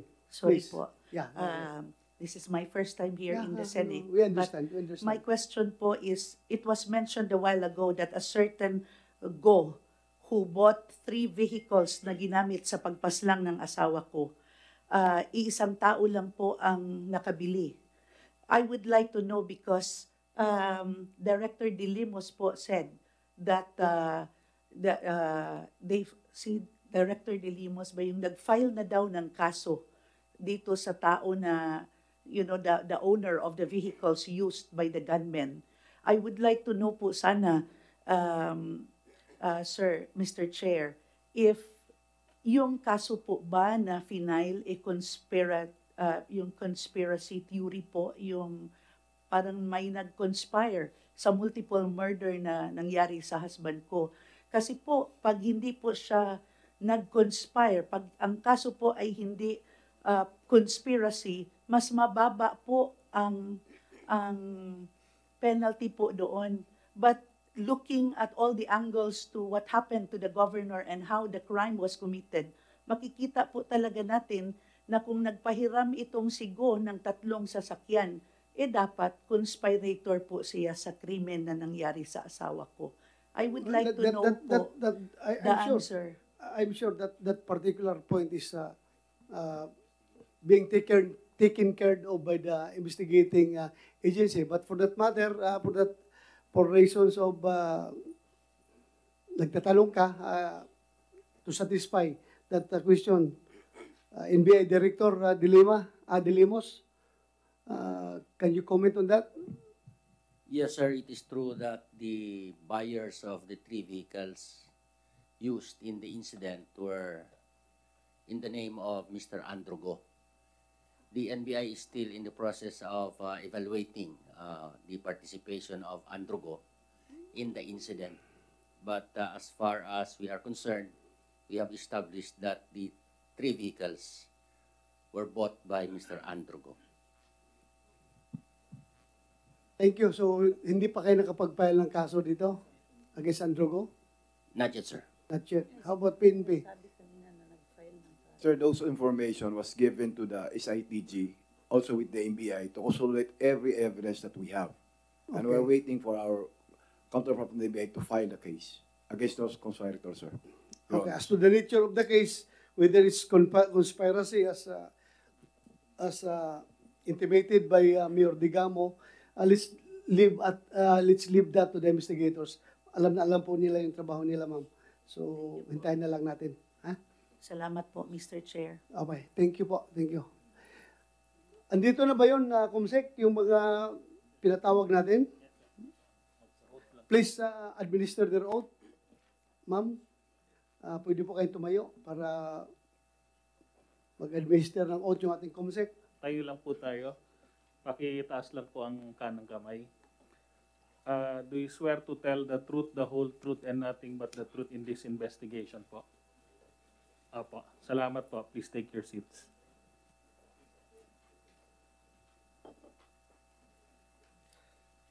Miss uh, Maria Luciano Tison. Sino? Ma'am uh, Rolinda Neri. Yes, ma'am. Monserrat Tabacog. Ikaw, ma'am. Uh, Dernet de Vinagracia. Sherwin Lee Dianco.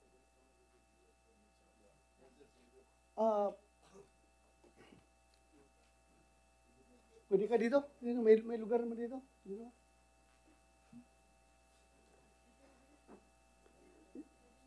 O, doon ka lang para mag-sama-sama kayo dyan. Ah, thank you. Gina Palma. Okay. So, you are here to testify on other killings uh, that, that transpired in Negros Oriental prior to the Digamo killing. Am I correct? Of, uh, so, kayo bang lahat, isang kaso lang titispayan nyo, titis, titistipayan ninyo, or uh, iba-ibang kaso? Ikaw? Iba-ibang kaso po, Mr. Chair. Ah, so, unahin natin, ha? Isa-isahin natin muna ito.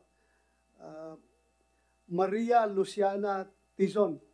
Yes. Ma'am, anong particular killing yung ah, alam mo at meron kang ah, sasabihin? Ah, ako po si Maria Luciano Tizon, the widow of re- ah, Konsihal, late Konsihal Alex Tizon of Bayawan City, a retired police inspector. Siya po ay, pwede po ma maano ko to, ma-read ko. Dat- dati siyang pulis? Yes. Nag-retire? Yes. Tapos naging konsihal? Ah, he retired ah, tw- 2009. Kailan siya pinatay?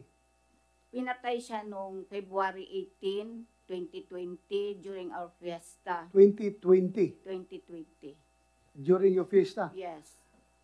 Ah, PNP. Particularly ikaw, Flores. Alam ba niyo itong kaso na ito?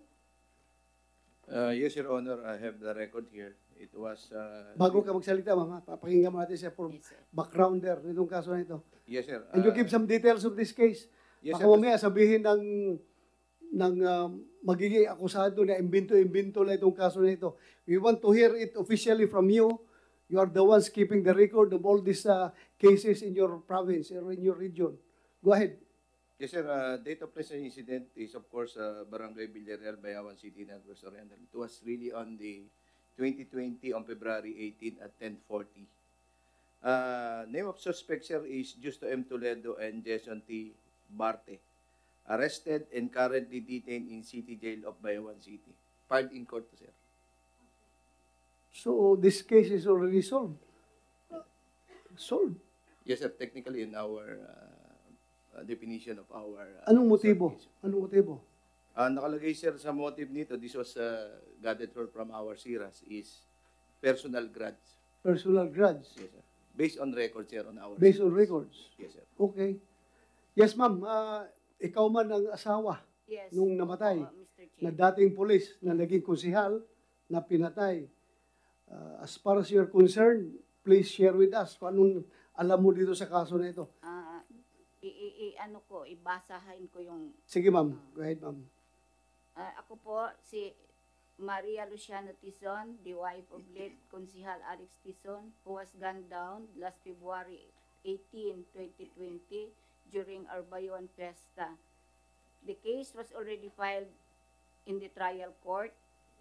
However, our evidences went missing while in the custody of the court.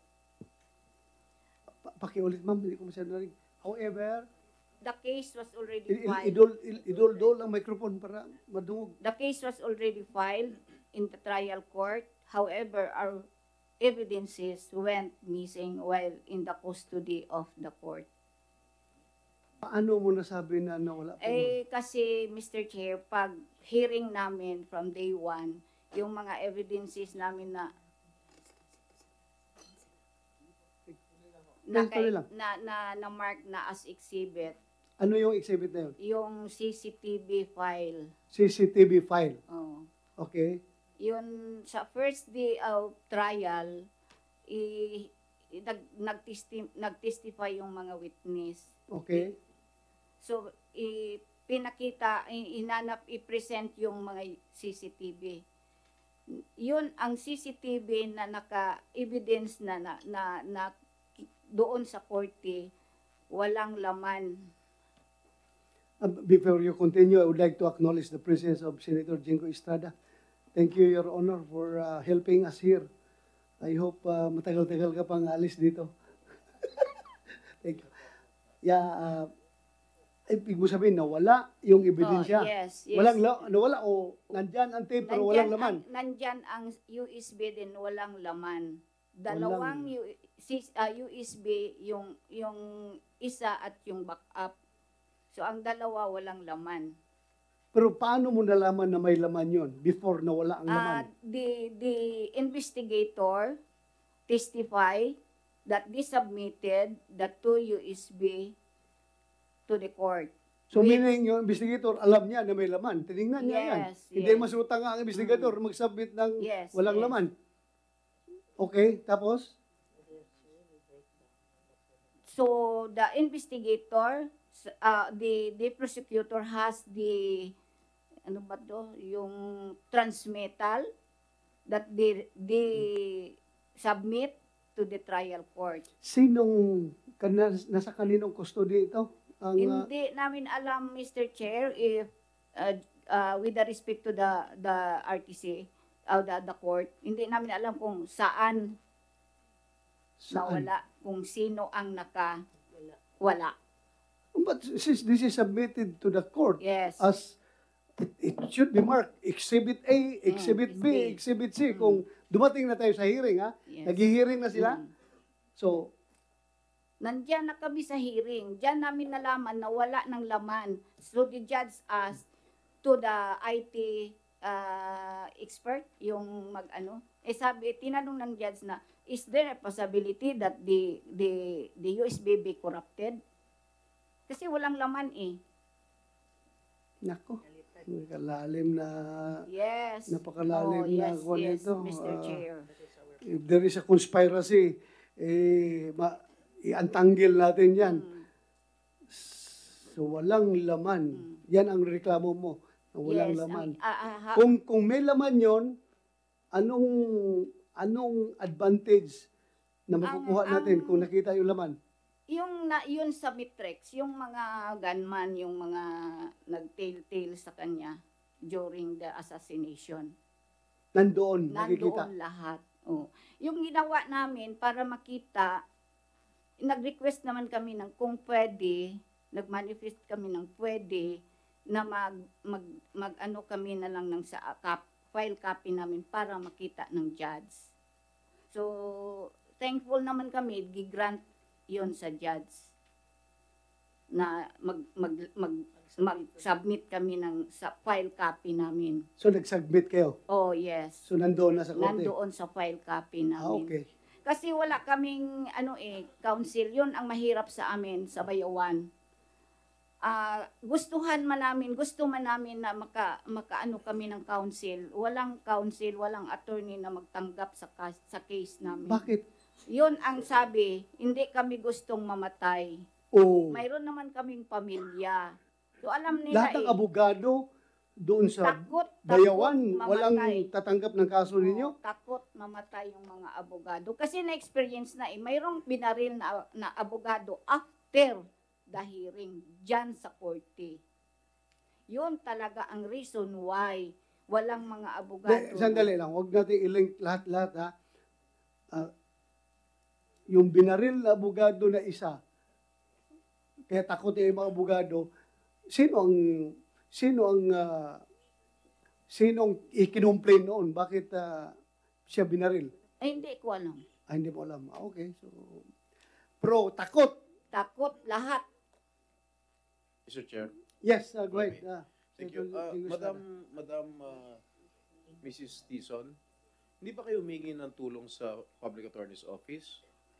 Sa public attorney's office, ang ang ano naman namin na prosecutor, Mhm. yung prosecutor yung nag, nag ano sa amin.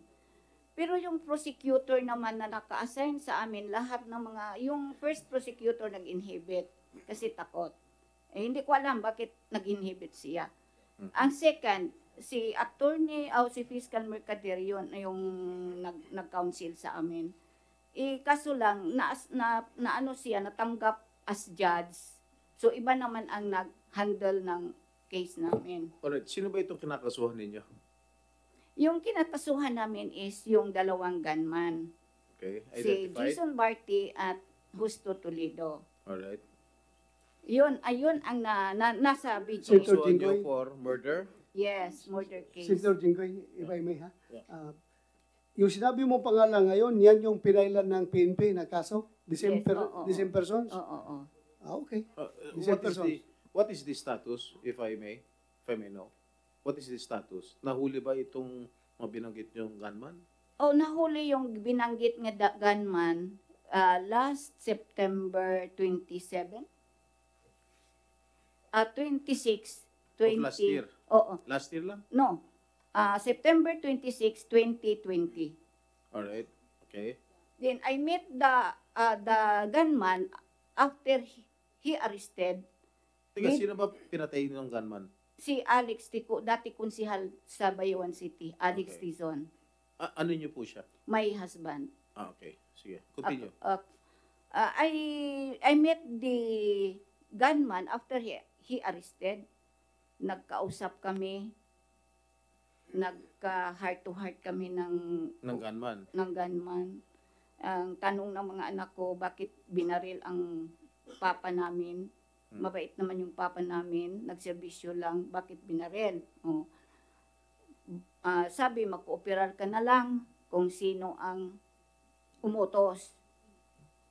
Oh, Sino mastermind? oh yes. Hmm. Pero Sinabi sa inyo kung sino parang mastermind? takot, medyo takot. So, may kondisyon. Okay, dalawa yung binanggit nyong gunman. Oh, sino yung Jason nakausap ninyo? Si Isa lang. Jason Barty. Isa lang. Oh, isa Nasa lang. isa? Si Justo Nasa niya?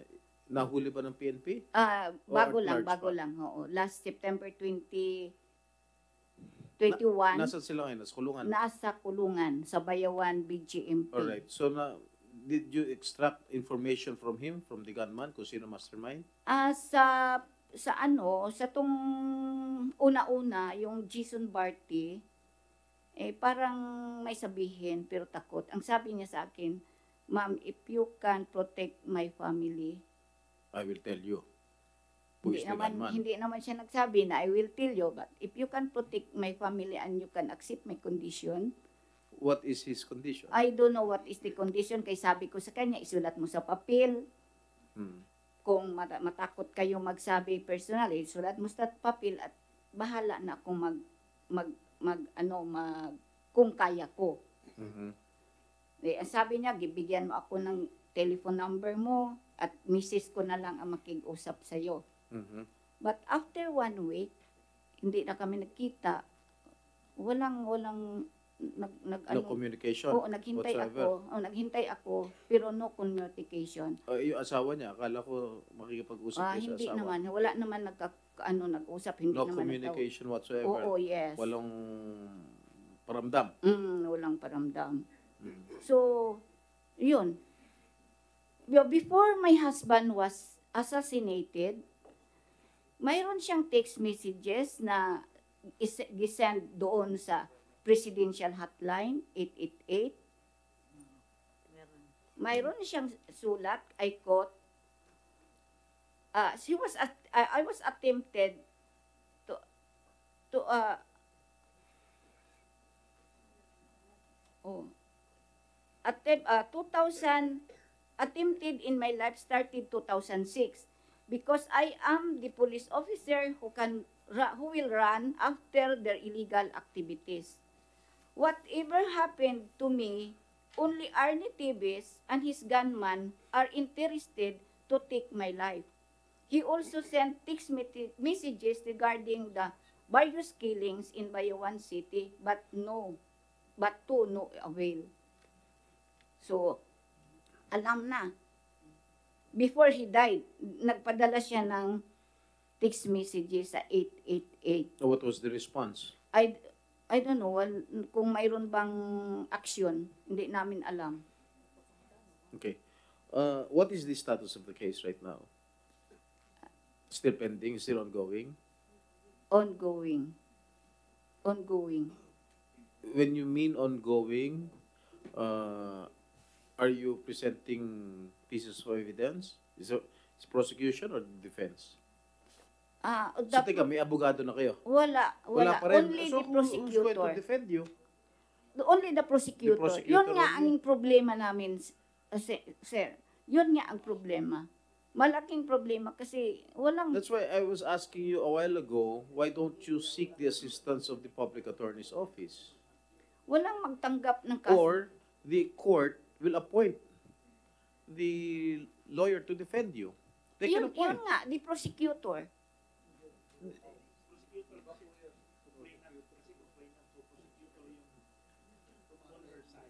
Ah, okay. Yun ang prosecutor ang nag-ano defense sa amin, oh, nag-ano sa amin, counsel. Oh. All right. Uh, how many years is this case ongoing? Ah, almost three, oh, three years. Last February 18, 2023, eh, three years. Mr. Chairman, with the indulgence of our colleague, I, I- I'm just uh, as concerned as you are, Mr. Chairman. Yeah. With regard to the Public Attorney's Office, pinopondohan natin to taon-taon. And I'm just wondering, kung tinanggihan ba kayo ng Public Attorney's Office? I, I think uh, yung Yung fiscal. this is uh, prosecution. So the fiscal should uh, be the lead lawyer dito yes, sa yes, Mr. Chairman, but uh, ang point namin kanina ni Senator Jinggoy, mer meron kang abogado pa rin Yeah, na natutulong. beside beside the prosecutor. That's the main reason why we have public attorney's office. We have been funding the public attorney's office for quite some time uh, to ensure na yung mga maliliit at yung mga ganitong sitwasyon makaka-adapt yung ating uh, public attorney's office makatulong po at the end of the day sa mga kababayan natin. So, ang tanong ko ulit, uh, ni-reject po ba kayo? Humingi kayong tulong sa kanila? Meron po ba kayong pagkakataon na nakausap yung public attorney's office at uh, sinabi ho sa inyo na hindi kayo talaga matutulungan? Oh, hindi po kami naka naka naka approach ng PAW ah, dahil prosecution ah, prosecutor fiscal yung binigay sa amin. Apo, ah, I think yun nga po, yun ang problema, Mr. Chairman. It appears na hindi nila alam kung ano yung gagawin nila. Kundi may prosecutor na, ito na, ito na yung abogado namin. Is that the, uh, Mr. Chairman, somebody's raising his Yeah. hand there. You are, Ah, sandali lang ha. Iklaruhin natin ito. Ang priority na i-represent ng Public Attorney's Office ay yung mga akusado na walang pambayad talaga na abogado. Pero in this particular case, sila ang nag-aakusa, so it is the burden of the state to provide lawyer for them through the prosecution service. So ang prosecutor dapat ang tama yung ginagawa niyo, prosecutor ang may hawak ng kaso talaga. But ang pinupunto lang na aking mga kasamahan dito, tinatanong lang nila ba na yung bang PAW ay ready halimbawa, meron kayong gustong pakuna ng ah, affidavit ah, na malayo kayo sa fiscal, pupunta kayo sa PAW, hindi ba kayo dininay? Okay lang ang PAW sa inyo? Kung just in case, pero hindi kayo nakalapit. Hindi kami Ah, nakalapit okay. ng So hindi basta nakalapit. Anyway, yung- we will taking note of that. Yung ah, sa alam namin yung PAW cannot prosecute. Alam namin yan, alam namin. Ang punto lang ng aking ng aming majority leader is just in case pupunta kayo sa PAO, ini-entertain ba kayo dahil nagbibigay tayo ng pundo sa PAO.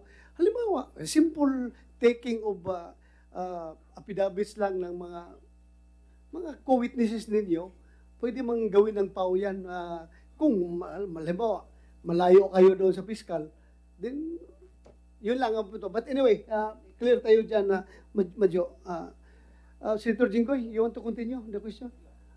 Ah, ma'am, ganito. Sinabi mo kanina na mga abogado doon ay takot. Sinong kinatakutan nila? Ayaw nilang dum, ayaw nilang humawak ng mga kaso ninyo doon dahil sila takot baka mamatay. Sinong kinatakutan nila? Takot silang mamatay. Sino kinatakutan nila? Tinanong mo sila kung Eh. bakit ayaw nilang tumulong, takot silang mamatay. Sino kinatakutan nila? Si, ko, si mga Tibis. Mga Tibes. Yes. When you say mga Tibes, sino-sino yun Si sila? Arnie Tibis. Arnie Tibes. Thank you. Paano niyo naman nasasabi na takot sila kay Arnie Teves? Kasi yung mga pangalan at mga pamilya nila ay talagang tatakutan. Makatatakot talaga. Diyan ba sa probinsya ninyo, sa Negros Oriental, mm, meron kayong mga, sa tingin niyo ba, meron private army mga Teves, may private army mga Digamo? Ay, sa tingin ko, si Digamo, hindi ko alam kung may private private ah, army, pero yung alam ko, ang naka, kuan- naka sakay late Digamo is yung mga army. Pero yung Hindi sakay private. Yung, pag sinabi army, yung Philippine Army. Ah, oh, Philippine Army. Oh, private Philippine army sa tinatawag. So no, no, no private army si late Digamo. But the TBC's brothers, the TBC's have Paano niyo po nalaman na meron po mga security koan, yung mga security blue guard. Blue Guard lang. Ah, Il- yes. Ilan sa tingin niyo private, ang mga miyembro ng private armies nila? Hindi po ko alam. Wala kong So nakita niyo meron siyang private army? si late Digamo. Hindi. Oh, si. Teves. Oh, hindi ko, well, hindi ko alam. So hearsay lang. Pero blue guard 'yon. Eh, mana, Pero may pwede naan. naman security ng bahay nila yon. Hindi po Marami. marami. Okay. Thank you, Senator Jinggoy. Uh, Honorable Henry Teves, totoo bang kinatakutan yung pamilya ninyo doon sa Negros Oriental? So far sa akin, kinatakutan sir, ba kayo doon? I can only speak for myself, ha? I cannot speak for anybody else. Yes, uh, you're a Tibes, uh, yung Parang kapatid mo. Hindi naman Ah, siguro kasi sabi lang, mga Tibes ako, daw, for mga Tibes. myself, in my lifetime, wala pa namang nag-file, ah, hindi, hindi kahit nangurot, wala pa akong kasong kahit nangurot lang. Kahit sumakit ng masama against someone else, hindi ko pa ginagawa yan after my life-changing experience. And you can check that with all my blogs, my web pages, and all my speeches. Even in speaking, hindi ako nanginginsulto ng kapwa-tao kasi ayoko nang magkaroon ng kaaway. I make sure I don't have hate in my body because hate in your body causes you to do something which is not good. Kahit pangurot, wala akong kahit reklamo na nangurot ako, na nampal ako. That's all I can say, Mr. Chairman. Okay, uh, just uh, you, you represent yourself and uh, you do not represent uh, Arnie Teves. So, as far as you're concerned, hindi ka dapat katatakutan. Well, we're both adults. You know, well, you know, he has the right to defend himself. He has the Okay. right to speak for himself. Adult siya. Yeah. Ako rin, I'm my, I'm my own person. It would not be proper for me to speak representing others. I can only speak for myself Yeah, uh, and maybe my children and my direct family whom I raised. That's myself. duly noted by this committee. Yes, Thank you for that. Uh, Mr. Babalikan, yes, Mr. uh, Chair. Senator Uh, Jinggoy. Kay uh, former Governor Teves, according to uh, Madam Tison, uh, meron daw kayo private army. Is it true? I don't think so, sir. I don't think so. At yung, in fact, nga kanina I was listening, yung nasabi ni ma'am na yung lawyer doon na namatay several years back outside the court, he was my uncle. He was the brother of my father's sister, Attorney Elisteria. Just for the record. Thank you.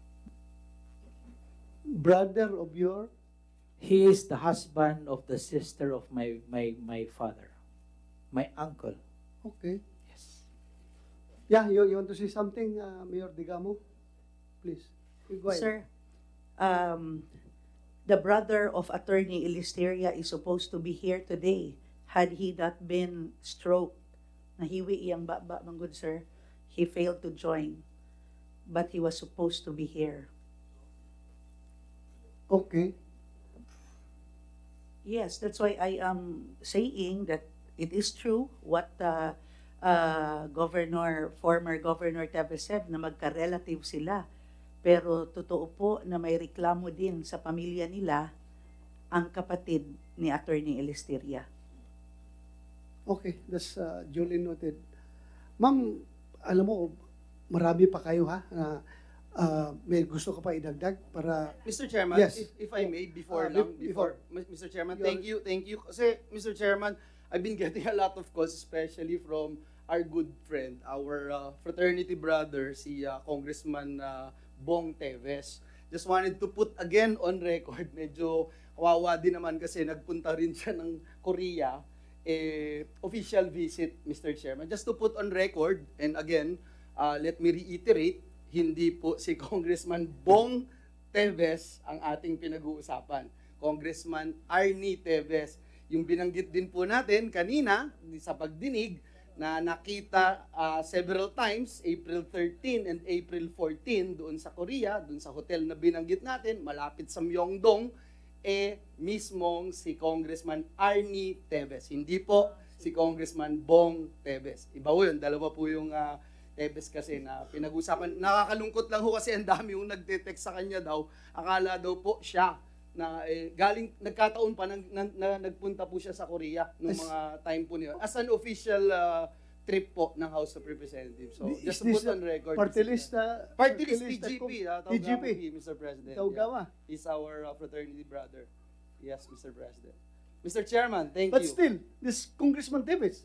Yes, still But Congressman, Teves. but not Arnie Teves Not Arnie we Teves. talk about this morning, Mr. Chairman, before uh, before uh, well this morning, Mr. Chairman, Yeah. time check is 3:11. Thank you for We're that here. clarification. Thank you, uh, Mr. Chairman. Just to put on record. Thank you. Thank you. Uh, Ma'am, uh, para matapos na yung sa side mo, Ah, para itanong ko lang kay Mayor Tebes, ah, o ex-mayor, pwede. sa akin, sa akin, Ah, sa sa akin inyo. matanong. Oh. Yung, eh, ah, anong ginawa niya during his administration, yung mga various killings sa Bayawan City? Mga, Mga ginawa, mga, anong mga investigasyon na gi- ginawa niya during, oh, during his administration, siya ang mayor, ya, na siya ang mayor sa mga killings, mga killings, Oo. mga ilang killings yung alam mo?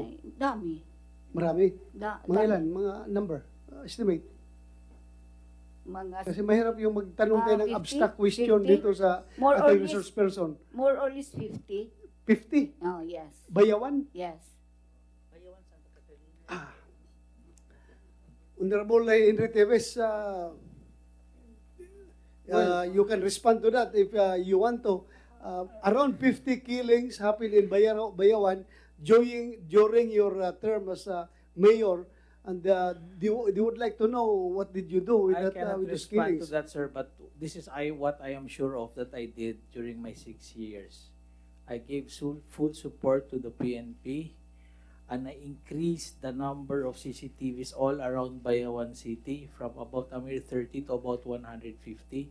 That's also the reason why now during the latest incident, the authorities were able to make extensive use of those uh, uh, CCTVs I placed, and I made sure that Bayawan City had all the motorcycles, radio equipment, uh, everything that the PNP wanted as far as the Bayawan City Police Force is concerned. Yeah, as far as the Bayawan resolution of those alleged 50 Well, killings. kasi as uh, mayor naman, know- sir, di ba, hindi Yeah. naman ikaw ang nagsusolve ng kaso.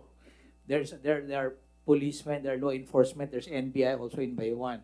What you can do as mayor is support them and make sure they're well-funded. Then they, when they need resources, logistics, everything, they have it during the time that they need it. Yes. As uh, far as Sir, mayor. But but is it true that during your tenure as mayor of uh, Bayawan there were 50 killings? 50. Yes. According to Madam Tisa. Well, this is the only what I can say as mayor of Bayawan, sir. Eh, you should know because you were the mayor. I don't think Ako, so. eh, nag-mayor din tayo. Kaya I don't think so. kung ano nangyari I, sa, I don't think so. In fact, when I was mayor, sir, for two years, I was a regional finalist and a national semi-finalist for Dangal ng Bayan. And I had my Seal of Good Governance Award. And for six years, No, I never had any single what about what about COA the, audit. what about the crime rate during your term? Sir, I Has think it the? PNP can answer that kung kung tumaas ba yung crime rate sa six years na nandun ho ako at anong ginawa ko. I think they're, they're much better in position, Yeah, sir. I think Kasi uh, biased mo ako eh. The director of mo is uh, raising his hand. Meron ka bang alam dyan about the during the term of uh, Honorable Tevis as Baka mayor hindi- of Bayawan. baka May alam hindi- ka ba kung ilan ang namatay doon at uh, ano nangyari? Uh, Mr. Chairman, sir, uh, with your permission, uh, could I present my compliance to you, sir, to present the political killings in Negros Oriental, sir, so that this body could have an appreciation and, and have an idea what is the real peace and order situation in Negros Oriental, sir. Mas maganda. Uh, hinto muna natin sila individually. Merong overall picture na i-present yung si IDG. Uh, you have the floor. Pakinggan muna natin na yung si IDG para meron tayong buong picture bago tayo mag-dissect into uh, separate independent incidents yung overall picture muna. Thank you, Mr. Chairman, sir. Uh, go ahead. Yung EVP natin, could you po? But uh, still, tanungin natin yung PNP, Yes, sir. yung record nila during, Yes, sir. kasi yung allegation nila more than 50. That's that's uh, that's very as, nakakatakot na number 'yan. Pa-confirm natin sa PNP kung totoo 'yan para officially uh, meron tayong records kung totoo 'yan na nangyari. Yes, sir. I will just make pass with my presentation, sir. Yeah, so go ahead.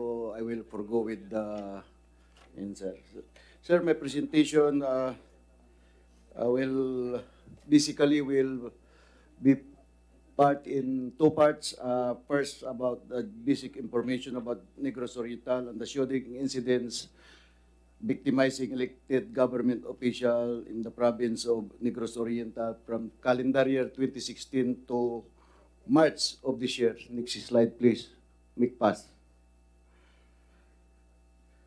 Sir, uh, Negros Oriental has a total land area of 5.42 5,420 square kilometers and inhabited by almost 1.5 million Negrises, Negris, Negrenses as per 2020 census. Politically, the province is subdivided into three districts, six cities with Dumaguete as the capital, 19 municipalities and 515 barangays.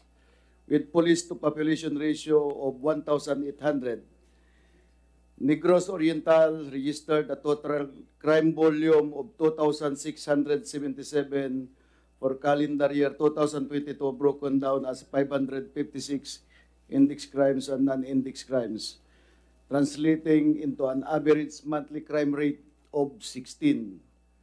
Likewise, the first quarter of this year, Negros Oriental, Negros Oriental registered a total of 675 crime incidents, respectively with the same average monthly crime rate of 16. Next slide. In order for us to have the same understanding, some terminologies which will I which I will be mostly using in this presentation will be defined based on the existing PNP and NAPOLCOM policies. First, the ego, which means elected government officials. Solved case. A case shall be considered solved when the following elements concur as shown on the screen.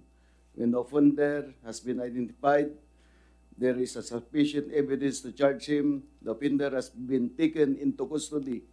Ito po yung pinaka-importante kung nahuli yung offender and the offender has been charged before the prosecutor's office or the court of appropriate jurisdiction. Cleared case. A case shall be considered cleared when at least one of the offenders has been identified. There is a sufficient evidence to charge him and he has been charged before the prosecutor's office or any other court of appropriate jurisdictions. Next slide, please. Record show from 2016 to present, there were 40 shooting incidents that transpired in Negros Oriental that victimized one governor, one provincial board member, two vice mayors, six city or municipal councilors, 15 barangay chairpersons, and 16 barangay councilors or kagawads with a total of 43 elected government officials. Out of that 43 government officials, 33 were killed, 3 were injured, and seven were unharmed. There are two incidents that have two or more elected government officials victims. The Digamo case with three, the Barangay Chairman Halandoni case with two elected government officials as victims. Next slide, please. On the slides are the names and status of the victims wherein 33 were killed. Three survived but sustained injuries and seven were luckily unharmed. Next slide. As shown in the previous slide, there were 43 elected 33 elected government officials who were victims of shooting incidents in Negros Oriental. Highway- However, my presentation will be focusing on the 33 killed in the 30 incidents of alleged political killings. As to the status... General Karamat, Yes, sir. excuse me. This is only yung 43 na sinasabi mo, Yung elected ga- government officials. Yes, Hindi sir. pa kasama ito yung mga civilian, ah, yung na pinatay, may, may data ka rin dyan. No, sir. My Sa, sa non-ego. Yes, sir. That's my compliance to you, sir. Aso, wala pa, wala ka dito. Wala pa, sir. Only elected government officials lang yan, sir. Baka makapag-utos ka ngayon doon para mapahabol dito bago tayo mag-suspend mamaya. Kunin niyo yung number. I think... Ito, uh, ego lang ito eh. Ego lang. Hindi I kasama think yung my iba. directorate for operations has Palapin mo, data, ha? sir. Okay. They have. Please continue. Actually, bi- uh, basically, uh, that's the m- meat of my presentation. Let's go with the different slides so that we could know the names of those victims. Next slide, please. Next. Hindi ba makita yung... Yan, sir, yung mga pangalan. Nandyan yung mga pangalan ng naging biktima. Yung unang uh, witness natin, kasama na yung uh, asawa niya na former police na kung saan, yung status of the case. Next slide. Sige nga. Next. Yung mga pangalan. Ang biktima. Next slide.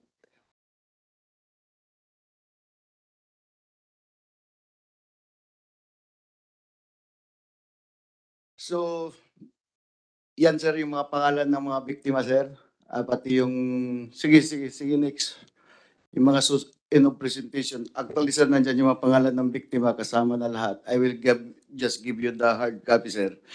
Uh, yun sir, from 2016 to present sir, uh, there are 33 killed and uh, all in all 43 elected government officials were victims of shooting incident in Negros Oriental sir.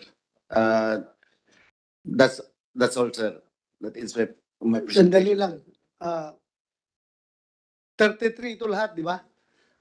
Oh, killed only sir. Those those Huh? those that are were killed in the shooting incident sir.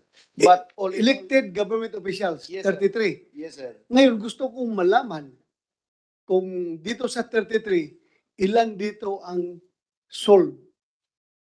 Yes sir. Nandiyan sir. I will Kasi 30 33 elected officials, ilan dito ang sold?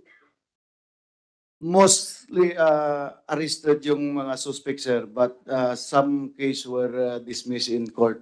I don't know what was the reason sir but all most of the cases there are ongoing uh, on trial sir. How many cases were dismissed by the court? Yes sir, yes sir. How many? Palakin nga, palakin niyo nga yan. Uh, General, Yes sir. how many cases were dismissed by the court? Based on my uh, uh, record sir, uh, three were dismissed in Three? court sir. Yes, Out sir. of? out of that uh 43 What was the reason why they were dismissed by the court? Sir uh, Non-cooperation? I will find out sir but uh we uh, the reason why uh the case was dismissed sir Because usually, if the case are dismissed, ibig sabihin, wala, walang sumisipot.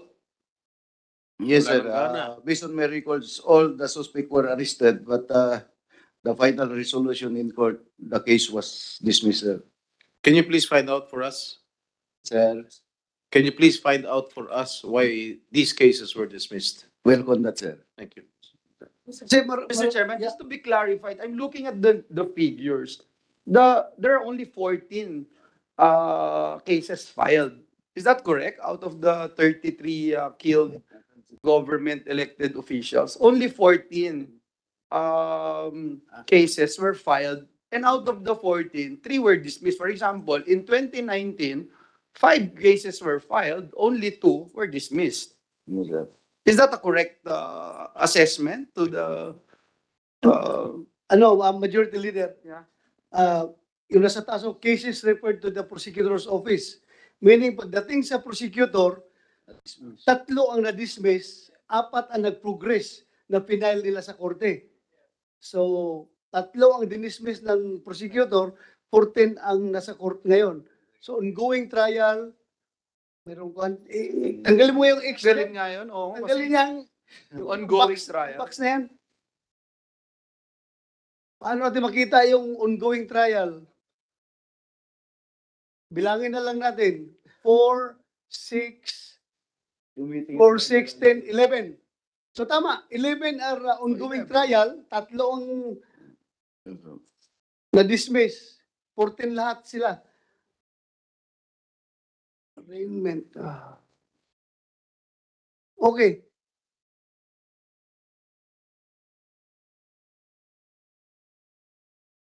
Solved, walo. Cleared 12, under investigation 10. 12, 12, sir. Oo, sir. Yung, Itong 10 na ito, matagal ng kaso ito, di ba? 10.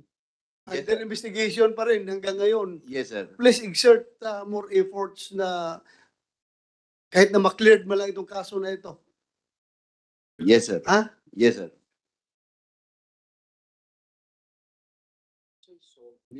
When you say solved, all the suspects have been identified, all the suspects were uh, uh, uh, under the custody, and uh, proper uh, uh, cases were filed in court.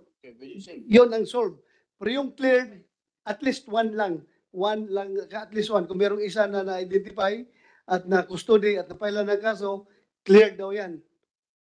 Pero kung nagtataas sa kamay, yes ma'am, go ahead, Mayor. Mr. Chair, dito po sa mga killings na, na, na nangyayari sa mga politicians, gusto ko lang pong malaman kung yung mga nahu- nahuhuli, ah, mga politicians din po ba?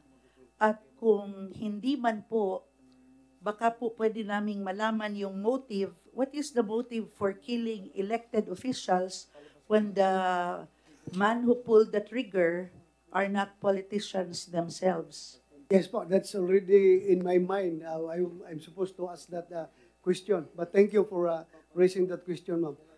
Uh, General Karamat, can you give uh, answer to, the, to that question, which is uh, the same question that I'm about to ask you? Anong motibo? Sino ito mga suspect na ito? At uh, uh, yun, yun. Unahin mo muna yung tanong, sagutin mo yung mga tanong na yun. Motive.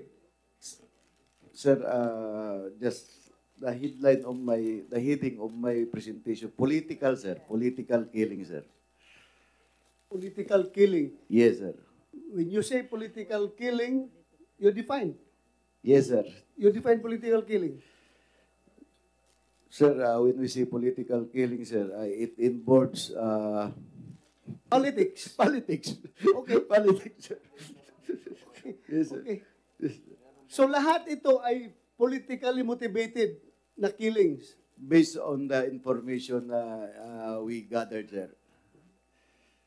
Uh, Mr. Chairman? Yes, may, uh, I think following the uh, questions uh, raised by our chair and uh, Mayor Janice, hindi ho, General, hindi daw po yung politiko yung trigger man, yung bumarel. So, ibig sabihin, ito ay iniutos.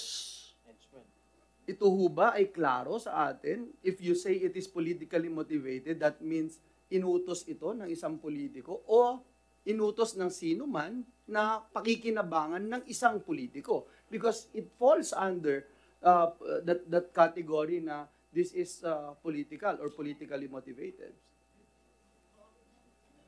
Yes, you may respond. most of the suspects, as shown on the screen, are, uh, shall we say, uh, gun for hire. Because uh, with the permission of the body, I do not agree with the private armed groups because uh, it's hard to maintain a private army. Imagine you kailangan sweldoan mo ito araw-araw.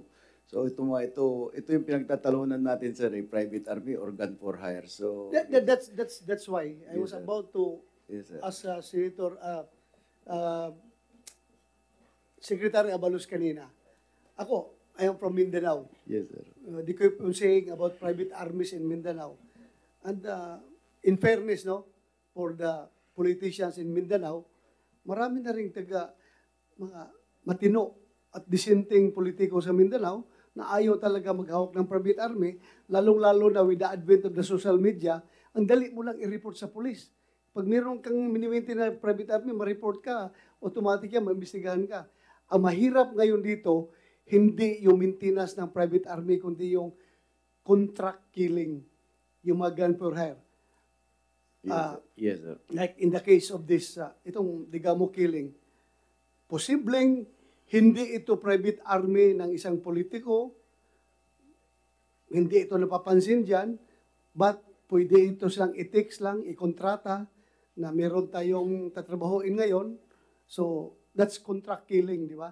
Yes. Kasi mahirap pag-maintain ng private army ngayon. Ma- ma- ma- mas, makikita at makikita ka ng mga tao. Ah, pag ah, meron kang gano'n, ma- may report ka, may bistigan ka kagad sa IDG.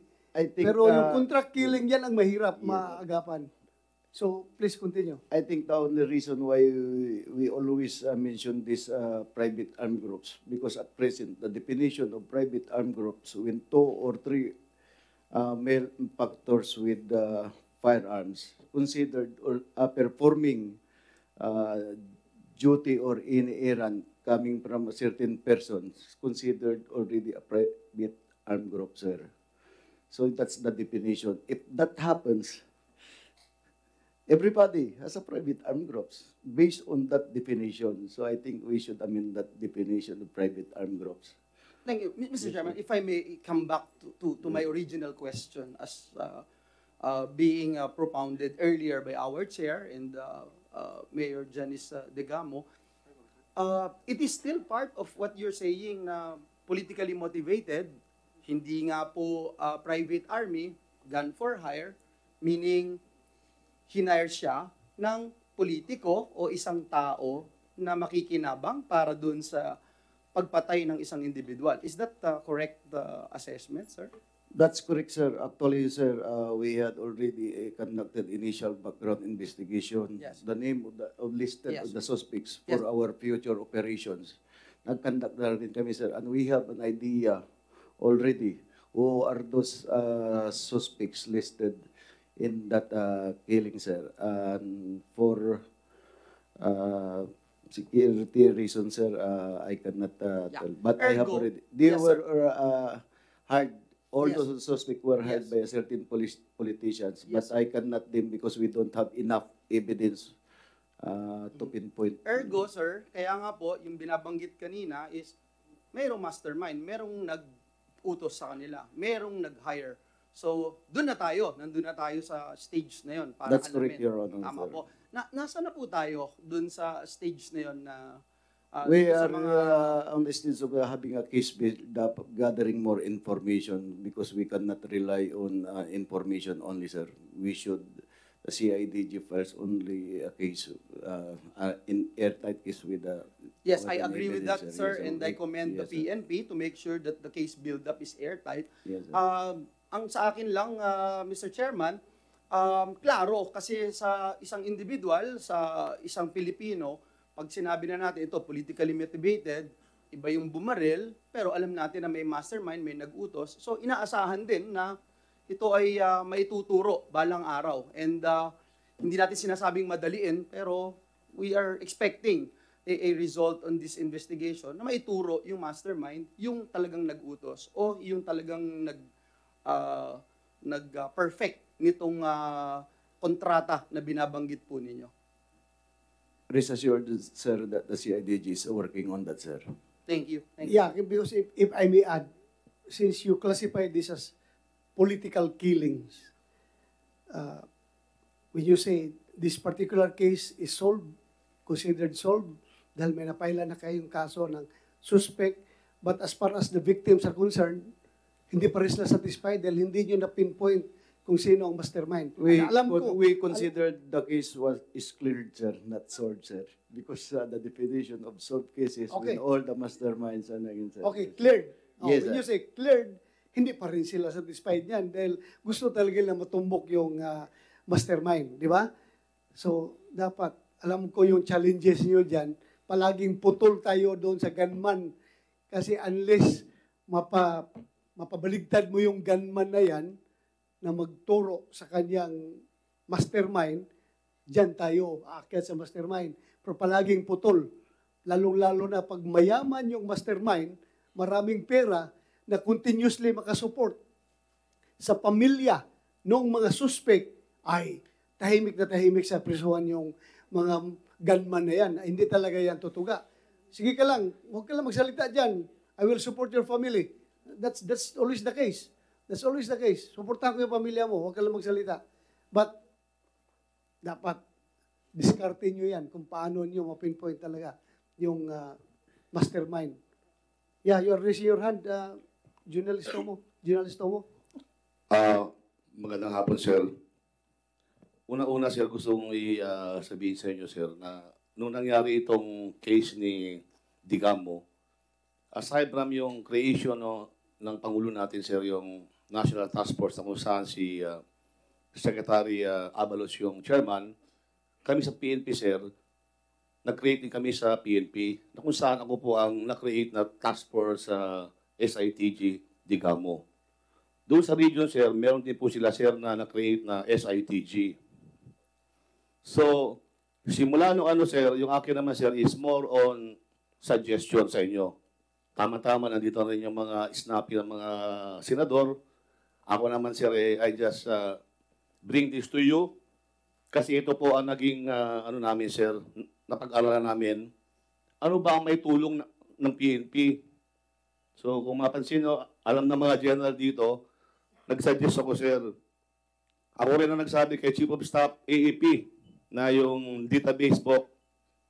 Pero sir, dagdagan ko po ito para lalo natin itong ma, ano sir, ma, ma-resolve yung mga future problem sa mga killing na to. Una-una, baka pwede niyong pag-aralan, sir, lahat ng mga baril, henceforth, magkaroon na ng GPS. Ano ibig ko sabihin nun, sir? Bibili ka ng baril, ah, bago mo bayaran yan, kailangan magpirma ka na naka-GPS yung baril na yan. Kasi, para sa akin, sir, uh, firearm is not a matter of uh, right. It's a matter of privilege. So, we will regulate yung mga firearm na sir. Pangalawa, sir, If I may, Mr. Chairman, with the indulgence, Yeah, may I know from the good uh, resource person, how many loose firearms do we have in the country? Uh, Our- siguro firearms, si can you answer, please? EPO, you, you have the floor. Uh, good afternoon once again, sir. Uh, today, sir, we have uh, more than 500,000 uh, uh, unregistered uh, firearm. Yung uh, history po nito, sir. 500,000, sir. Opo, sir. More than 500,000 How, how do you unregistered. know that uh, there are more than 500,000? If I have one right now, and you are not aware of it, because I'm not registering it, how would you know? Sir, uh, the uh, PNP is uh, uh, maintaining a database doon sa mga firearms na yan, sir. Yung, Hindi po, uh, sir. Sir, ulitin ko, sir. Ha? Sabi niyo 500,000. Kaninang umaga, kunyari, may kinontrata ako dun sa labas. Binigyan ako ng isang box na baril. Hindi nakarehistro. Paano niyo nalaman na unregistered yung isang box na baril na binigay sa akin?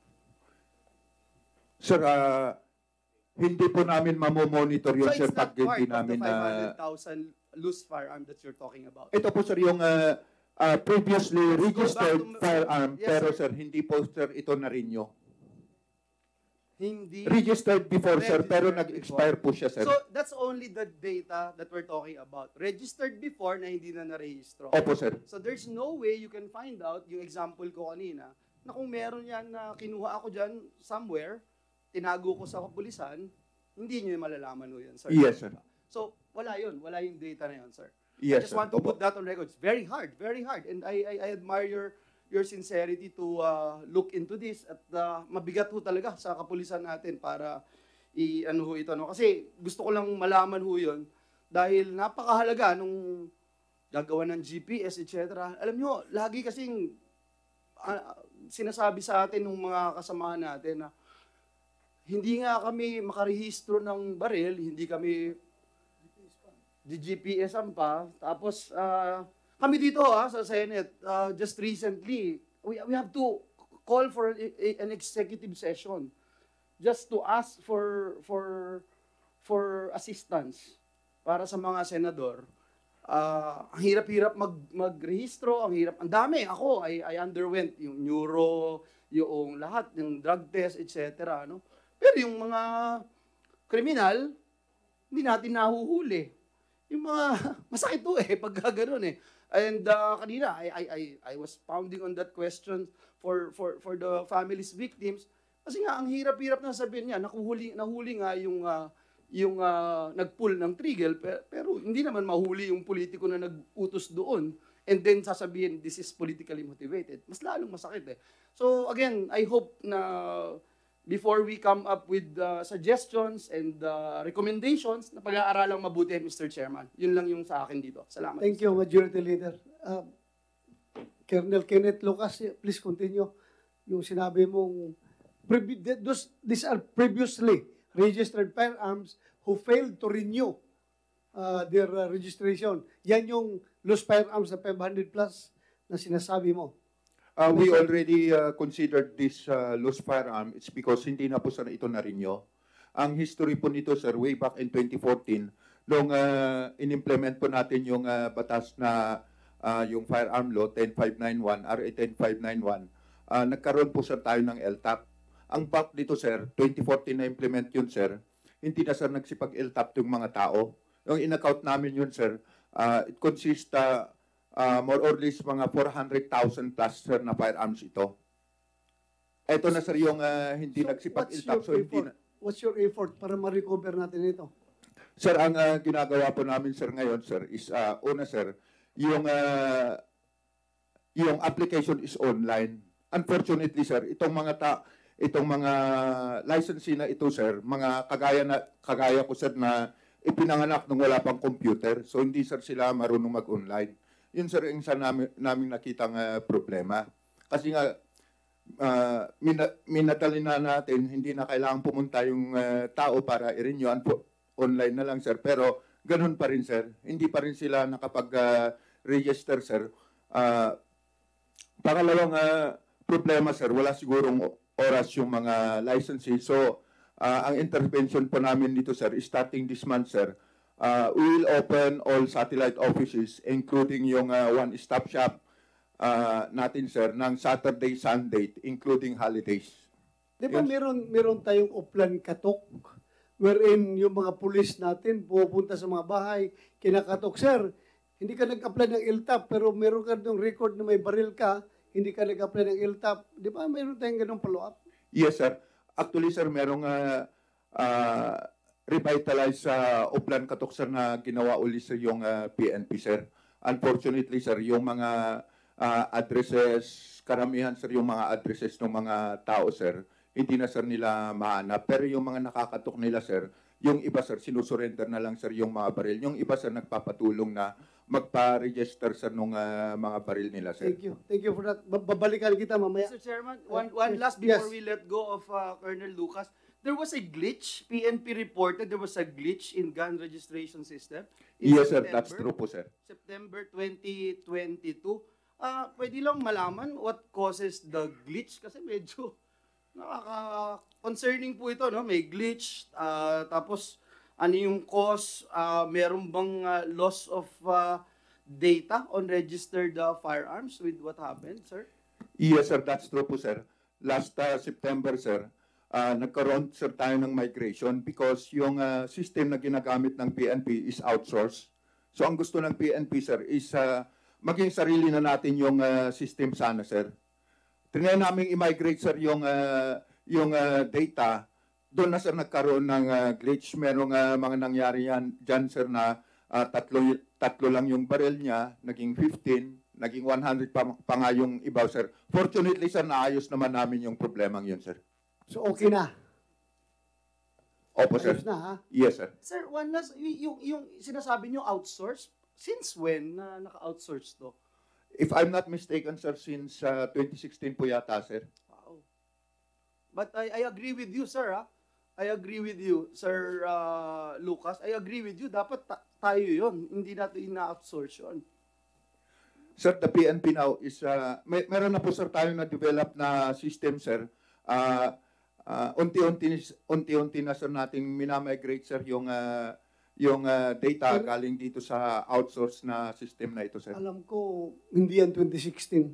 Sir, uh, correction, sir. Uh, according, uh, according sa DCO natin, sir, uh, 2014 po, sir. Yeah. Kasi nung ako nag-PNP, outsource na yan dati. Andyan na yan. 2014. Okay. So ngayon, migrated na. Kayo na may control.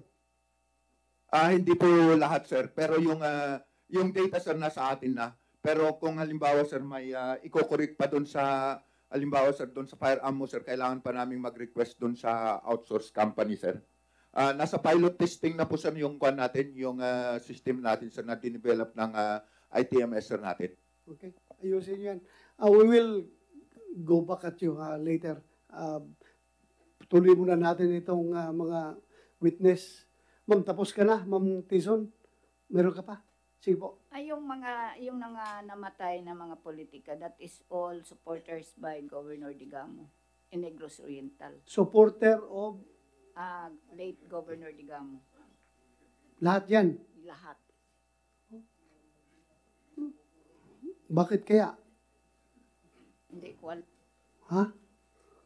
Bakit? Hanggat hindi natin makuha yung mastermind, na puro tayo tanong dito. Ah, so dapat uh, meron pa silang isa ITG na ginagawa. Dapat uh, magka case build up kayo dito ng airtight case para Mr. Chairman. ultimately matapos na yung problema dyan sa Negros. Yes, go ahead, uh, Senator Bong Revilla. Ilan po ba lahat yung mga nabiktima na yan, na kakampi ni Tegamo? Oh, lahat-lahat, sir. Yung, yung sa report, eh, halos lahat hindi pa nasal, nasama yung mga hindi official, mga leaders. Mayroong iba na magpa-blatter, hindi rin tanggapin yung blatter. Mga ilan po? Oh, eh. Ah, ang yung estimate more more or less 50s. Hindi, Lahat. interesado lang ako, Senator Bong Revilla, Yeah, 50. ah, if, if I may. Go ahead, go ahead. Yung sinasabi mo na hindi tanggapin ang blatter. Ayun, may mayroong may iba na hindi daw hindi kumpleto siguro yung mga informasyon. So hindi Hin- dapat Hindi tinatanggap. Oo. Pero hindi yung ang pulis nagsabi na, ikaw pupunta ka sa police station, sir, magpa-blatter ako, sir. Ganito, sir, I want to put in record na hinaras ako ni ganito, may ganitong threat sa aking buhay. Sabi na Pilipino, hindi mo pwede pa-record yan. Hindi ganun ang nangyari. Hindi. Thank you mayroon naman, thank you mayroon naman. din iba na mag ipa-wave Ipa-wave. o wave na hindi na kayo mag mag ano ng mga investigasyon kasi yung pamilya nyo ay Ano? madamay. Madamay. Sino Yes. nagsabi? Yung yung mga Yan, dito ka na. Huwag ka na mag-withhold the information. Kung ano alam mo. Anong, sino nagsabi niyan? Madamay yung, pamilya yung mo. Mga yung mga yung pulis na mag pun- mag mag ano Mag-record? yes Sinasabihan sila ng pulis? oh yung sinabihan sila ng mga pulis pero hindi ko naman alam kung sinong pulis Ah, mahirap din yan, no? Yung police on duty, hindi ko naman- Klaruhin natin yan. Klaruhin natin yan. But anyway, uh, si Mayor Digamo, you have the floor. In relation to what Ma'am Tison is telling you, sir, I can remember one instance, si Ma'am Fidelina Makatigib of Shaton, uh, supporter of the governor, there was this incident that happened at the Capitol when uh, Governor Henry was sitting as governor. Uh, there was an interaction between his deputy governor, uh, Kurt Matthew Teves. May nangyari silang um, nagkasagutan, something like that. And uh, I learned only about it when several times uh, Ma'am Fidelina Makatigib called Governor Ruel kasi nagbabalik-balik siya sa Dumaguete City PNP station dahil walang tatanggap ng kanyang blatter. The mother of Ma'am, uh, the son of Ma'am Fidelina uh, Makatigib is a member of the PSG of former President Duterte. The, the son advised the mother not to go home unless a blatter will be had. So several times the governor called, I think Nopo or uh, the police station of Dumaguete. It was, I think, only then that uh, Ma'am Makatigib was able to have the incident blattered.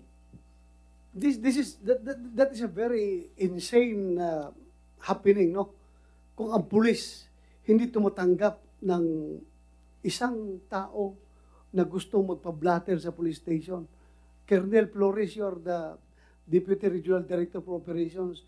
Uh, is this really happening in your uh, EOR na hindi tinatanggap yung complainant para magpa-blatter? Uh, sir, uh, we will conduct uh, investigation. This, uh, I think it's a, uh, maybe a, a seldom uh, incident only or selected incident only. Please take note. Take Yes, note na dapat hindi ito mangyari dahil andyan kayo. Police are here to serve and protect. Tapos, i-deny nyo na simpleng pagpa-blatter. Ma- Hindi ko nakita, kung ako makita ko yung, yung, yung this officer na yan, hawakan ko yung ulo ng this officer na yan, ismas ko yung ulo niya doon sa blatter book niya. Bakit ayaw ka, ayaw mo magpa-record? This is, trabaho mo yan, mag-record. Bakit eh, i-deny mo yan sa tao? I don't know anong rason behind. Bakit ah, ayaw? Mr. Chair, maybe maybe ask kung anong year nangyari yan? Yeah, Para- Mayor Digamo, please. Mayor Degamo, mga At the time yan? that uh, Governor Henry took over at the Capitol, it No, was, saan uh, it was his nephew, the Anong capi- pro- provincial capital. Uh, that was 2022.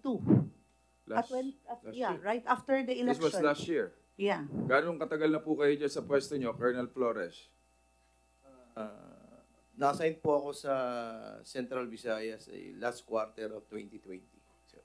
2020. Yes. So, you're not aware of this? Wala bang report na nakarating sa inyo na ganyan? We we are uh, assigned sir in the regional headquarters. There is a provincial director at NOPO, but we haven't received any information relative to that, sir. But uh, we will conduct investigation relative to this, sir. Senator Bong, tanungin natin, nandito ba yung provincial director ng Negros Oriental at na nakakahiblad yung sitwasyon na yan? Andito ba, provincial director? Uh, I think so, sir. Ha? Nasaan ka, provincial director? Dito, dito ka. Dito ka. Uh, while waiting, uh, Mr. Chair. Yes, uh, Uh, Madam Mayora, ilang Mayora, ilang beses po na deny yung dineny ng uh, headquarters ng police yung pagbabablatter? What I can recall is that Ma'am uh, Makatigib has to call the governor so that the governor called Nopo para i-blatter yung nangyari sa kanya. Because the son of Ma'am Makatigib is member of the PSG and warned her mother not to go home unless ma-blatter yung incident. So, sa inyong palagay, isa lang ang na-deny ng police. Kay Miss uh, Mrs. Tison, ilan ng uh, sa inyong pagkakaalam, ilang beses na na-deny ng police yung pagpapablatter? Sa pagkaalam ko, yung late uh, Juem Estinioso, yung pina, binaril, pinatay last November 7, 2022. Uh, before he was assassinated, ang sabi, nagpunta siya sa akin mga one week before, nag, nagpunta sa bahay, nagsabi, gila, gi, i, ano, hinabol daw siya, hinabol. Hinabol daw siya ng dalawang tao, nagmotor, tapos nagtago siya, tapos, yun, pumunta siya sa bahay, nagsabi, nag, nagsabi na yun, hinabol siya. And sabi ko, ipablatter mo yan. Punta kayo sa pulis, ipablatter. Hindi Then, tinanggap. pumunta siya sa police station. Hindi ko alam kung sinong naka-duty. Hmm. Ah, pumunta siya sa police station, din ang sabi ng pulis, ah, sino ang naghabol? So, hindi naman niya kilala kung sino ang naghabol, o yung naghabol sa kanya. Do. Ang sabi ng pulis, eh, guni-guni mo lang yan. So you did not get the name of the policeman Oo, concerned? so, bu- bumalik yun si Joem Estinioso sa bahay. Nag- Hindi niyo po nakuha yung pangalan ng pulis? Hindi po hindi niya na hindi niya kinuha siguro tapos bumalik siya sa bahay nagsabi hindi man tinanggap ng pulis ang blatter Ano, ko. anong, anong saan headquarters to? Dumaguete mismo? Ah, sa Bayawan Police Ah, Station. Bayawan. Oo. Ah, siguro ma- baka malaman ng ah, chief of police So after after that incident, siguro mga 2 to 1 to 2 weeks, yun namatay si Joem Estinioso doon sa ah, City High School. Ah, Pinatay. Oh, Binaril. binaril. November 7, 10:40 AM. Ah, November 7, 2023. So sa Ah, mga tweet, wala 2022. pong blatter na nangyari. Walang blatter. Dahil sinabi ng pulis, guni-guni Oo, lang guni-guni daw. Tapos bigla siya namatay. Oo. in, in that case, no, kung totoo talaga yan nangyari, I, I can, kahit na ako former chief PNP, I can directly say that the PNP in Negros Oriental is a contributory to the to what is happening right now in uh, Negros Oriental. Eh, paano mag-stabilize yung peace order ninyo dyan kung ultimo, pagpa-blatter, sabihan ninyo yung uh, complainant na guni-guni mo lang yan. Bakit kung hindi niya kilala naghabol, hindi ba pwedeng i-blatter yan? That somebody was uh, running after me, or somebody was uh, trying to kill me, and I don't know the identity of that uh, malefactor. Di ba? ba ah, hindi ko makita ang rason bakit uh, simpleng pagpa-blatter, hindi ninyo i-afford sa isang ordinaryong citizen. A blatter book is an official record. It is a public document and everybody can access to that. Whether nagsabi siya na totoo or not, basta pumunta siya dyan magpa-blatter, you have to entertain them. Pa-record nyo yan. Pa-record yan. Siguro pakinggan na, uh, Mr. Chair. Yes, Sorry, uh, I'm sorry. Ah, ah, ano siya? Ay, yung pinatay. Ah, you, you're the provincial director of, uh, mag-sworn ka muna, mag-swear ka muna. Swear. Uh, kindly stand, sir. Kindly state your rank and name, sir. I'm uh, Police Colonel Alex G. Recinto, the Acting Provincial Director of Negros Oriental Provincial Police Office. Do you swear to tell the truth, the whole truth, and nothing but the truth in this investigation, sir? Yes, Your Honor. Thank you, sir. Please take a seat. Yeah, uh, Uh, Senator Jingo, you have thank- the floor. Thank you. Colonel, uh, kailan kayo nag-assume ng office? Uh, Mr. Chair, I'd like to inform this honorable body that I only assumed the office of the Provincial Director last March 23 to 2023. So we cannot extract information from you with regard to their complaints. Uh, I'd like to inform this honorable body that uh, after I assumed the office of the acting provincial director, I immediately ordered the review of all cases. All right. So you know. Uh, we have our investigator also here that we uh, interviewed the Honorable Tison Puser that uh, we reviewed her case regarding her complaint on the case of her husband.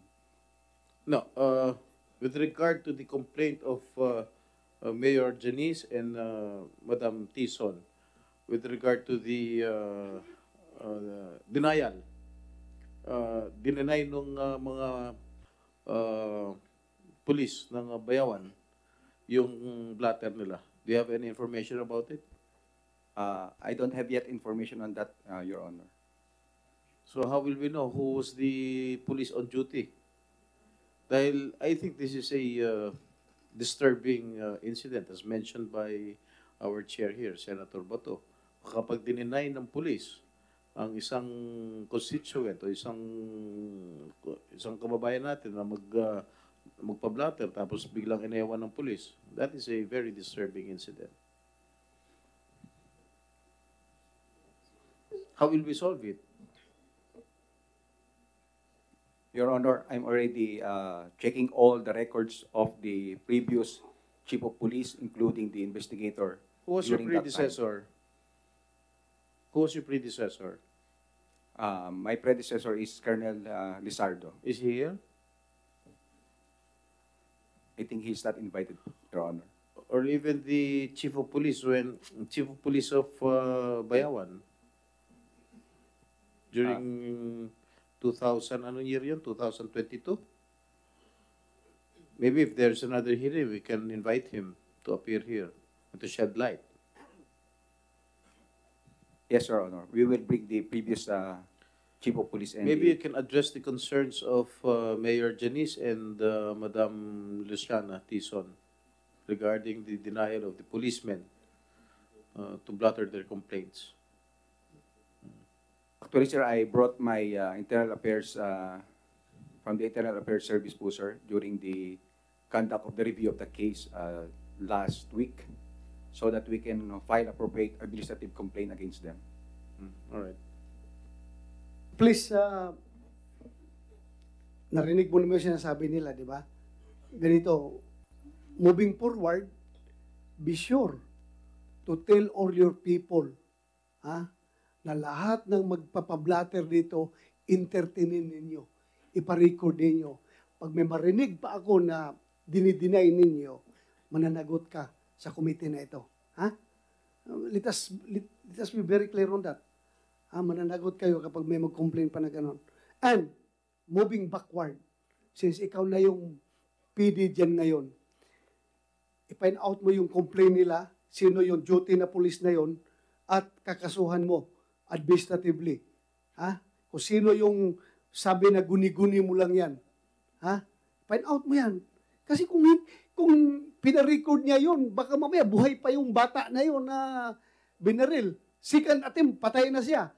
Dahil nga, dinisregard ninyo. Kung na-blatter yon meron ng aware yung uh, inyong mga tao sa estasyon na meron palang ganitong nangyayari, kailangan mag-aktibo tayo sa ating uh, proactive patrol dito para yung mga armado dito na nangahabol na gustong bumaril ng tao ay mahuli natin.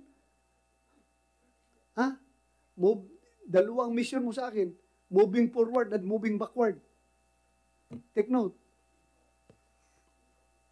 Yes, sir. I will do that, Your Honor. Thank you. Thank you.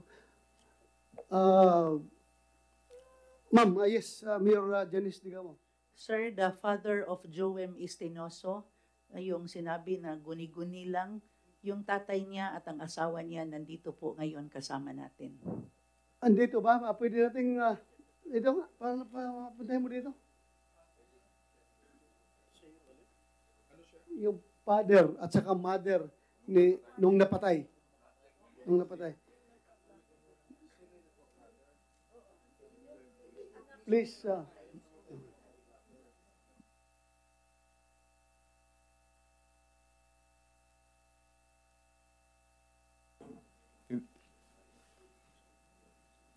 Mr. Chair, siguro Yes. hanapin natin yung polis na nagsabing guni-guni na yan. Masyadong guni-guni talaga yan. Yes, uh, Your Honor, I am taking to task uh, uh, the current uh, provincial director to find out. Ha? Find out mo talaga yan. You, you, you, you report to us uh, yung ginawa mo. Yeah. Pwedeng, uh, pwede natin ikuan, eh, under oath? Yeah, please.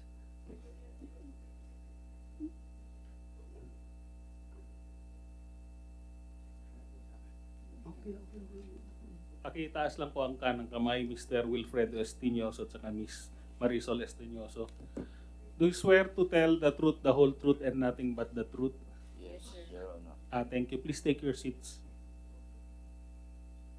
Ilapit sa kamera, sir. Baka pwede maka, ma- marinig ka sa kamera.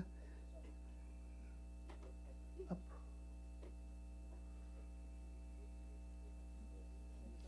Sir, uh, first of all, uh, we would like to express our uh, condolences sa iyong anak mo na namatay. Uh, pwede po ba namin malaman uh, kung bakit siya pinatay? Anong trabaho niya? Bakit siya pinag-interesan yung kanyang buhay? Um, Your Honor, I'm the father of uh, Joem, and here is also his uh, wife. Joem Estinoso is my son, and he's uh, seaman. Iman. Yeah. Okay. And then he decided not to go on continue his uh, career. So he decided to have business and Bayawan. And when election that came last 2020 19. and 2019 siguro. 2019 last election O 2022. To 2022. he decided to join the as a po- politician. He ran as a city councilor, but unfortunately he, he did not win. And he is a close friend of uh, Governor uh, Roel Digamo. So, so ano nakikita niyo dahilan? Bakit siya pinatay? Ah, kasi mas mata- matalik sila kaibigan ni Governor. And palagi siyang nag na, nakatanggap siya ng death threat. And then because of that, nagsabi siya nga, Daddy, ga, ganyan naman ang, bayad naman ang ulo ko, sasabihin ko na ang lahat na nalaman ko. Ano sinabi niya? Nya, kung may mangyari sa aking masama, itong apat na tao ang nagplano na patayin ako. Si Congressman Arnie Teves, si Mayor Henry Teves, at si Jack Raymond ngayon ay mayor ng Bayawan, at itong vice mayor na si Henry Carrion. After that, it Da- happened. uh, pwede ko malaman bakit daw itong apat na ito ay gusto siyang ipapatay? Ah, Anong kasi dahilan? masyado silang matalik na kaibigan ni Governor. At yeah, political leader. Malakas na political leader sa Yes, Bayawan Sa Bayawan. under the Digamo Yes, uh, under group. Digamo. Oo. Mm, Sa social med- media, nagpalagi siya nag kuwan sa Facebook. Siguro Very vocal siya very vocal against against the Teves. the TVCs. Oo. Okay. Uh, si Mrs. naman, ikaw yung wife, no? Uh, anong alam mo uh, tungkol dito? Please, uh, you have the floor. Nung ano po, um, last week po ng February, meron pong nag-send po sa kanya na voice clip na ah, naka ano po doon may conversation na nagsasabi po na si Winifred Abrasaldo at si Juim Estinoso po ay papatayin po. O- Okay lang, ma kuha mo sandali para marinig ka ng klaro. Ano nga, uh, pakiulit? mga last week po ng February last year, nakatanggap po siya ng voice clip. May conversation po doon na sinasabi po na sinasabi po nung babae po doon na nalaman po niya na si Winifred Abrasaldo at saka si Juim Estenoso daw po ay papatayin. Tapos yung ito pong babae, hindi po niya kilala si Juim Estenoso, yung husband ko nga po. Pero ito pong si Winifred Estin, ay Abrasaldo, kilala po niya. Tapos pagka March 1 po, na binaril po itong si Abrasaldo. Tapos doon po nag-post po yung husband ko na sinabi po niya na in case po na may mangyari din sa akin, kasi nangyari na po kay Abrasaldo yung ano po, yung sinabi nga pong papatayin na ito pong mga tao na to ang may kagagawan si Henry Teves po, si Arnie, si Jack Raymond po. Thank you. Andito naman si Henry Tevez. Uh, can you comment on this? Ikaw ang inaakusahan na nagpapapatay daw kay, uh, ano yan? Uh, first name ni Estinioso? Juwim po. Joem Estinioso. Uh, can you comment on this? I, I have nothing to say. I haven't even met the guy. I, we haven't crossed our paths even once. Have. Ah, andito ka naman lang, oh, you want to gamitin natin itong forum na ito para marinig ka. Kasi dito nga, sinasabi nga, baka sabihin mo, one-sided kami, sila lang pinapakinggan namin. So we also ha- have yes, to hear uh, the your side. is So tinatanong namin wife kayo, eh. Oh, namo ko sa inyong atubangan. Ako makapasali ko ninyo atubangay. Ako isulti kung say ako nga isulti. Kabalon mo ang kaduan ni na akong kinabuhi di man ko mamakak. Okay? Mura na. Ako lang, ah, relax lang mo. Ah, naiusa ayuso ka, na to ni, ayuso na. Ayoko pag... ah, Naiusa ka Estinyoso nga doktor, ingon sa madong Joem. No, the other, the younger one. There's a younger one? Dentist? There's one doctor. That's a brother, right? Yeah. Kana mo kay lako kay tiga man sa office pa nalagsa. But si Joem I never met. Pare ako man, sulti. I can say that in front to you, sir. I have not even met your other son. The only one I met was the other guy, the doctor. So, f- for the record, Mr. Henry Tevez, talagang ah, sinasabi mo na wala kang kinalaman dito. Kasi inakusahan ka nila eh. Wala. What's the purpose or what's the sense, sir? Hindi, yung sa akin lang is para maklaro. Ayan, dito naman lang. Eh, Definitely, 110%. 110%. Wala kang kinalaman. Thank you Yes. for that. For us, we only believe Tay, tay, tay. Dok, diri sa yun, kuha, diri sa kuha. Kung nakikinala, yun. isulti. Isulti sa kuha. Sige. uh, in us, we believe on what our son told us. Actually, I know Mayor Henry, we have not met yet. This is the, I think this is the second time. Ano? The first time we met. Although I'm also in Bayawan, he is also the mayor. But this is our first time to meet each other. So ano pagkakilala mo sa kanya? Mabait o matapang o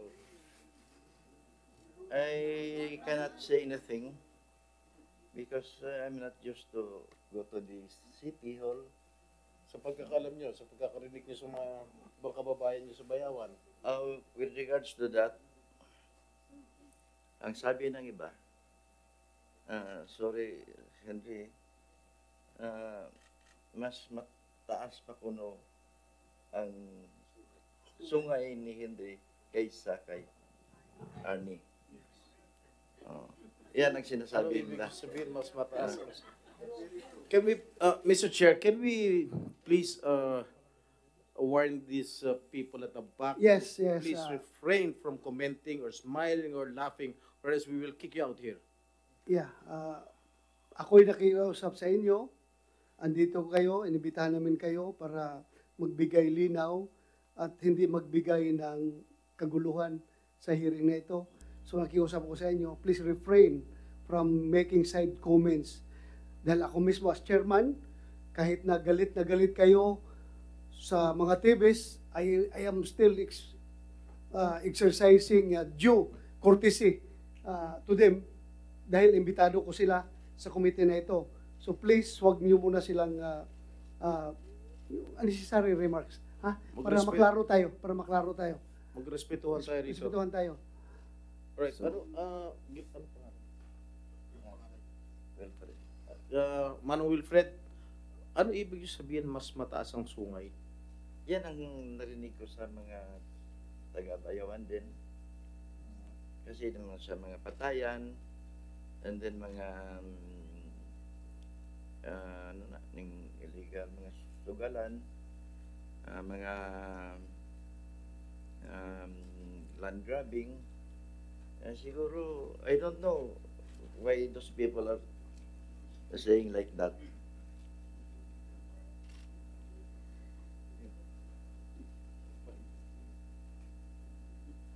Yan. Uh, uh, Mayor, uh, uh, Governor, baka gusto niyo magkomento. Uh, if you want to comment Yes, on what... uh, Uh, Sinasabi dito na mas mataas pa daw ang sungay mo kay ka Congressman Arnie Teves. Uh, we want to There get were your three comment. things naman yun na sinabi, no? Patayan, land grabbing, at illegal na pasugalan. Well, definitely, I don't engage in patayan. I don't also engage in illegal na pasugalan. And I was chairman of DAR for three years when we gave most of our land away. I, I, sure, I hope Senator Risa was here because during the time that our lands were all under CARP, she was witness to it because I was also chairman of DAR for three years during Congress. No, so what land grabbing are we talking about? We can't even register our land to our names anymore because of the seven hectare limit. There's nothing more to grab. So if there are three accusations of patayan, illegal na pasugalan, and land grabbing, I think that's so far from the truth. Okay. Uh, yes, There are also, Mr. Chair, those who are here and would like to speak about land grabbing issues. Uh, there are even a couple who came all the way from Guam just to be heard today and in the coming days about Wh- why- land grabbing issue po. Why, why- And they are why here. do you think uh, this is uh, land grabbing issue is a material to the issue at hand? Uh, nganong, why are we going to entertain that uh, issue about land grabbing? Uh, para, can you give me a, a Because there were reason those- para i-entertain natin yun? Because there were those who died. There were those who were killed. Okay, so you mean to say of land grabbing. part of the a part of the uh, cases of land of uh, uh, killings in Negros Oriental where uh, the motive was land grabbing. Yes po. Okay? So saan yung mga tao na yan? They are Biktima here. ng land They are among those names we submit earlier po. Uh, pero andito naman, nakaupo naman itong nandito. Unahin muna natin itong Ah, nandito sige ha. po. Para But I am just making it very clear to so that the the good former governor can hear that the abuses is so tremendous that we have to all come to the Senate halls to be heard. Okay. Thank you Well po. taken. Thank you. Ma'am, uh, from Ma'am Tizon, we will go to Bernette Di Binagracia. Ah, ma'am, wala ka nang ibig sabihin, ha? Wala- Okay ka na? O sige, next, uh, Bernette uh, Di Binagracia. Ta- Tang tanggalan na siguro para madungog ka. Thank you for the recognition, Mr. Chair. Um, allow me to narrate some salient um, happenings with regards to the case of my dad. So, good afternoon once again. Your dad is? Uh, Kent de Vinagracia, sir. Ayun yung retired police na... Hindi po, sir. Iba pa? Iba? Iba po. Iba pong kaso yung sa akin po. Sino? Sino yung tatay mo? Si Bong, Kent Bongbong de Vinagracia po. A former vice mayor and several times councilor in our once peaceful town of Pamplona, province of Negros Oriental po. Pamplona. Pamplona po. Kailan siya pinatay? Uh, September 9, 2020. 2020. Yes po. Please go ahead. Good afternoon, Mr. Chair, the members of the committee, and to the rest of the senators. Thank you so much for allowing us to express these long overdue sentiments of ours. I am Dernath de Vinagracia, the daughter of Kent Bongbong de Vinagracia, who at that time was pronounced as the running mate of Mayor Janice Digamo for the 2022 elections. He became a vice mayor and several times councilor in our once peaceful town of Pamplona, province of Negros Oriental. To share that painful and heartbreaking experience of me and my mom, here's what happened. On September 9, 2020, after bringing aid and services together with the mayor and their team in the hinterlands, bali yung mga sityo po sa bayan namin sa Pamplona, medyo malayo-layo po talaga yung lakad nila sa araw na iyon. Who would have thought that when he reaches home, he was shot dead in front of our house. Napakabastos po talaga nila sa harapan ng bahay po namin. But before that, my dad is concerned because there are several incidents and harassment and intimidation transpired. First is when Congressman Arnie Taves would go to the contested piece of land in Pamplona bringing armed men and guards. Totoo po yun. Kasi may mga, ah, ay yung ah, yung year na namatay yung papa ko, that was 2020.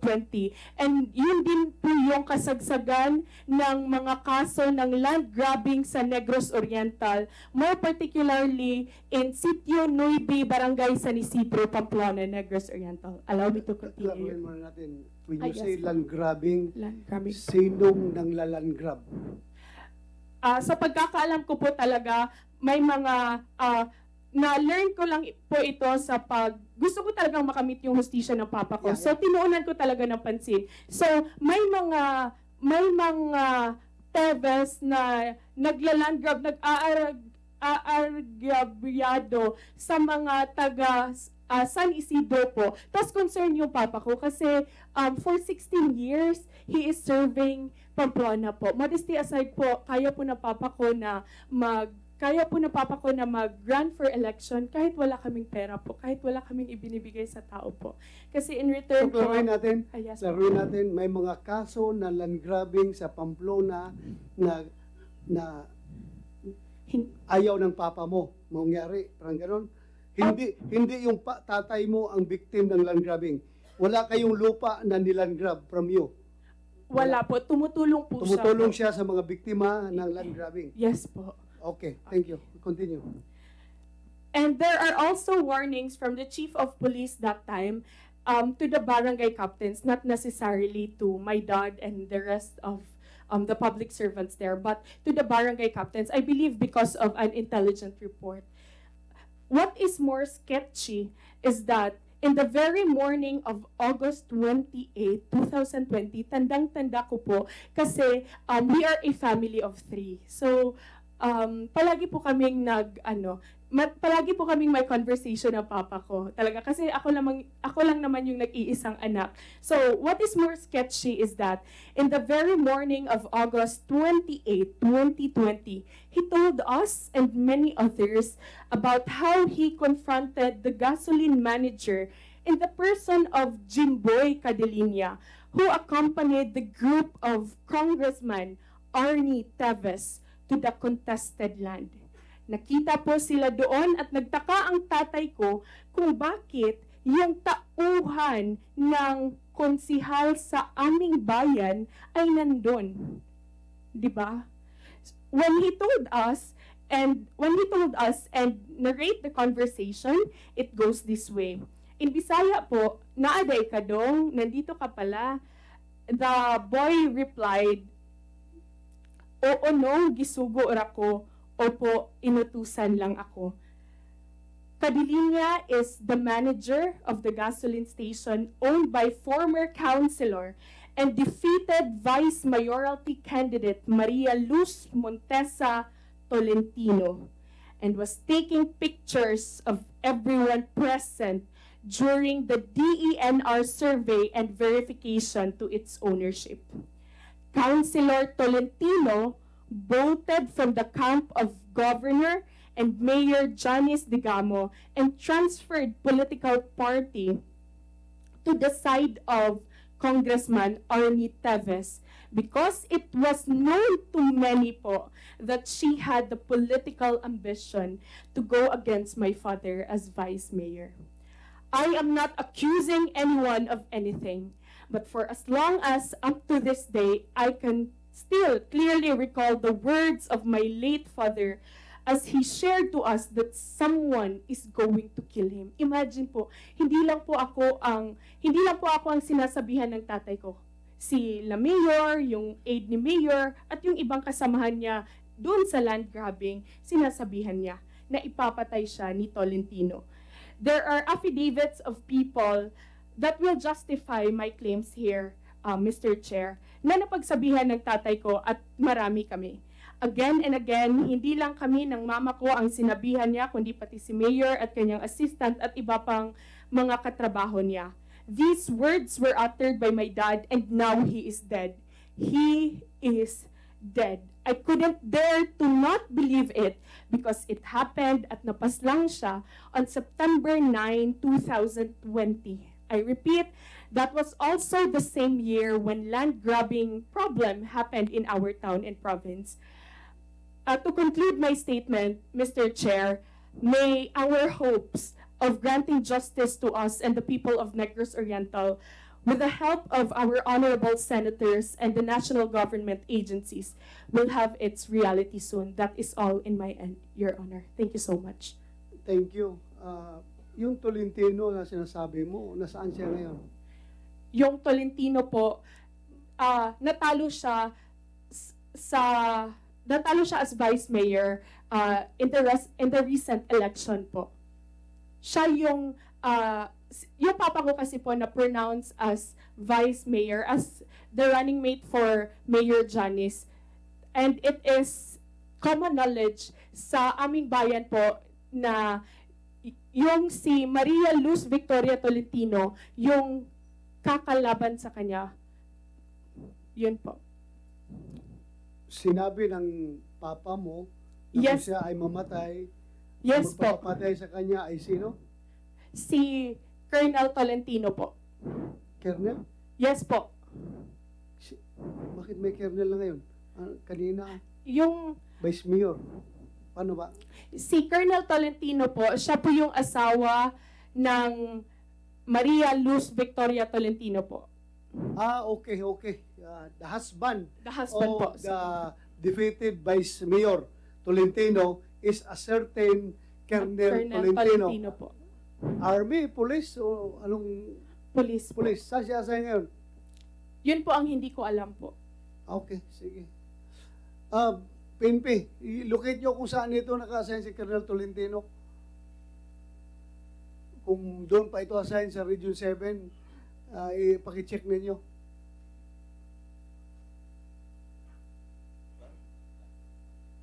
Mr. Chair. So, Colonel Tolentino ang sinasabi ng tatay mo, magpapatay sa kanya. Yung pulis na Colonel Tolentino. Yes po. Um, if I may allow to add something po. Yes. Um, actually po, gusto ko po sanang humingi ng tulong niyo po kasama ng ibang mga biktima po kasi yung kaso namin po ginawa ng SITG. Tapos, um, ah, base sa pagkakalam ko po, recently, kasi walang update din yung case investigator po, at yung ibang mga, ta- palagi po kasi kaming humingi ng update po with regards to the case of my dad. But their ah, reason out po is palaging ah, wala pa o parang ah, wala pa o parang hindi medyo minamadali daw kasi parang sensational yung kaso tas maraming involved yun po. Pero po yung request ko po sana po before leaving the halls of um, the Senate po, you know what po, coming here is a very hard decision but kasi po nag-aaral pa po ako and I am not certain um, kung ano ang mangyari the day after today po. But this is the time or this is our chance po. Matagal ah yung kaso na papa ko po, going three years na po. Matagal na po naming pinag-pray na magkaroon kami ng um, avenue for us to vent out, for us to raise our sentiments po. And we are really grateful that today we are heard, we are seen, and we are accommodated po. And we are really grateful for that po. Um, we are not certain the day after today po, but again po, um, Ah, huwag kang, huwag kang mag-isip ng talagang. uh, I'm just saying this po. natin, kung kailangan mo ng security, ah, bigyan nyo security to. Takot daw siyang... ah, Hindi po ako natatakot for Okay, ay, yeah. Mr. Chair. Yeah, yeah. Hindi po ako natatakot po. Ang sa akin lang po, yung case na papa ko po na forward na daw sa CIDG po. And until now po, wala po kaming um, fal- wala po wala man lang nagpa-follow up po kasi ang alam lang namin po dun sa case investigator lang yung direct contact namin po hindi ko po alam kung saan kami magpa-follow up sa CIDG po so bali po wala kaming um, contact person kung sinong ma-follow up namin sa case ng tatay ko po Okay, ah, Director ah, Karamat. Sir, yung hinahanap niyo yung officer, actually sir, yan ang provincial director ngayon ng Aklan. Provincial Director na Aklan. Yes sir. Ngayon sir, actually sir, pinaparelieve na namin yan. Nataon lang sir na medyo ano, nag, nag ah, request yung governor na, na ma-retain. Pero sir, sa totoo lang, naghanap kami ng sapat na ebidensya para ma, ma-pin down talaga yung ano na yan. So may effort po kami yan sir, yung SITG po sir. Meron po.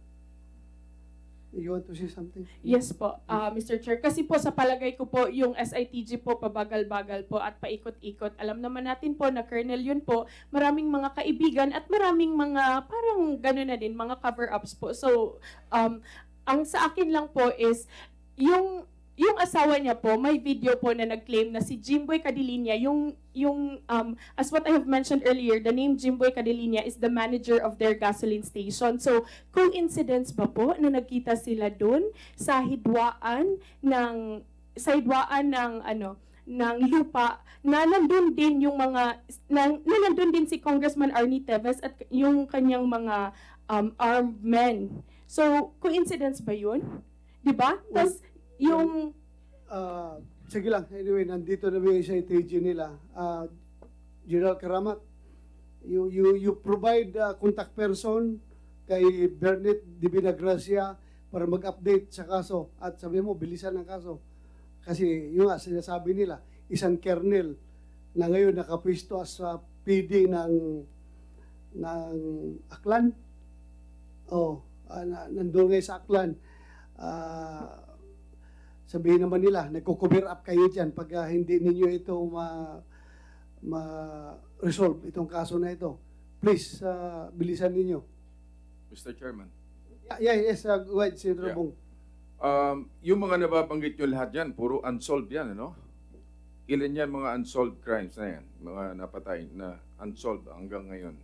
Ilan yan? 50? Mayor, uh, sige, si Mayor Janice.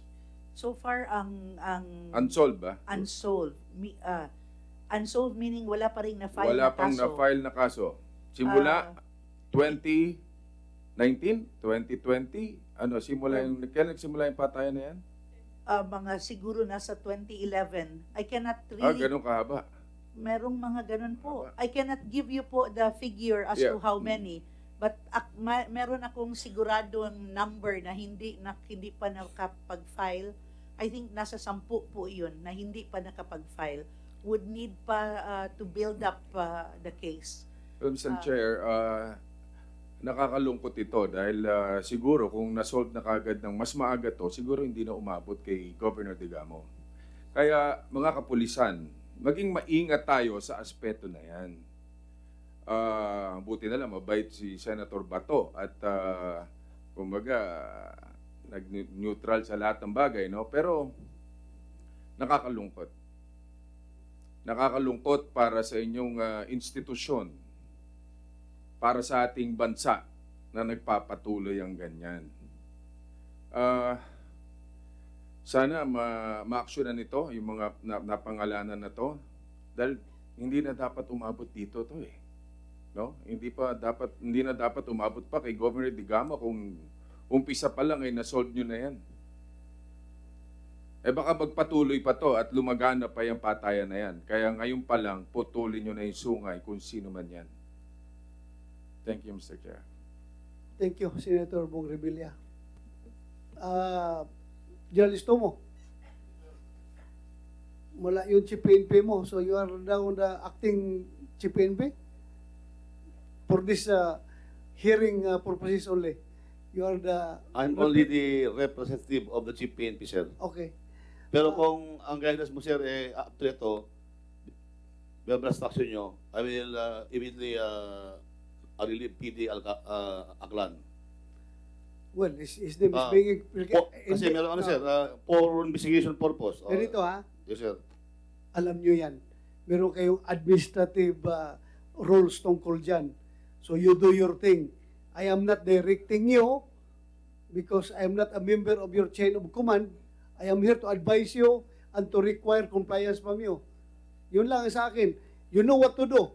You are a member Yes, of the chain of command ng sir. PNP. Di ba? So, uh, si General uh, Nacion, meron ka ng update aside from yung non-ego, ay yung ego, at saka yung uh, ego yung pinresent kanina ni CIDG. Yung non-ego, para makuha natin yung actual number bago tayo matapos dito.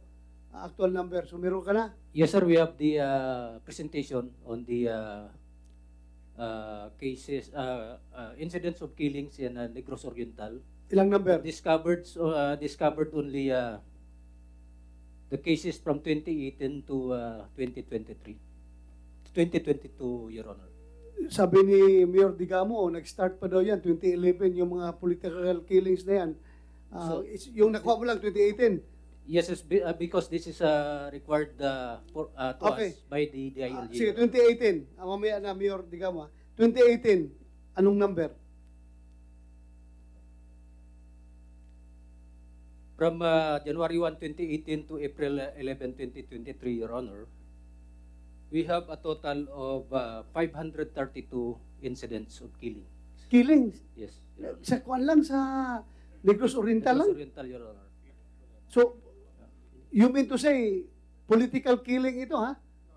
Or uh, lahat na ng killing yan? All, all uh, lahat na? killings. Your So, yung hindi pa nyo na-establish one by one yung mga motibo. Pwede namang ang motive is uh, uh, babae, ang motive is uh, Yes, sir. pagnanakaw. Pero uh, gusto natin yung political killing. Out of the 500, ilan dyan ang political killing? Political killing. When you say political killing, related sa politics, related sa use of power ng isang politician, parang ganon, ganon na motibo. Dapat That was reported by... masort uh, out ninyo yan, out of the 500. From this, Alamin uh, natin. Yes, sir. I think that was reported by uh, the Director uh, CIDG, Your Honor. The political... Sige uh, i-sort out ninyo habang may time tayo. Tawagan niyo yung mga tao niyo doon, mag-overtime ng trabaho. Ha? I-sort out ninyo. Yung 500 na yan, ilan dyan yung dito, related sa political killing.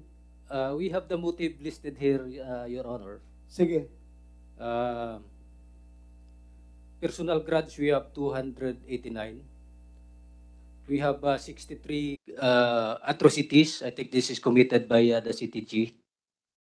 We, uh, we have uh, 34 drug-related incidents. We have 25 uh, hatred as motive. We have 16 as land dispute. We have 14 as revenge. We have uh, 14 uh, after there was uh, a heated, uh, there were uh, heated arguments or misunderstanding. Personal gain, we have eight. Uh, love triangle, we have uh, seven.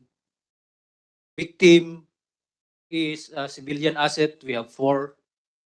Work, uh, work related, we have four. Unpaid uh, debt, we have two. Jealousy, uh, two. Business rivalry, we have two. Self-defense, uh, two. And uh, family feud, uh, two, Your Honor. This was ex- extracted from our uh, SIRAS, Your Honor. Kompa, uh, you, you classify further. Klaruhin natin yung kung saan dyan yung related sa politics, ha? Yes, Your Honor. Ah, kasi pag sinabi mo personal reasons, ah, masyadong vague yan. Ah, that could be anything else. So, klaruhin natin for the purpose of this investigation. Kasi Yes. mahirap man din sabihin ko sa iyo na yung 500 killings na yan, they are all politically motivated. No, sir. You will disagree. You will protest to high heavens pag sinabi ko yan. Yes, Your Am Honor. I correct? Yes, Your Honor. So, klaruhin mo. I- I-segregate nyo properly. Okay? Yes, Your Honor. Kasi, but still, 500 is napakaraming taong namatay yan since 20... Ano sabi? 2018, Your Honor. Five years. uh, 2018. In yes, sir. five years, merong 500 killings sa isang province ng Negros Oriental. Yung 500 killings na yan, sus mag-average tayo every year. Ilang years na ba? Five years? Five years. So 100 a year. 100. 100 a year ang namamatay. Uh, yes, Your Honor. The highest incident is in uh, Gihulngan with 106 incidents. Yun naman ay related naman sa insurgency yun. Uh, followed by uh, Bayawan, Your Honor, with 61. Ilan, ilan sa Bayawan? 61, Your Honor. 61. And in Dumaguete with uh, 49 incidents, Your Honor. 49, 61, 49. But still, you establish the motives properly para Yes. masabi natin na ito ay politically motivated. Yes, Your Honor. Thank. Mag-overtime yung mga tao mo doon, ha? Yes, sir. Okay, thank you. Uh, yes, uh, Mayor Digamo.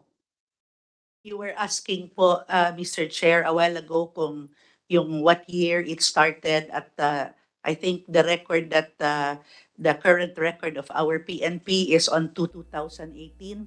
But I would like to reiterate po, last night we submitted a PowerPoint presentation where you can trace uh, the deaths of various individuals uh, starting uh, as early as 2008, uh, uh, going or moving up to 2023. Nandun po sa PowerPoint presentation na hiningi po ni, ni Sir Lawrence po and we forwarded it to your office po. Thank you po. Sige, uh, Kumsek, pag, ah, pag-aralan natin mabuti yan at i-present mo sa akin yung importanteng dapat malaman ko. Yeah, para bang there seems to be a, a breakdown of the criminal justice system dyan sa Negros Oriental. Isipin mo, mag-start pa lang tayo sa police. Ayaw na magpa-blatter yung police ah, sa police station. Pagdating sa prosecution, hindi natin alam kung ilan dyan ang na-dismiss dahil under the influence of whom. Pagdating sa, hindi naman tayo nag-aakusa, no? Pero within the criminal justice system, the five pillars of the criminal justice system, starting with the police for the investigation, the the justice, Department of Justice, the prosecution for the prosecution, then the court for the trial, then corrections, yung ating mga kulungan dyan, then the community. Ah, lahat yan, lahat yan mayroong papel dito sa peace and order ng Negros Oriental. So kung mayroong breakdown, eh kawawa ang mga tao dyan kung when we say there is a breakdown. Ah, kaya klaruhin ninyo yung pag-identify nyo sa mga kaso. Ha? Yes, Your Honor. But uh, we have to report, uh, we have uh, to report, Your Honor, that in 2018, we have, we have 144. In 2019, we have 136. In 2020, we, we have 105. In 2021, we have 63. And in 2022, we have uh, 67, Your Honor. Decreasing yung uh, number natin. But still, decreasing man, meron pa rin, marami pa rin yan. Yes, sir. Uh, considering Negros Oriental ay this medyo uh, kuan na probinsya. Parang makita natin ha, na parang napakagwandang probinsya ito, parang peaceful. Yes. Parang peaceful ang tingin natin dahil uh, andyan yung Siliman University. Uh, basta ang gandang lugar. But then again, sa likuran pala nito ay daming killings. 500. Uh, pag-aralan nyo. Siguro, we would like to ask sa DOJ to to create a special panel of prosecutors na titingin dito rin sa patayan ng Negros Oriental. Uh, kung meron pang uh, representative ng DOJ dito, Kumsik, let us uh, communicate with the DOJ. Kasi parang uh, ang dami nito. Baka meron pang mga piskal dyan na natakot at uh, pinagdi-dismiss ang kaso. Uh, wala akong enough records. Pero ito ay- sa tingin ko lang ha, kasi kung ang pulis na may armas ay pwedeng pwedeng uh, ganun ang actuation, how much more yung walang mga armas na hindi makalaban. Mas madaling matakot yun. Ah, sana ah, walang breakdown as uh, na-observe natin sa hearing na ito. Patuloy tayo. Ah, ma'am, tapos ka na, Bernette, ha? Di Vinagracia. Let's go to Miss Rolinda Neri. Ma'am, ano pong ah, masasabi mo? Go ahead. You have the floor.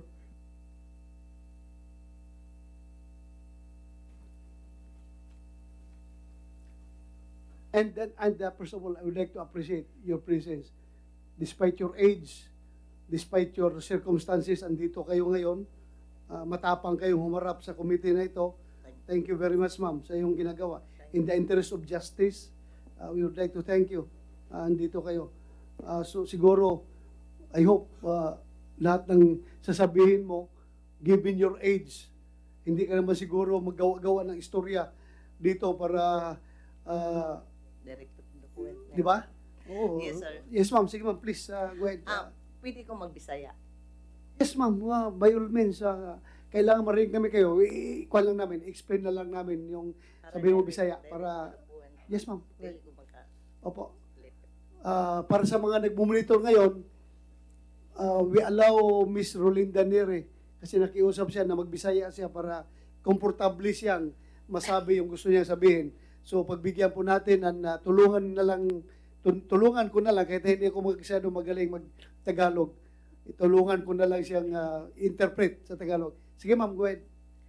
Ah, ako si Rolinda Neri, asawa ni Francis Arieta Neri, mga ginikanan sa Beauty Queen, and Rose Fee Bernadette Neri, Miss Dumaguete City, year 2007, at Binaril Patay, February 12, 2010. Sa bandang 11.45 in the evening. Babae ito ma'am, anak mo? Yeah, Beauty Yes. queen? yes. Okay, go ahead. Ako rin ko, kaya di na kumukuha na ani. Kani, ang sinugdanan, ako sug- sugdon sa sinugdanan, sir. Ako rang sugdon sa sinugdanan. Nga nung naka, naka-link sila sa mga TVS. Kani akong anak og TVS. Mm, yeah. Gusto mo i-explain paano na-link yung anak mo sa mga TVs? Sa TVS ni Herminio, former Congressman Herminio Teves. Sino si Hermio TVs? Ah, Tatay ng nila ni Arne? Lolo, Lolo ng mga ng ah, Arnie Teves. Arnie Teves. O Henry Teves. Okay, ah, sige. Ang akong anak, Sige. Ang akong anak ga-judge sa Bayawan. Mi-judge siya beauty contest. Ang yung anak mo ay nag-judge sa, Sa- beauty contest ng Bayawan. Yeah, oh. Ahead. Dayon, pagkahuman niya judge, nagkita sila ni former Congressman Minyong Herminio Teves. Pagkatapos siya nag-judge, nagkita sila Mm. ni Congressman Minyong Tevez. Dayong nangaon sila, anak nangaon, tapos nagila-ila, gaila-ila sila. Tapos kung mag-ila-ila nila, ah nangayo si Sir Minyong og number sa akong anak ni Amrose. Kumain sila, pagkatapos nagkila, nagkakilala, tapos humingi ng number. Mm. Ang hirap na. Lisuda. Lisuda. Tapos Limitado Tagalog ko. Sige ma'am, sige. si Herminio Teves sa bandang alas 3 ng hapon. Ano yan? Pumunta sa amin, sa amin. Pumunta sa inyo, si Herminio Tevez, alas 3 ng hapon. Oh. Yes, tuloy.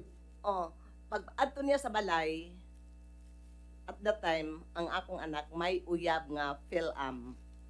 So, wala, way bali kay friend pa man sila. Yung anak mo, merong boyfriend na Pilam pagpunta ni Minyong Teves. Tevez sa bahay ninyo. Mm. So nakita niya yung Pilam. Oo. Okay. Okay naman siya. Okay. Unya, gi, kuan siya ni Anros, giingnan nga. Hali, hari sir, pungko lingkod. Giingnan pa kong Anros nga. Mabalibaran si kuan Herminio nga wala siya diha. Unrot, unrot yung An, anak. Anros, Anros. Anros. Ah, Anros ni Rima, ko ako kay medyo. Okay, Unrose, yung anak mo na namatay. Mm. Okay, sige. And then, kuan, ah, hingon si Anros nga, pabalibaran si Herminio Teves.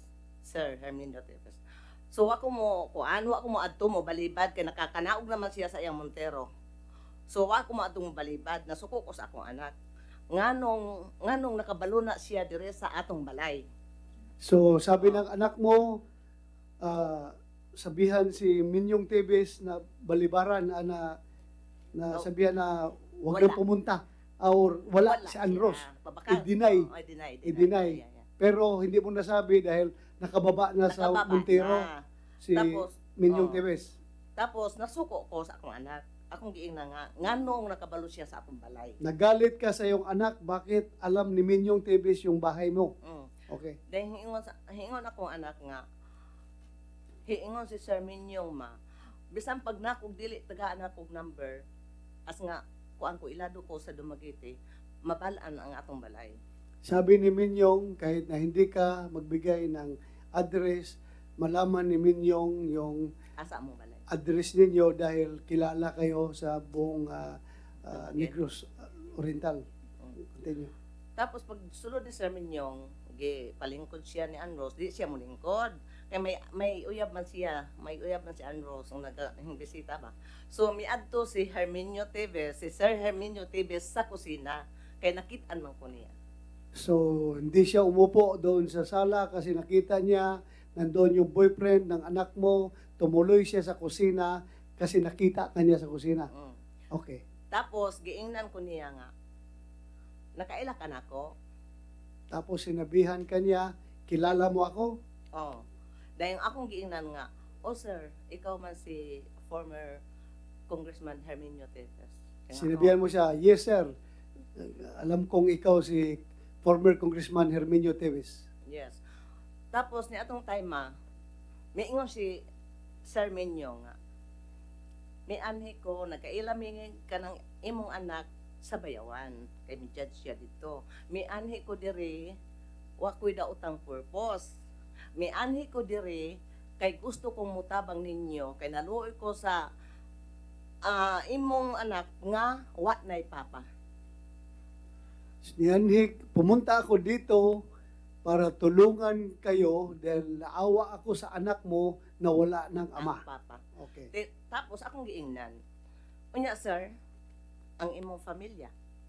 Unya unsa may sa kuan isulti sa imong pamilya.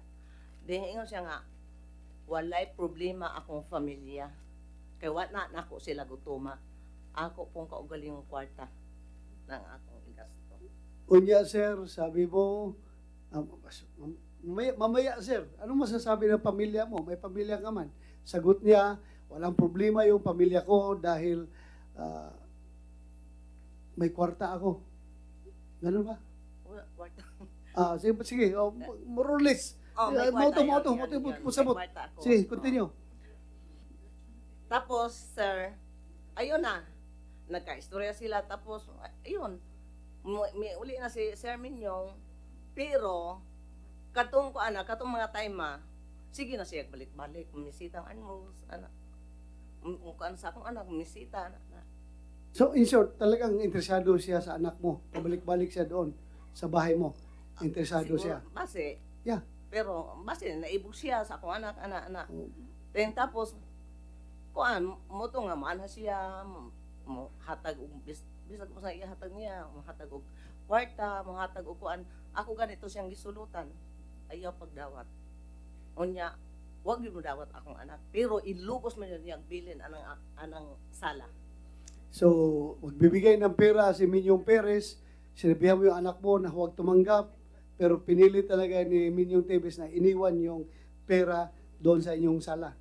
Sa laktod nga pag pagka-istorya, sir, mataas naman kaayo. Okay, sige. So ako na lang i-direct, i-diretso. Sige, diretso Oh. na lang. Tama, tama. Pag diretso, Direct ka na. kaning niya, nagsugod ang kagubot, problema sa akong anak, katong time nga ang iyahang auto, gipakarwas ngadto sa ila kang dapit sa ila ka kuan Ramon Elisteria. Okay. Ramon Elisteria masamong ni Herminio Tevez kay iyang asawa anak ni Minyong. Herminio Tevez. Oh, so nagsimula yung problema nyo Oh, doon. Kato, pagkahuman, dinhay lalaki nga nagpagasolina. Yes. Paggasolina niya, humagasolina, mo diretso na unta siguro to siya ato sa syudad. Pero nakita man niya ang nakasign ang signboard sa auto sa akong anak ibutangan nitong Maldita.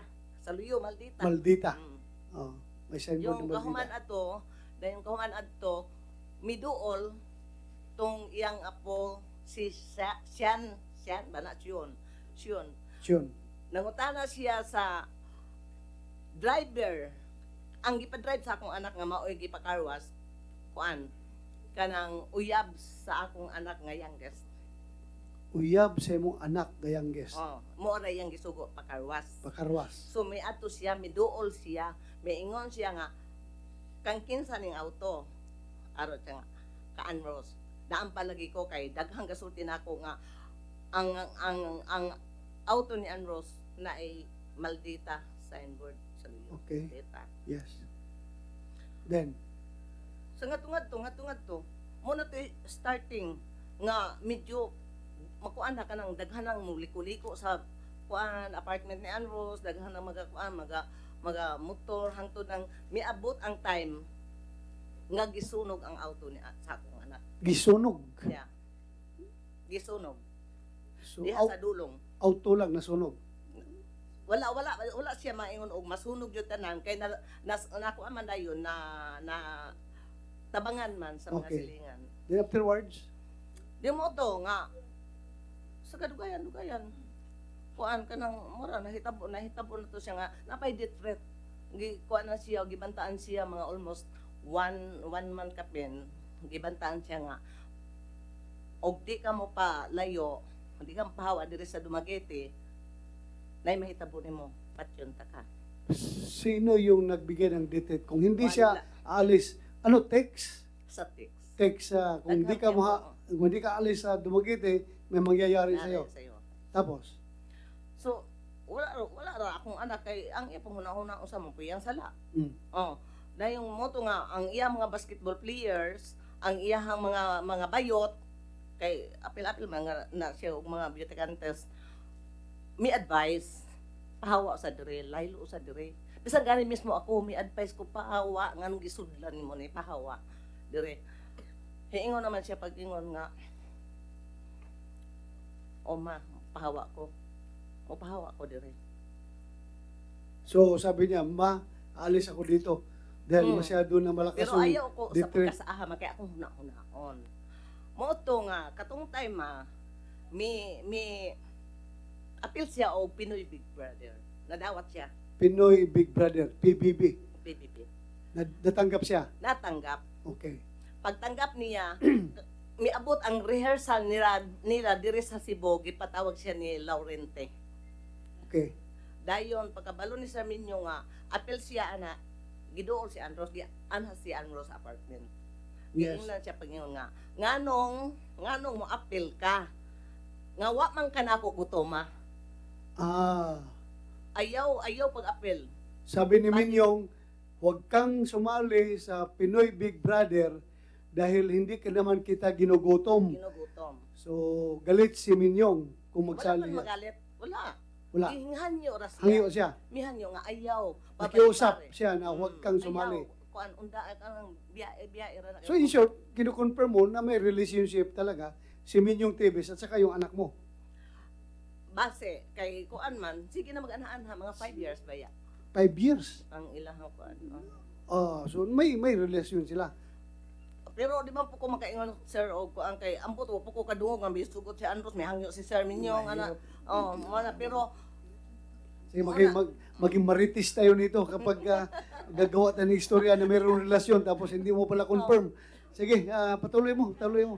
Tapos, katong time ka- katong time sir nga dili dili I mean katong katong time nga giikot-ikutan na siya adto oh katong gi at time ko an pag adto nila sa kuan nga practice man sila o katong rehearsal nga Miss Gay Miss Gay dito siya barila binaril siya doon sa oh, rehearsal. na, anang music. alas 3 So, na katuyok-tuyok sa balay In, sa in short, anong investigasyon na lumabas? Sino nagbaril? Joselito Dairo Nadakpan? Nahuli? Nadakpan. Duha sila kabuok si Arman Sulamilio ug si Joselito Dairo. So, nasaan sila ngayon? Na- namatay na. Namatay? Gipang gip unay na siguro patay. Ha? Patay na? Patay naman. Pero naku, nakulong sila, nakasuhan sila. Kulong siya Anong year si ito? kuan pa si Colonel anong year? Year 2012. 2012. Oh. Nahuli yung dalawang Sa suspect haya, haya, sa haya. Haya sa akong anak. sa haya, uh, sa wake ng yung anak. Oh. Ayaw ko pagtuluin ninyo. Oo. Oh, sige, sige. Sa haya sa after after that mo na to nahuli na ang mga kuan. mga Nahuli, suspect. yung suspect. Si Colonel Tolentino mo ay nakakuan naka naka Takop. takop. Take note, si Colonel Tolentino daw nakahuli. Okay. Pero kuan ka nang wa na mo padayon sir. Na nakuan siya na naka preliminary kuan nami ito hearing. Pero wala ko mo padayon sir akong gi kuan gi pa-dismiss kay nang ano na ako mi libot-libutan mi sa balay. Sunugon nila among balay. Sinong magsunog? Naaray ko am naay mga text messages. So, ibig mo sabihin, na, na, naay mag-anha nga bisag kinsa-kinsa ng mga ngalan sa tao. ibig mo sabihin, withdraw mo yung kaso dahil natakot ka, dahil merong umiikot-ikot sa bahay niyo. So, nat natitreaten ka, kaya mo pinwithdraw ang kaso? Oo. Okay. Katuganin time ma, katuganin time ma nga. Katuganin time mga hing withdraw nga to si Anro sa kuan. Kuan hing ingon gani si Sir Minyo nga withdraw na kay ug di na nimo withdrawon kung biyaan ko nimo maghikog ko So sabi ni Minyong Tibes na i-withdraw ang kaso. mo yung Ah, kas kuan, dito sa Laurente sa ayong sa PBB. Pinoy Big Brother kasi kung ituloy mo yan, magpakamatay ako. Mm, kay So kung sinabi niya yan, may relasyon sila. Dalawa. May may relasyon na Oh, siguro. meron Kay na siguro. Bakit siya magpakamatay kung wa siya labot kay wa siya labot kay Andros? may relasyon na kay na sige naman siya hatag-hatag kwarta ni Okay. Minyong ana ni kuan si Minyong. So, Ding mo to. Sinong nagpapatay sa anak mo? Pagkamatay sa akong anak, si Sir Minyong hingadto sa tulong, hing wild. Nung namatay yung anak mo, pumunta yung si Minyong at nag-wild. Oo, nag-wild. Bakit siya nag-wild? Kay patay sa iyong mga apo. Kay gipatay sa iya mga apo, Unom sila ka apo. Nga ga- gamiting, gamiting. Kay ilang sino itong mga apo na ito? Naiisa ganing bayi. Ha? Naiisang bayi. We do not know nga kinsang bayihan na. Basta ka naiisa ka bayi. Dahil yung basi katong nai usang apil-apil meeting ka ng sesyon. Basta kay unom sila. Apil si Ramon Ilisteria ilang masamong. Masamong, meaning uh, brother-in-law. Ramon Elisteria, kasama sa meeting. Kamay. Sa, sa, pagpapata, sa pagpapatay. Mm. Ila ko nung gipatay kay ngano ko nung wala biyae si Minyong. Si Minyong. So, ang motibo sa pagpatay, galit yung mga apo, bakit hindi hina, hiniwalayan si Minyong Tibes. Ang sulti ni Sir Minyong Tibes, anong pag-weld niya, king hilak man siya, kamatay ang anro. Ang, sul ang sulti ni Kuan, Herminio Tibes, si Arnie ang rapatay. So, ikaw mismo nakarinig na sinabi ni Oo, Minyong Oo. na si Arne Tibes Oo, ang nagpapatay sa anak mo. Oo. Ay sabi mo kanina, anim yung anim na apo ang nagpapatay. Ani mga apo nga gamiting batay, pero si ang mastermind, si Arnie Tibes. So, anim na apo ang nagplano na patayin yung Oo, anak sakot-sakot mo. sila. Tapos, ang mastermind si Arnie. Arne Tibes. Yes, sir. Sinabi ni Minyong Tibes mismo sa'yo. Oo. Buhay pa ba si Patay Minyong na po Tibes? kay gulang na ba? 29 na edad. Pero sinabi sa'yo, ha? Sinabi sa akin. Sa- Sinabi sa amin. Amin. Lahat ako ano, sa, sa bahay namin. Sino pang iba nakarinig aside from you? Yung mga, mga anak ko, yung mga bayot, ganon. Mga anak mo at saka yung mga bayot na nandun na sinabi talaga ni Sinab- sinabi the late Minyong Tibes na ang nagpapatay sa anak mo ay si Arnie Tibes. Ganon ang pagkasabi. Okay. Pero winidraw mo ang kaso, ha? Giwidro ko sir, kaya naman, naman po ko'y death threat. Oh, alam ko. Patyon man po ko nila, patyon, akong mga anak, ako na ganing ipalayas ng uban kay mahato ko madamay. Winidraw mo kaso dahil Yeah, meron ka rin death threat. At takot ka na patayin ka rin nila. Ang hirap, no? Ah, nawalan ka na ng anak. Pinatay na yung anak mo, pati ikaw po matakot na patayin, kaya hindi ka mag-file ng kaso. So, PNP, ah, Region 7, particularly Negros Or- Oriental, ah, dapat narinig niyo itong mga sinasabi nitong ating mga kawawa. Kawawa naman sila ng, kung ganun. Magkuhan kayo, ayusin niyo ang trabaho niyo dyan. Ha? Pag ganun. Anyway, uh, moro to imong masulti. Ah, Ma'am Rolinda Neri. Ay, so sa kondoles, kagwapa sa imong apo. Ang ganda ng apo mo. Tapos, ah, anak, anak. Ang ganda ng anak mo. Tapos pinatay lang. Oh, beauty queen niyan ng Negros Oriental. Oo, Negros Oriental. Aroy.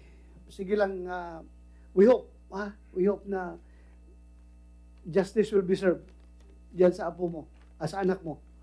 Ah, nakikinig ba ng PNP dito sa lahat ng proceedings natin and uh, they have to do their, their appropriate action para dito. And still, ah, itong committee na ito ay magsasabi talaga ng mabibigat na rekomendasyon ah, sa outcome nitong hearing na ito. Huwag ka mag-alala. Salamat, uh, Ma'am Rolinda Neri.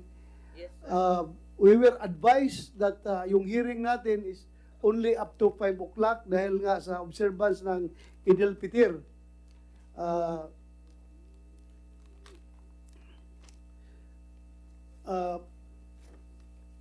i-continue natin ito bukas. Alas uh, 10, Decem, Decem oras. Kasi nandito na kayo, kawawa naman yung mga taga Negros na babalik pa para sa next week. Tuloy-tuloy natin ito para isang pasadahan na lang. At saka kami rin, matuloy rin namin ng aming bakasyon.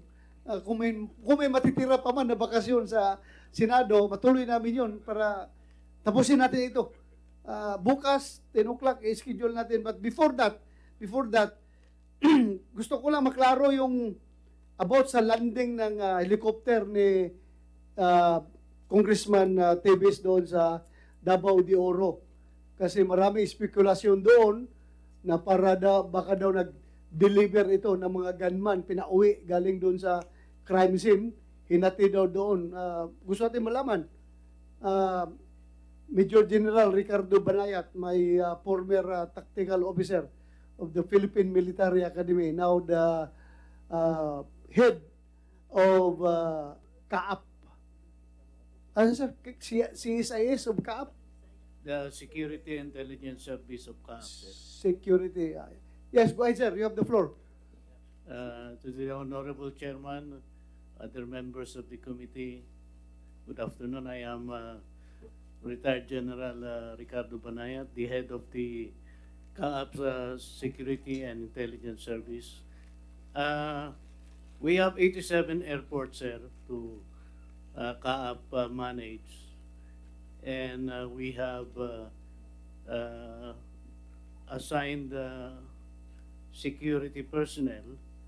And these personnel are being augmented by Blue Guards. Aside from that, sir, we have PNP APSI Group personnel in our airports. And of course, the OTS is there. And uh, with regards to the helicopters that you are asking, uh, with your permission, sir, uh, uh, we have the head of the Flight uh, Standards Inspectorate Service nandito sir kasama ko si Captain Mendoza to explain to you sir yung yung uh, helicopters na Yes, uh, Captain Mendoza, are you around? Please, uh, Comsec, uh, administer the out. And after Captain Mendoza, PNP uh, uh, Kumbal or uh, Pierre, oh, yeah, ikaw magsalita mamaya. Tapusin natin to. Sabay na kayo mag-out, please. Please raise your right hand. Do you swear to tell the truth, the whole truth, and nothing but the truth in this investigation? I do. Thank you, sir. Please uh, sit down. Okay, unahin natin yung kaap. Uh, please uh, enlighten us on this matter. Go ahead, you have the floor. Thank you, Mr. Chair. I'm Captain Don Mendoza, the Chief of the Flight Standard and Inspectorate Service, which is in charge of pilots' licenses, aircraft registrations, and uh, medical. Uh, with regard to that flight last March 5, 2023 in Bayawan, the aircraft was RPC 1055. The type of aircraft is Bell 505, which is about a six-seater helicopter. Excuse me ha, sandali lang sir ha. Palabas nga yung video tungkol dyan, yung video galing sa Kumbal. Meron ba kayo dyan yung video?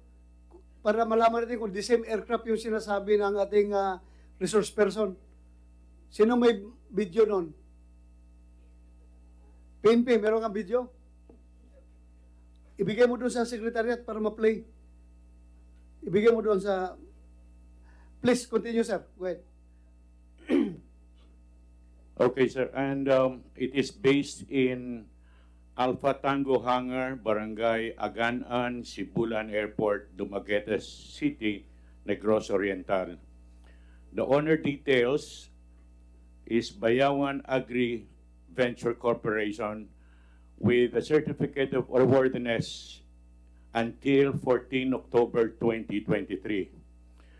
The recorded passengers for that flight on March 5 w- are where rather the pilot in command is Captain Lloyd C. Garcia II, and the passengers are as follows: Allen Ilacre, Daryl Tandayaw, Richmond, John Pilones, and Felix Elacre with a certified flight plan used, uh, filed rather from Davao to Bayawan and then back to Davao on the same day, sir. From Davao to Bayawan and back to Davao. Yes, sir. Why is that so? Um, the purpose of the flight was a maintenance flight. That was the filed flight plan. So meaning, hindi galing sa Bayawan, direkta sa Mawab, Davao de Oro, kundi from Davao, From Bayawan, the, uh, Mawab, and then Dumaguete sandali, the, on the same day, ha? on the same day, sir. Bayawan, Mawab, Mawab, Dumaguete. Dumaguete. Yes, sir. When you say Mawab, yan yung Davao de Oro. Mawab, Davao de Yes, Oro. sir. So hindi, walang Davao City. Wala, sir. Direct, So- direct to Mawab. Bayawan, Mawab Mawab, Davao de Oro, and Dumaguete. and Dumaguete. Yes, On that, the same day. on the same day. Ang mga pangalan ng mga pasahero, Allen Elacre, Darrell Tandayaw, Richmond John Pilones, Felix Elacre. who, who are these people? I we were we were assuming, sir, they, these are the maintenance people because of the nature of the file of the file flight plan, which is a maintenance flight. Why Davao de Oro? Wh- Why Mawab, Davao de Oro? Bakit sila That's what we are trying to find out, sir. That's the only record that we have right now of the file flight plan. doon? Okay, ad- addition, mayroon ka pang additional info about that? Uh, Wala na, sir. Yan lang, sir. But uh, the, the piloting command is duly licensed, current yung kanyang lisensya, and the aircraft is has a certificate of airworthiness valid until 14 October 2023. Thank you, thank you, Cap. Uh, from from you, let's go to uh, uh, ikaw ang provincial director ng Davao de Oro, right? Yes, Your Honor. Colonel Paco. Yes, sir. Yeah, go ahead. Uh, say, share mo sa amin anong alam niyo dito. Sir, uh,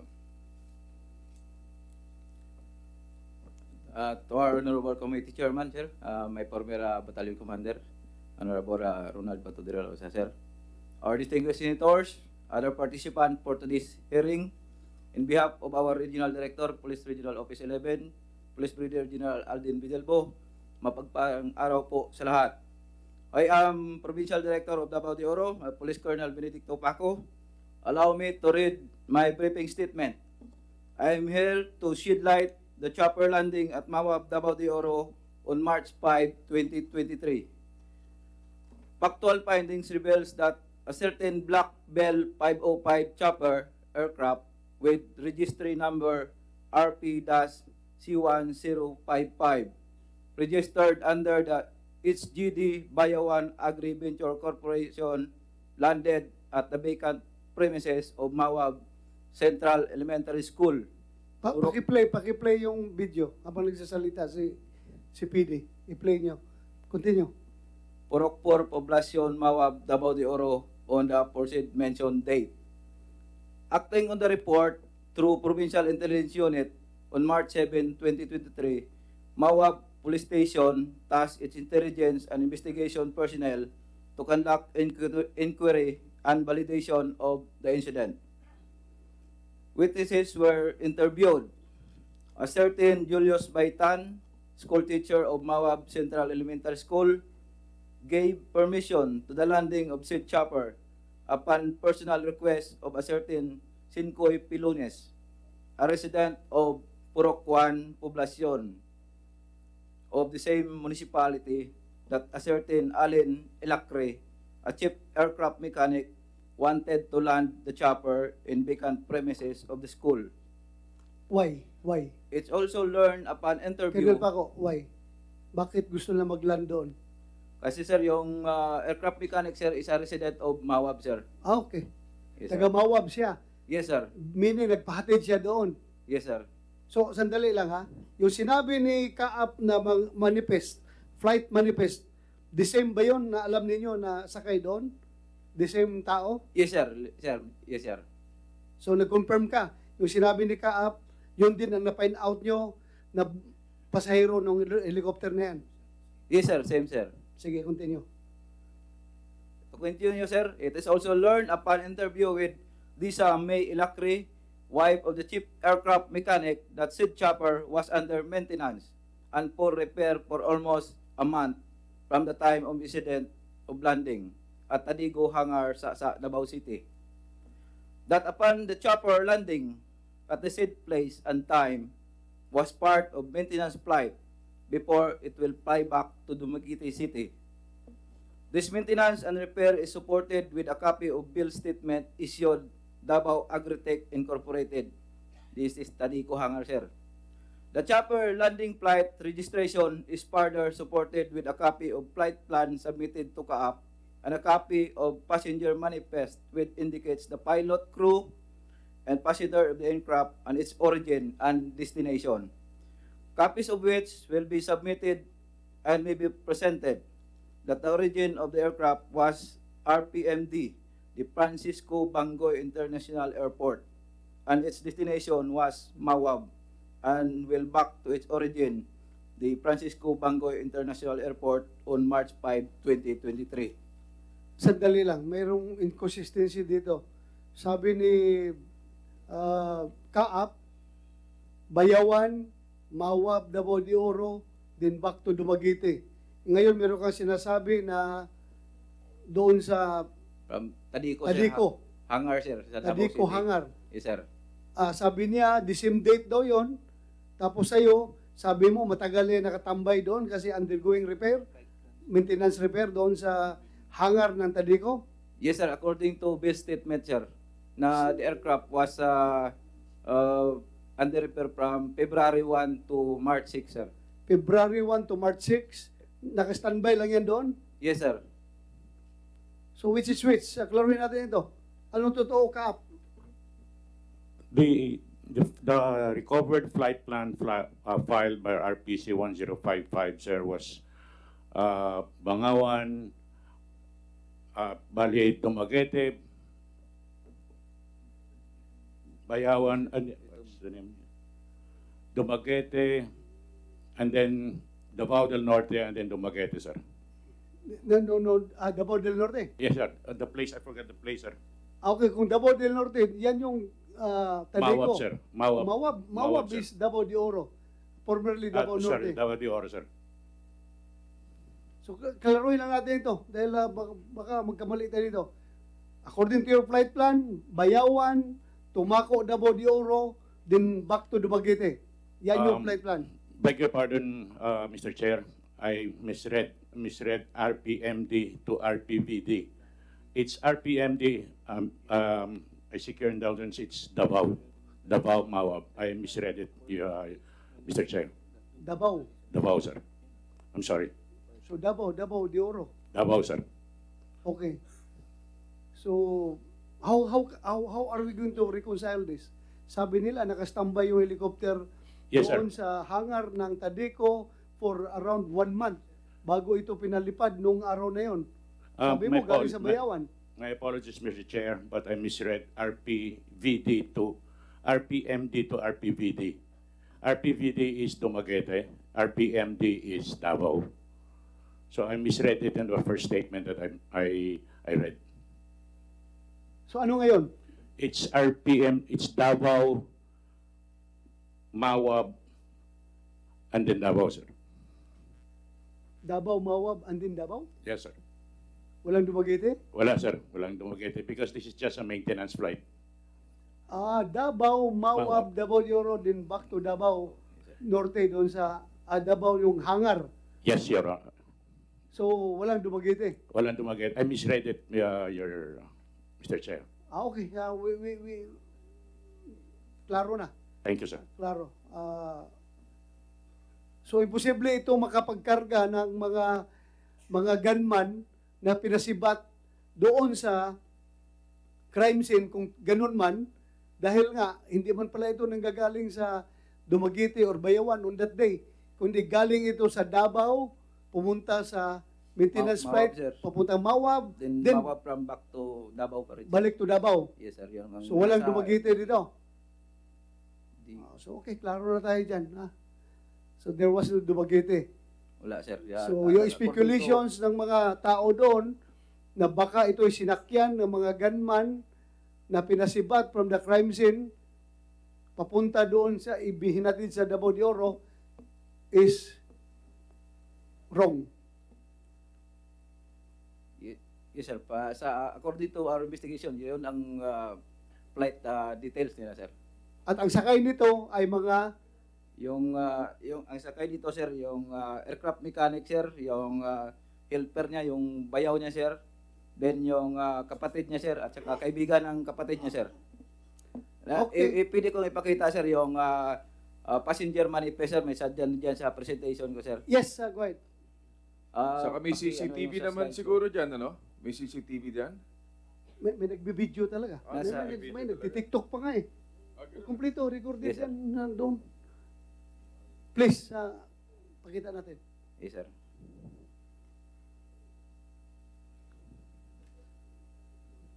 Technical, lumampas na tayo alas 5, baka pagalitan tayo dito. Pakibilis-bilis yung pag-play dyan.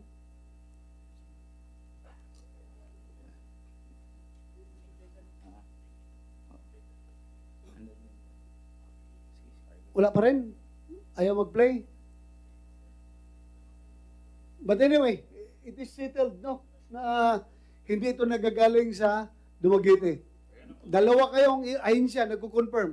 Both CAAP and uh, local police ng Davao de Oro. Yes, sir. Yes, So, Mr. Chair. andyan na. Sige, go ahead.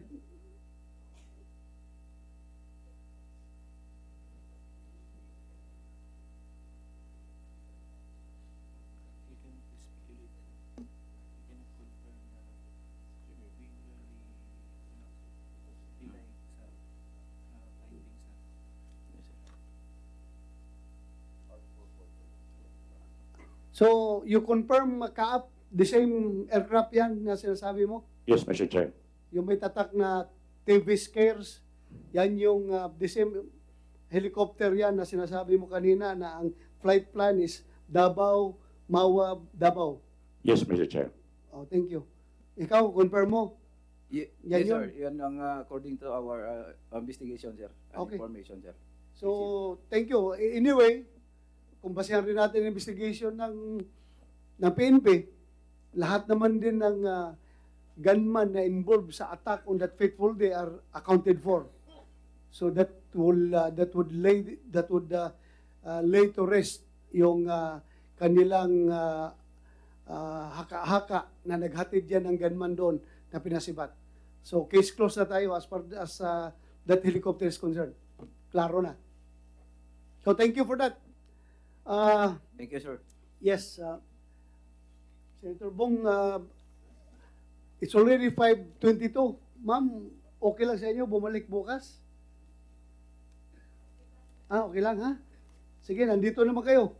Tapusin natin ito. Huwag kayong umuwi doon na hindi ito matapos. Para, ha? Marami pa, di ba? Ako, I, I am willing to continue, ha? Prepared ako na aabot tayo ng madaling araw ngayon dito. Pero, yun nga, may advice daw na hanggang 5 lang dahil Idil Peter, magrespeto rin tayo sa ating mga kababayang Muslim na mag-celebrate ng Idil Peter. So okay lang sa inyo, balik tayo bukas, alas uh, 10 ng umaga. Okay? Balik tayo bukas alas 10 ng umaga. So, ikaw, uh, Sir Henry, uh, makabalik ka ugma. If. I'm still needed, I will be back definitely. Yeah, baka merong merong merong itatanong sa iyo. Sige po, I'll be back. Yes, okay. So thank you.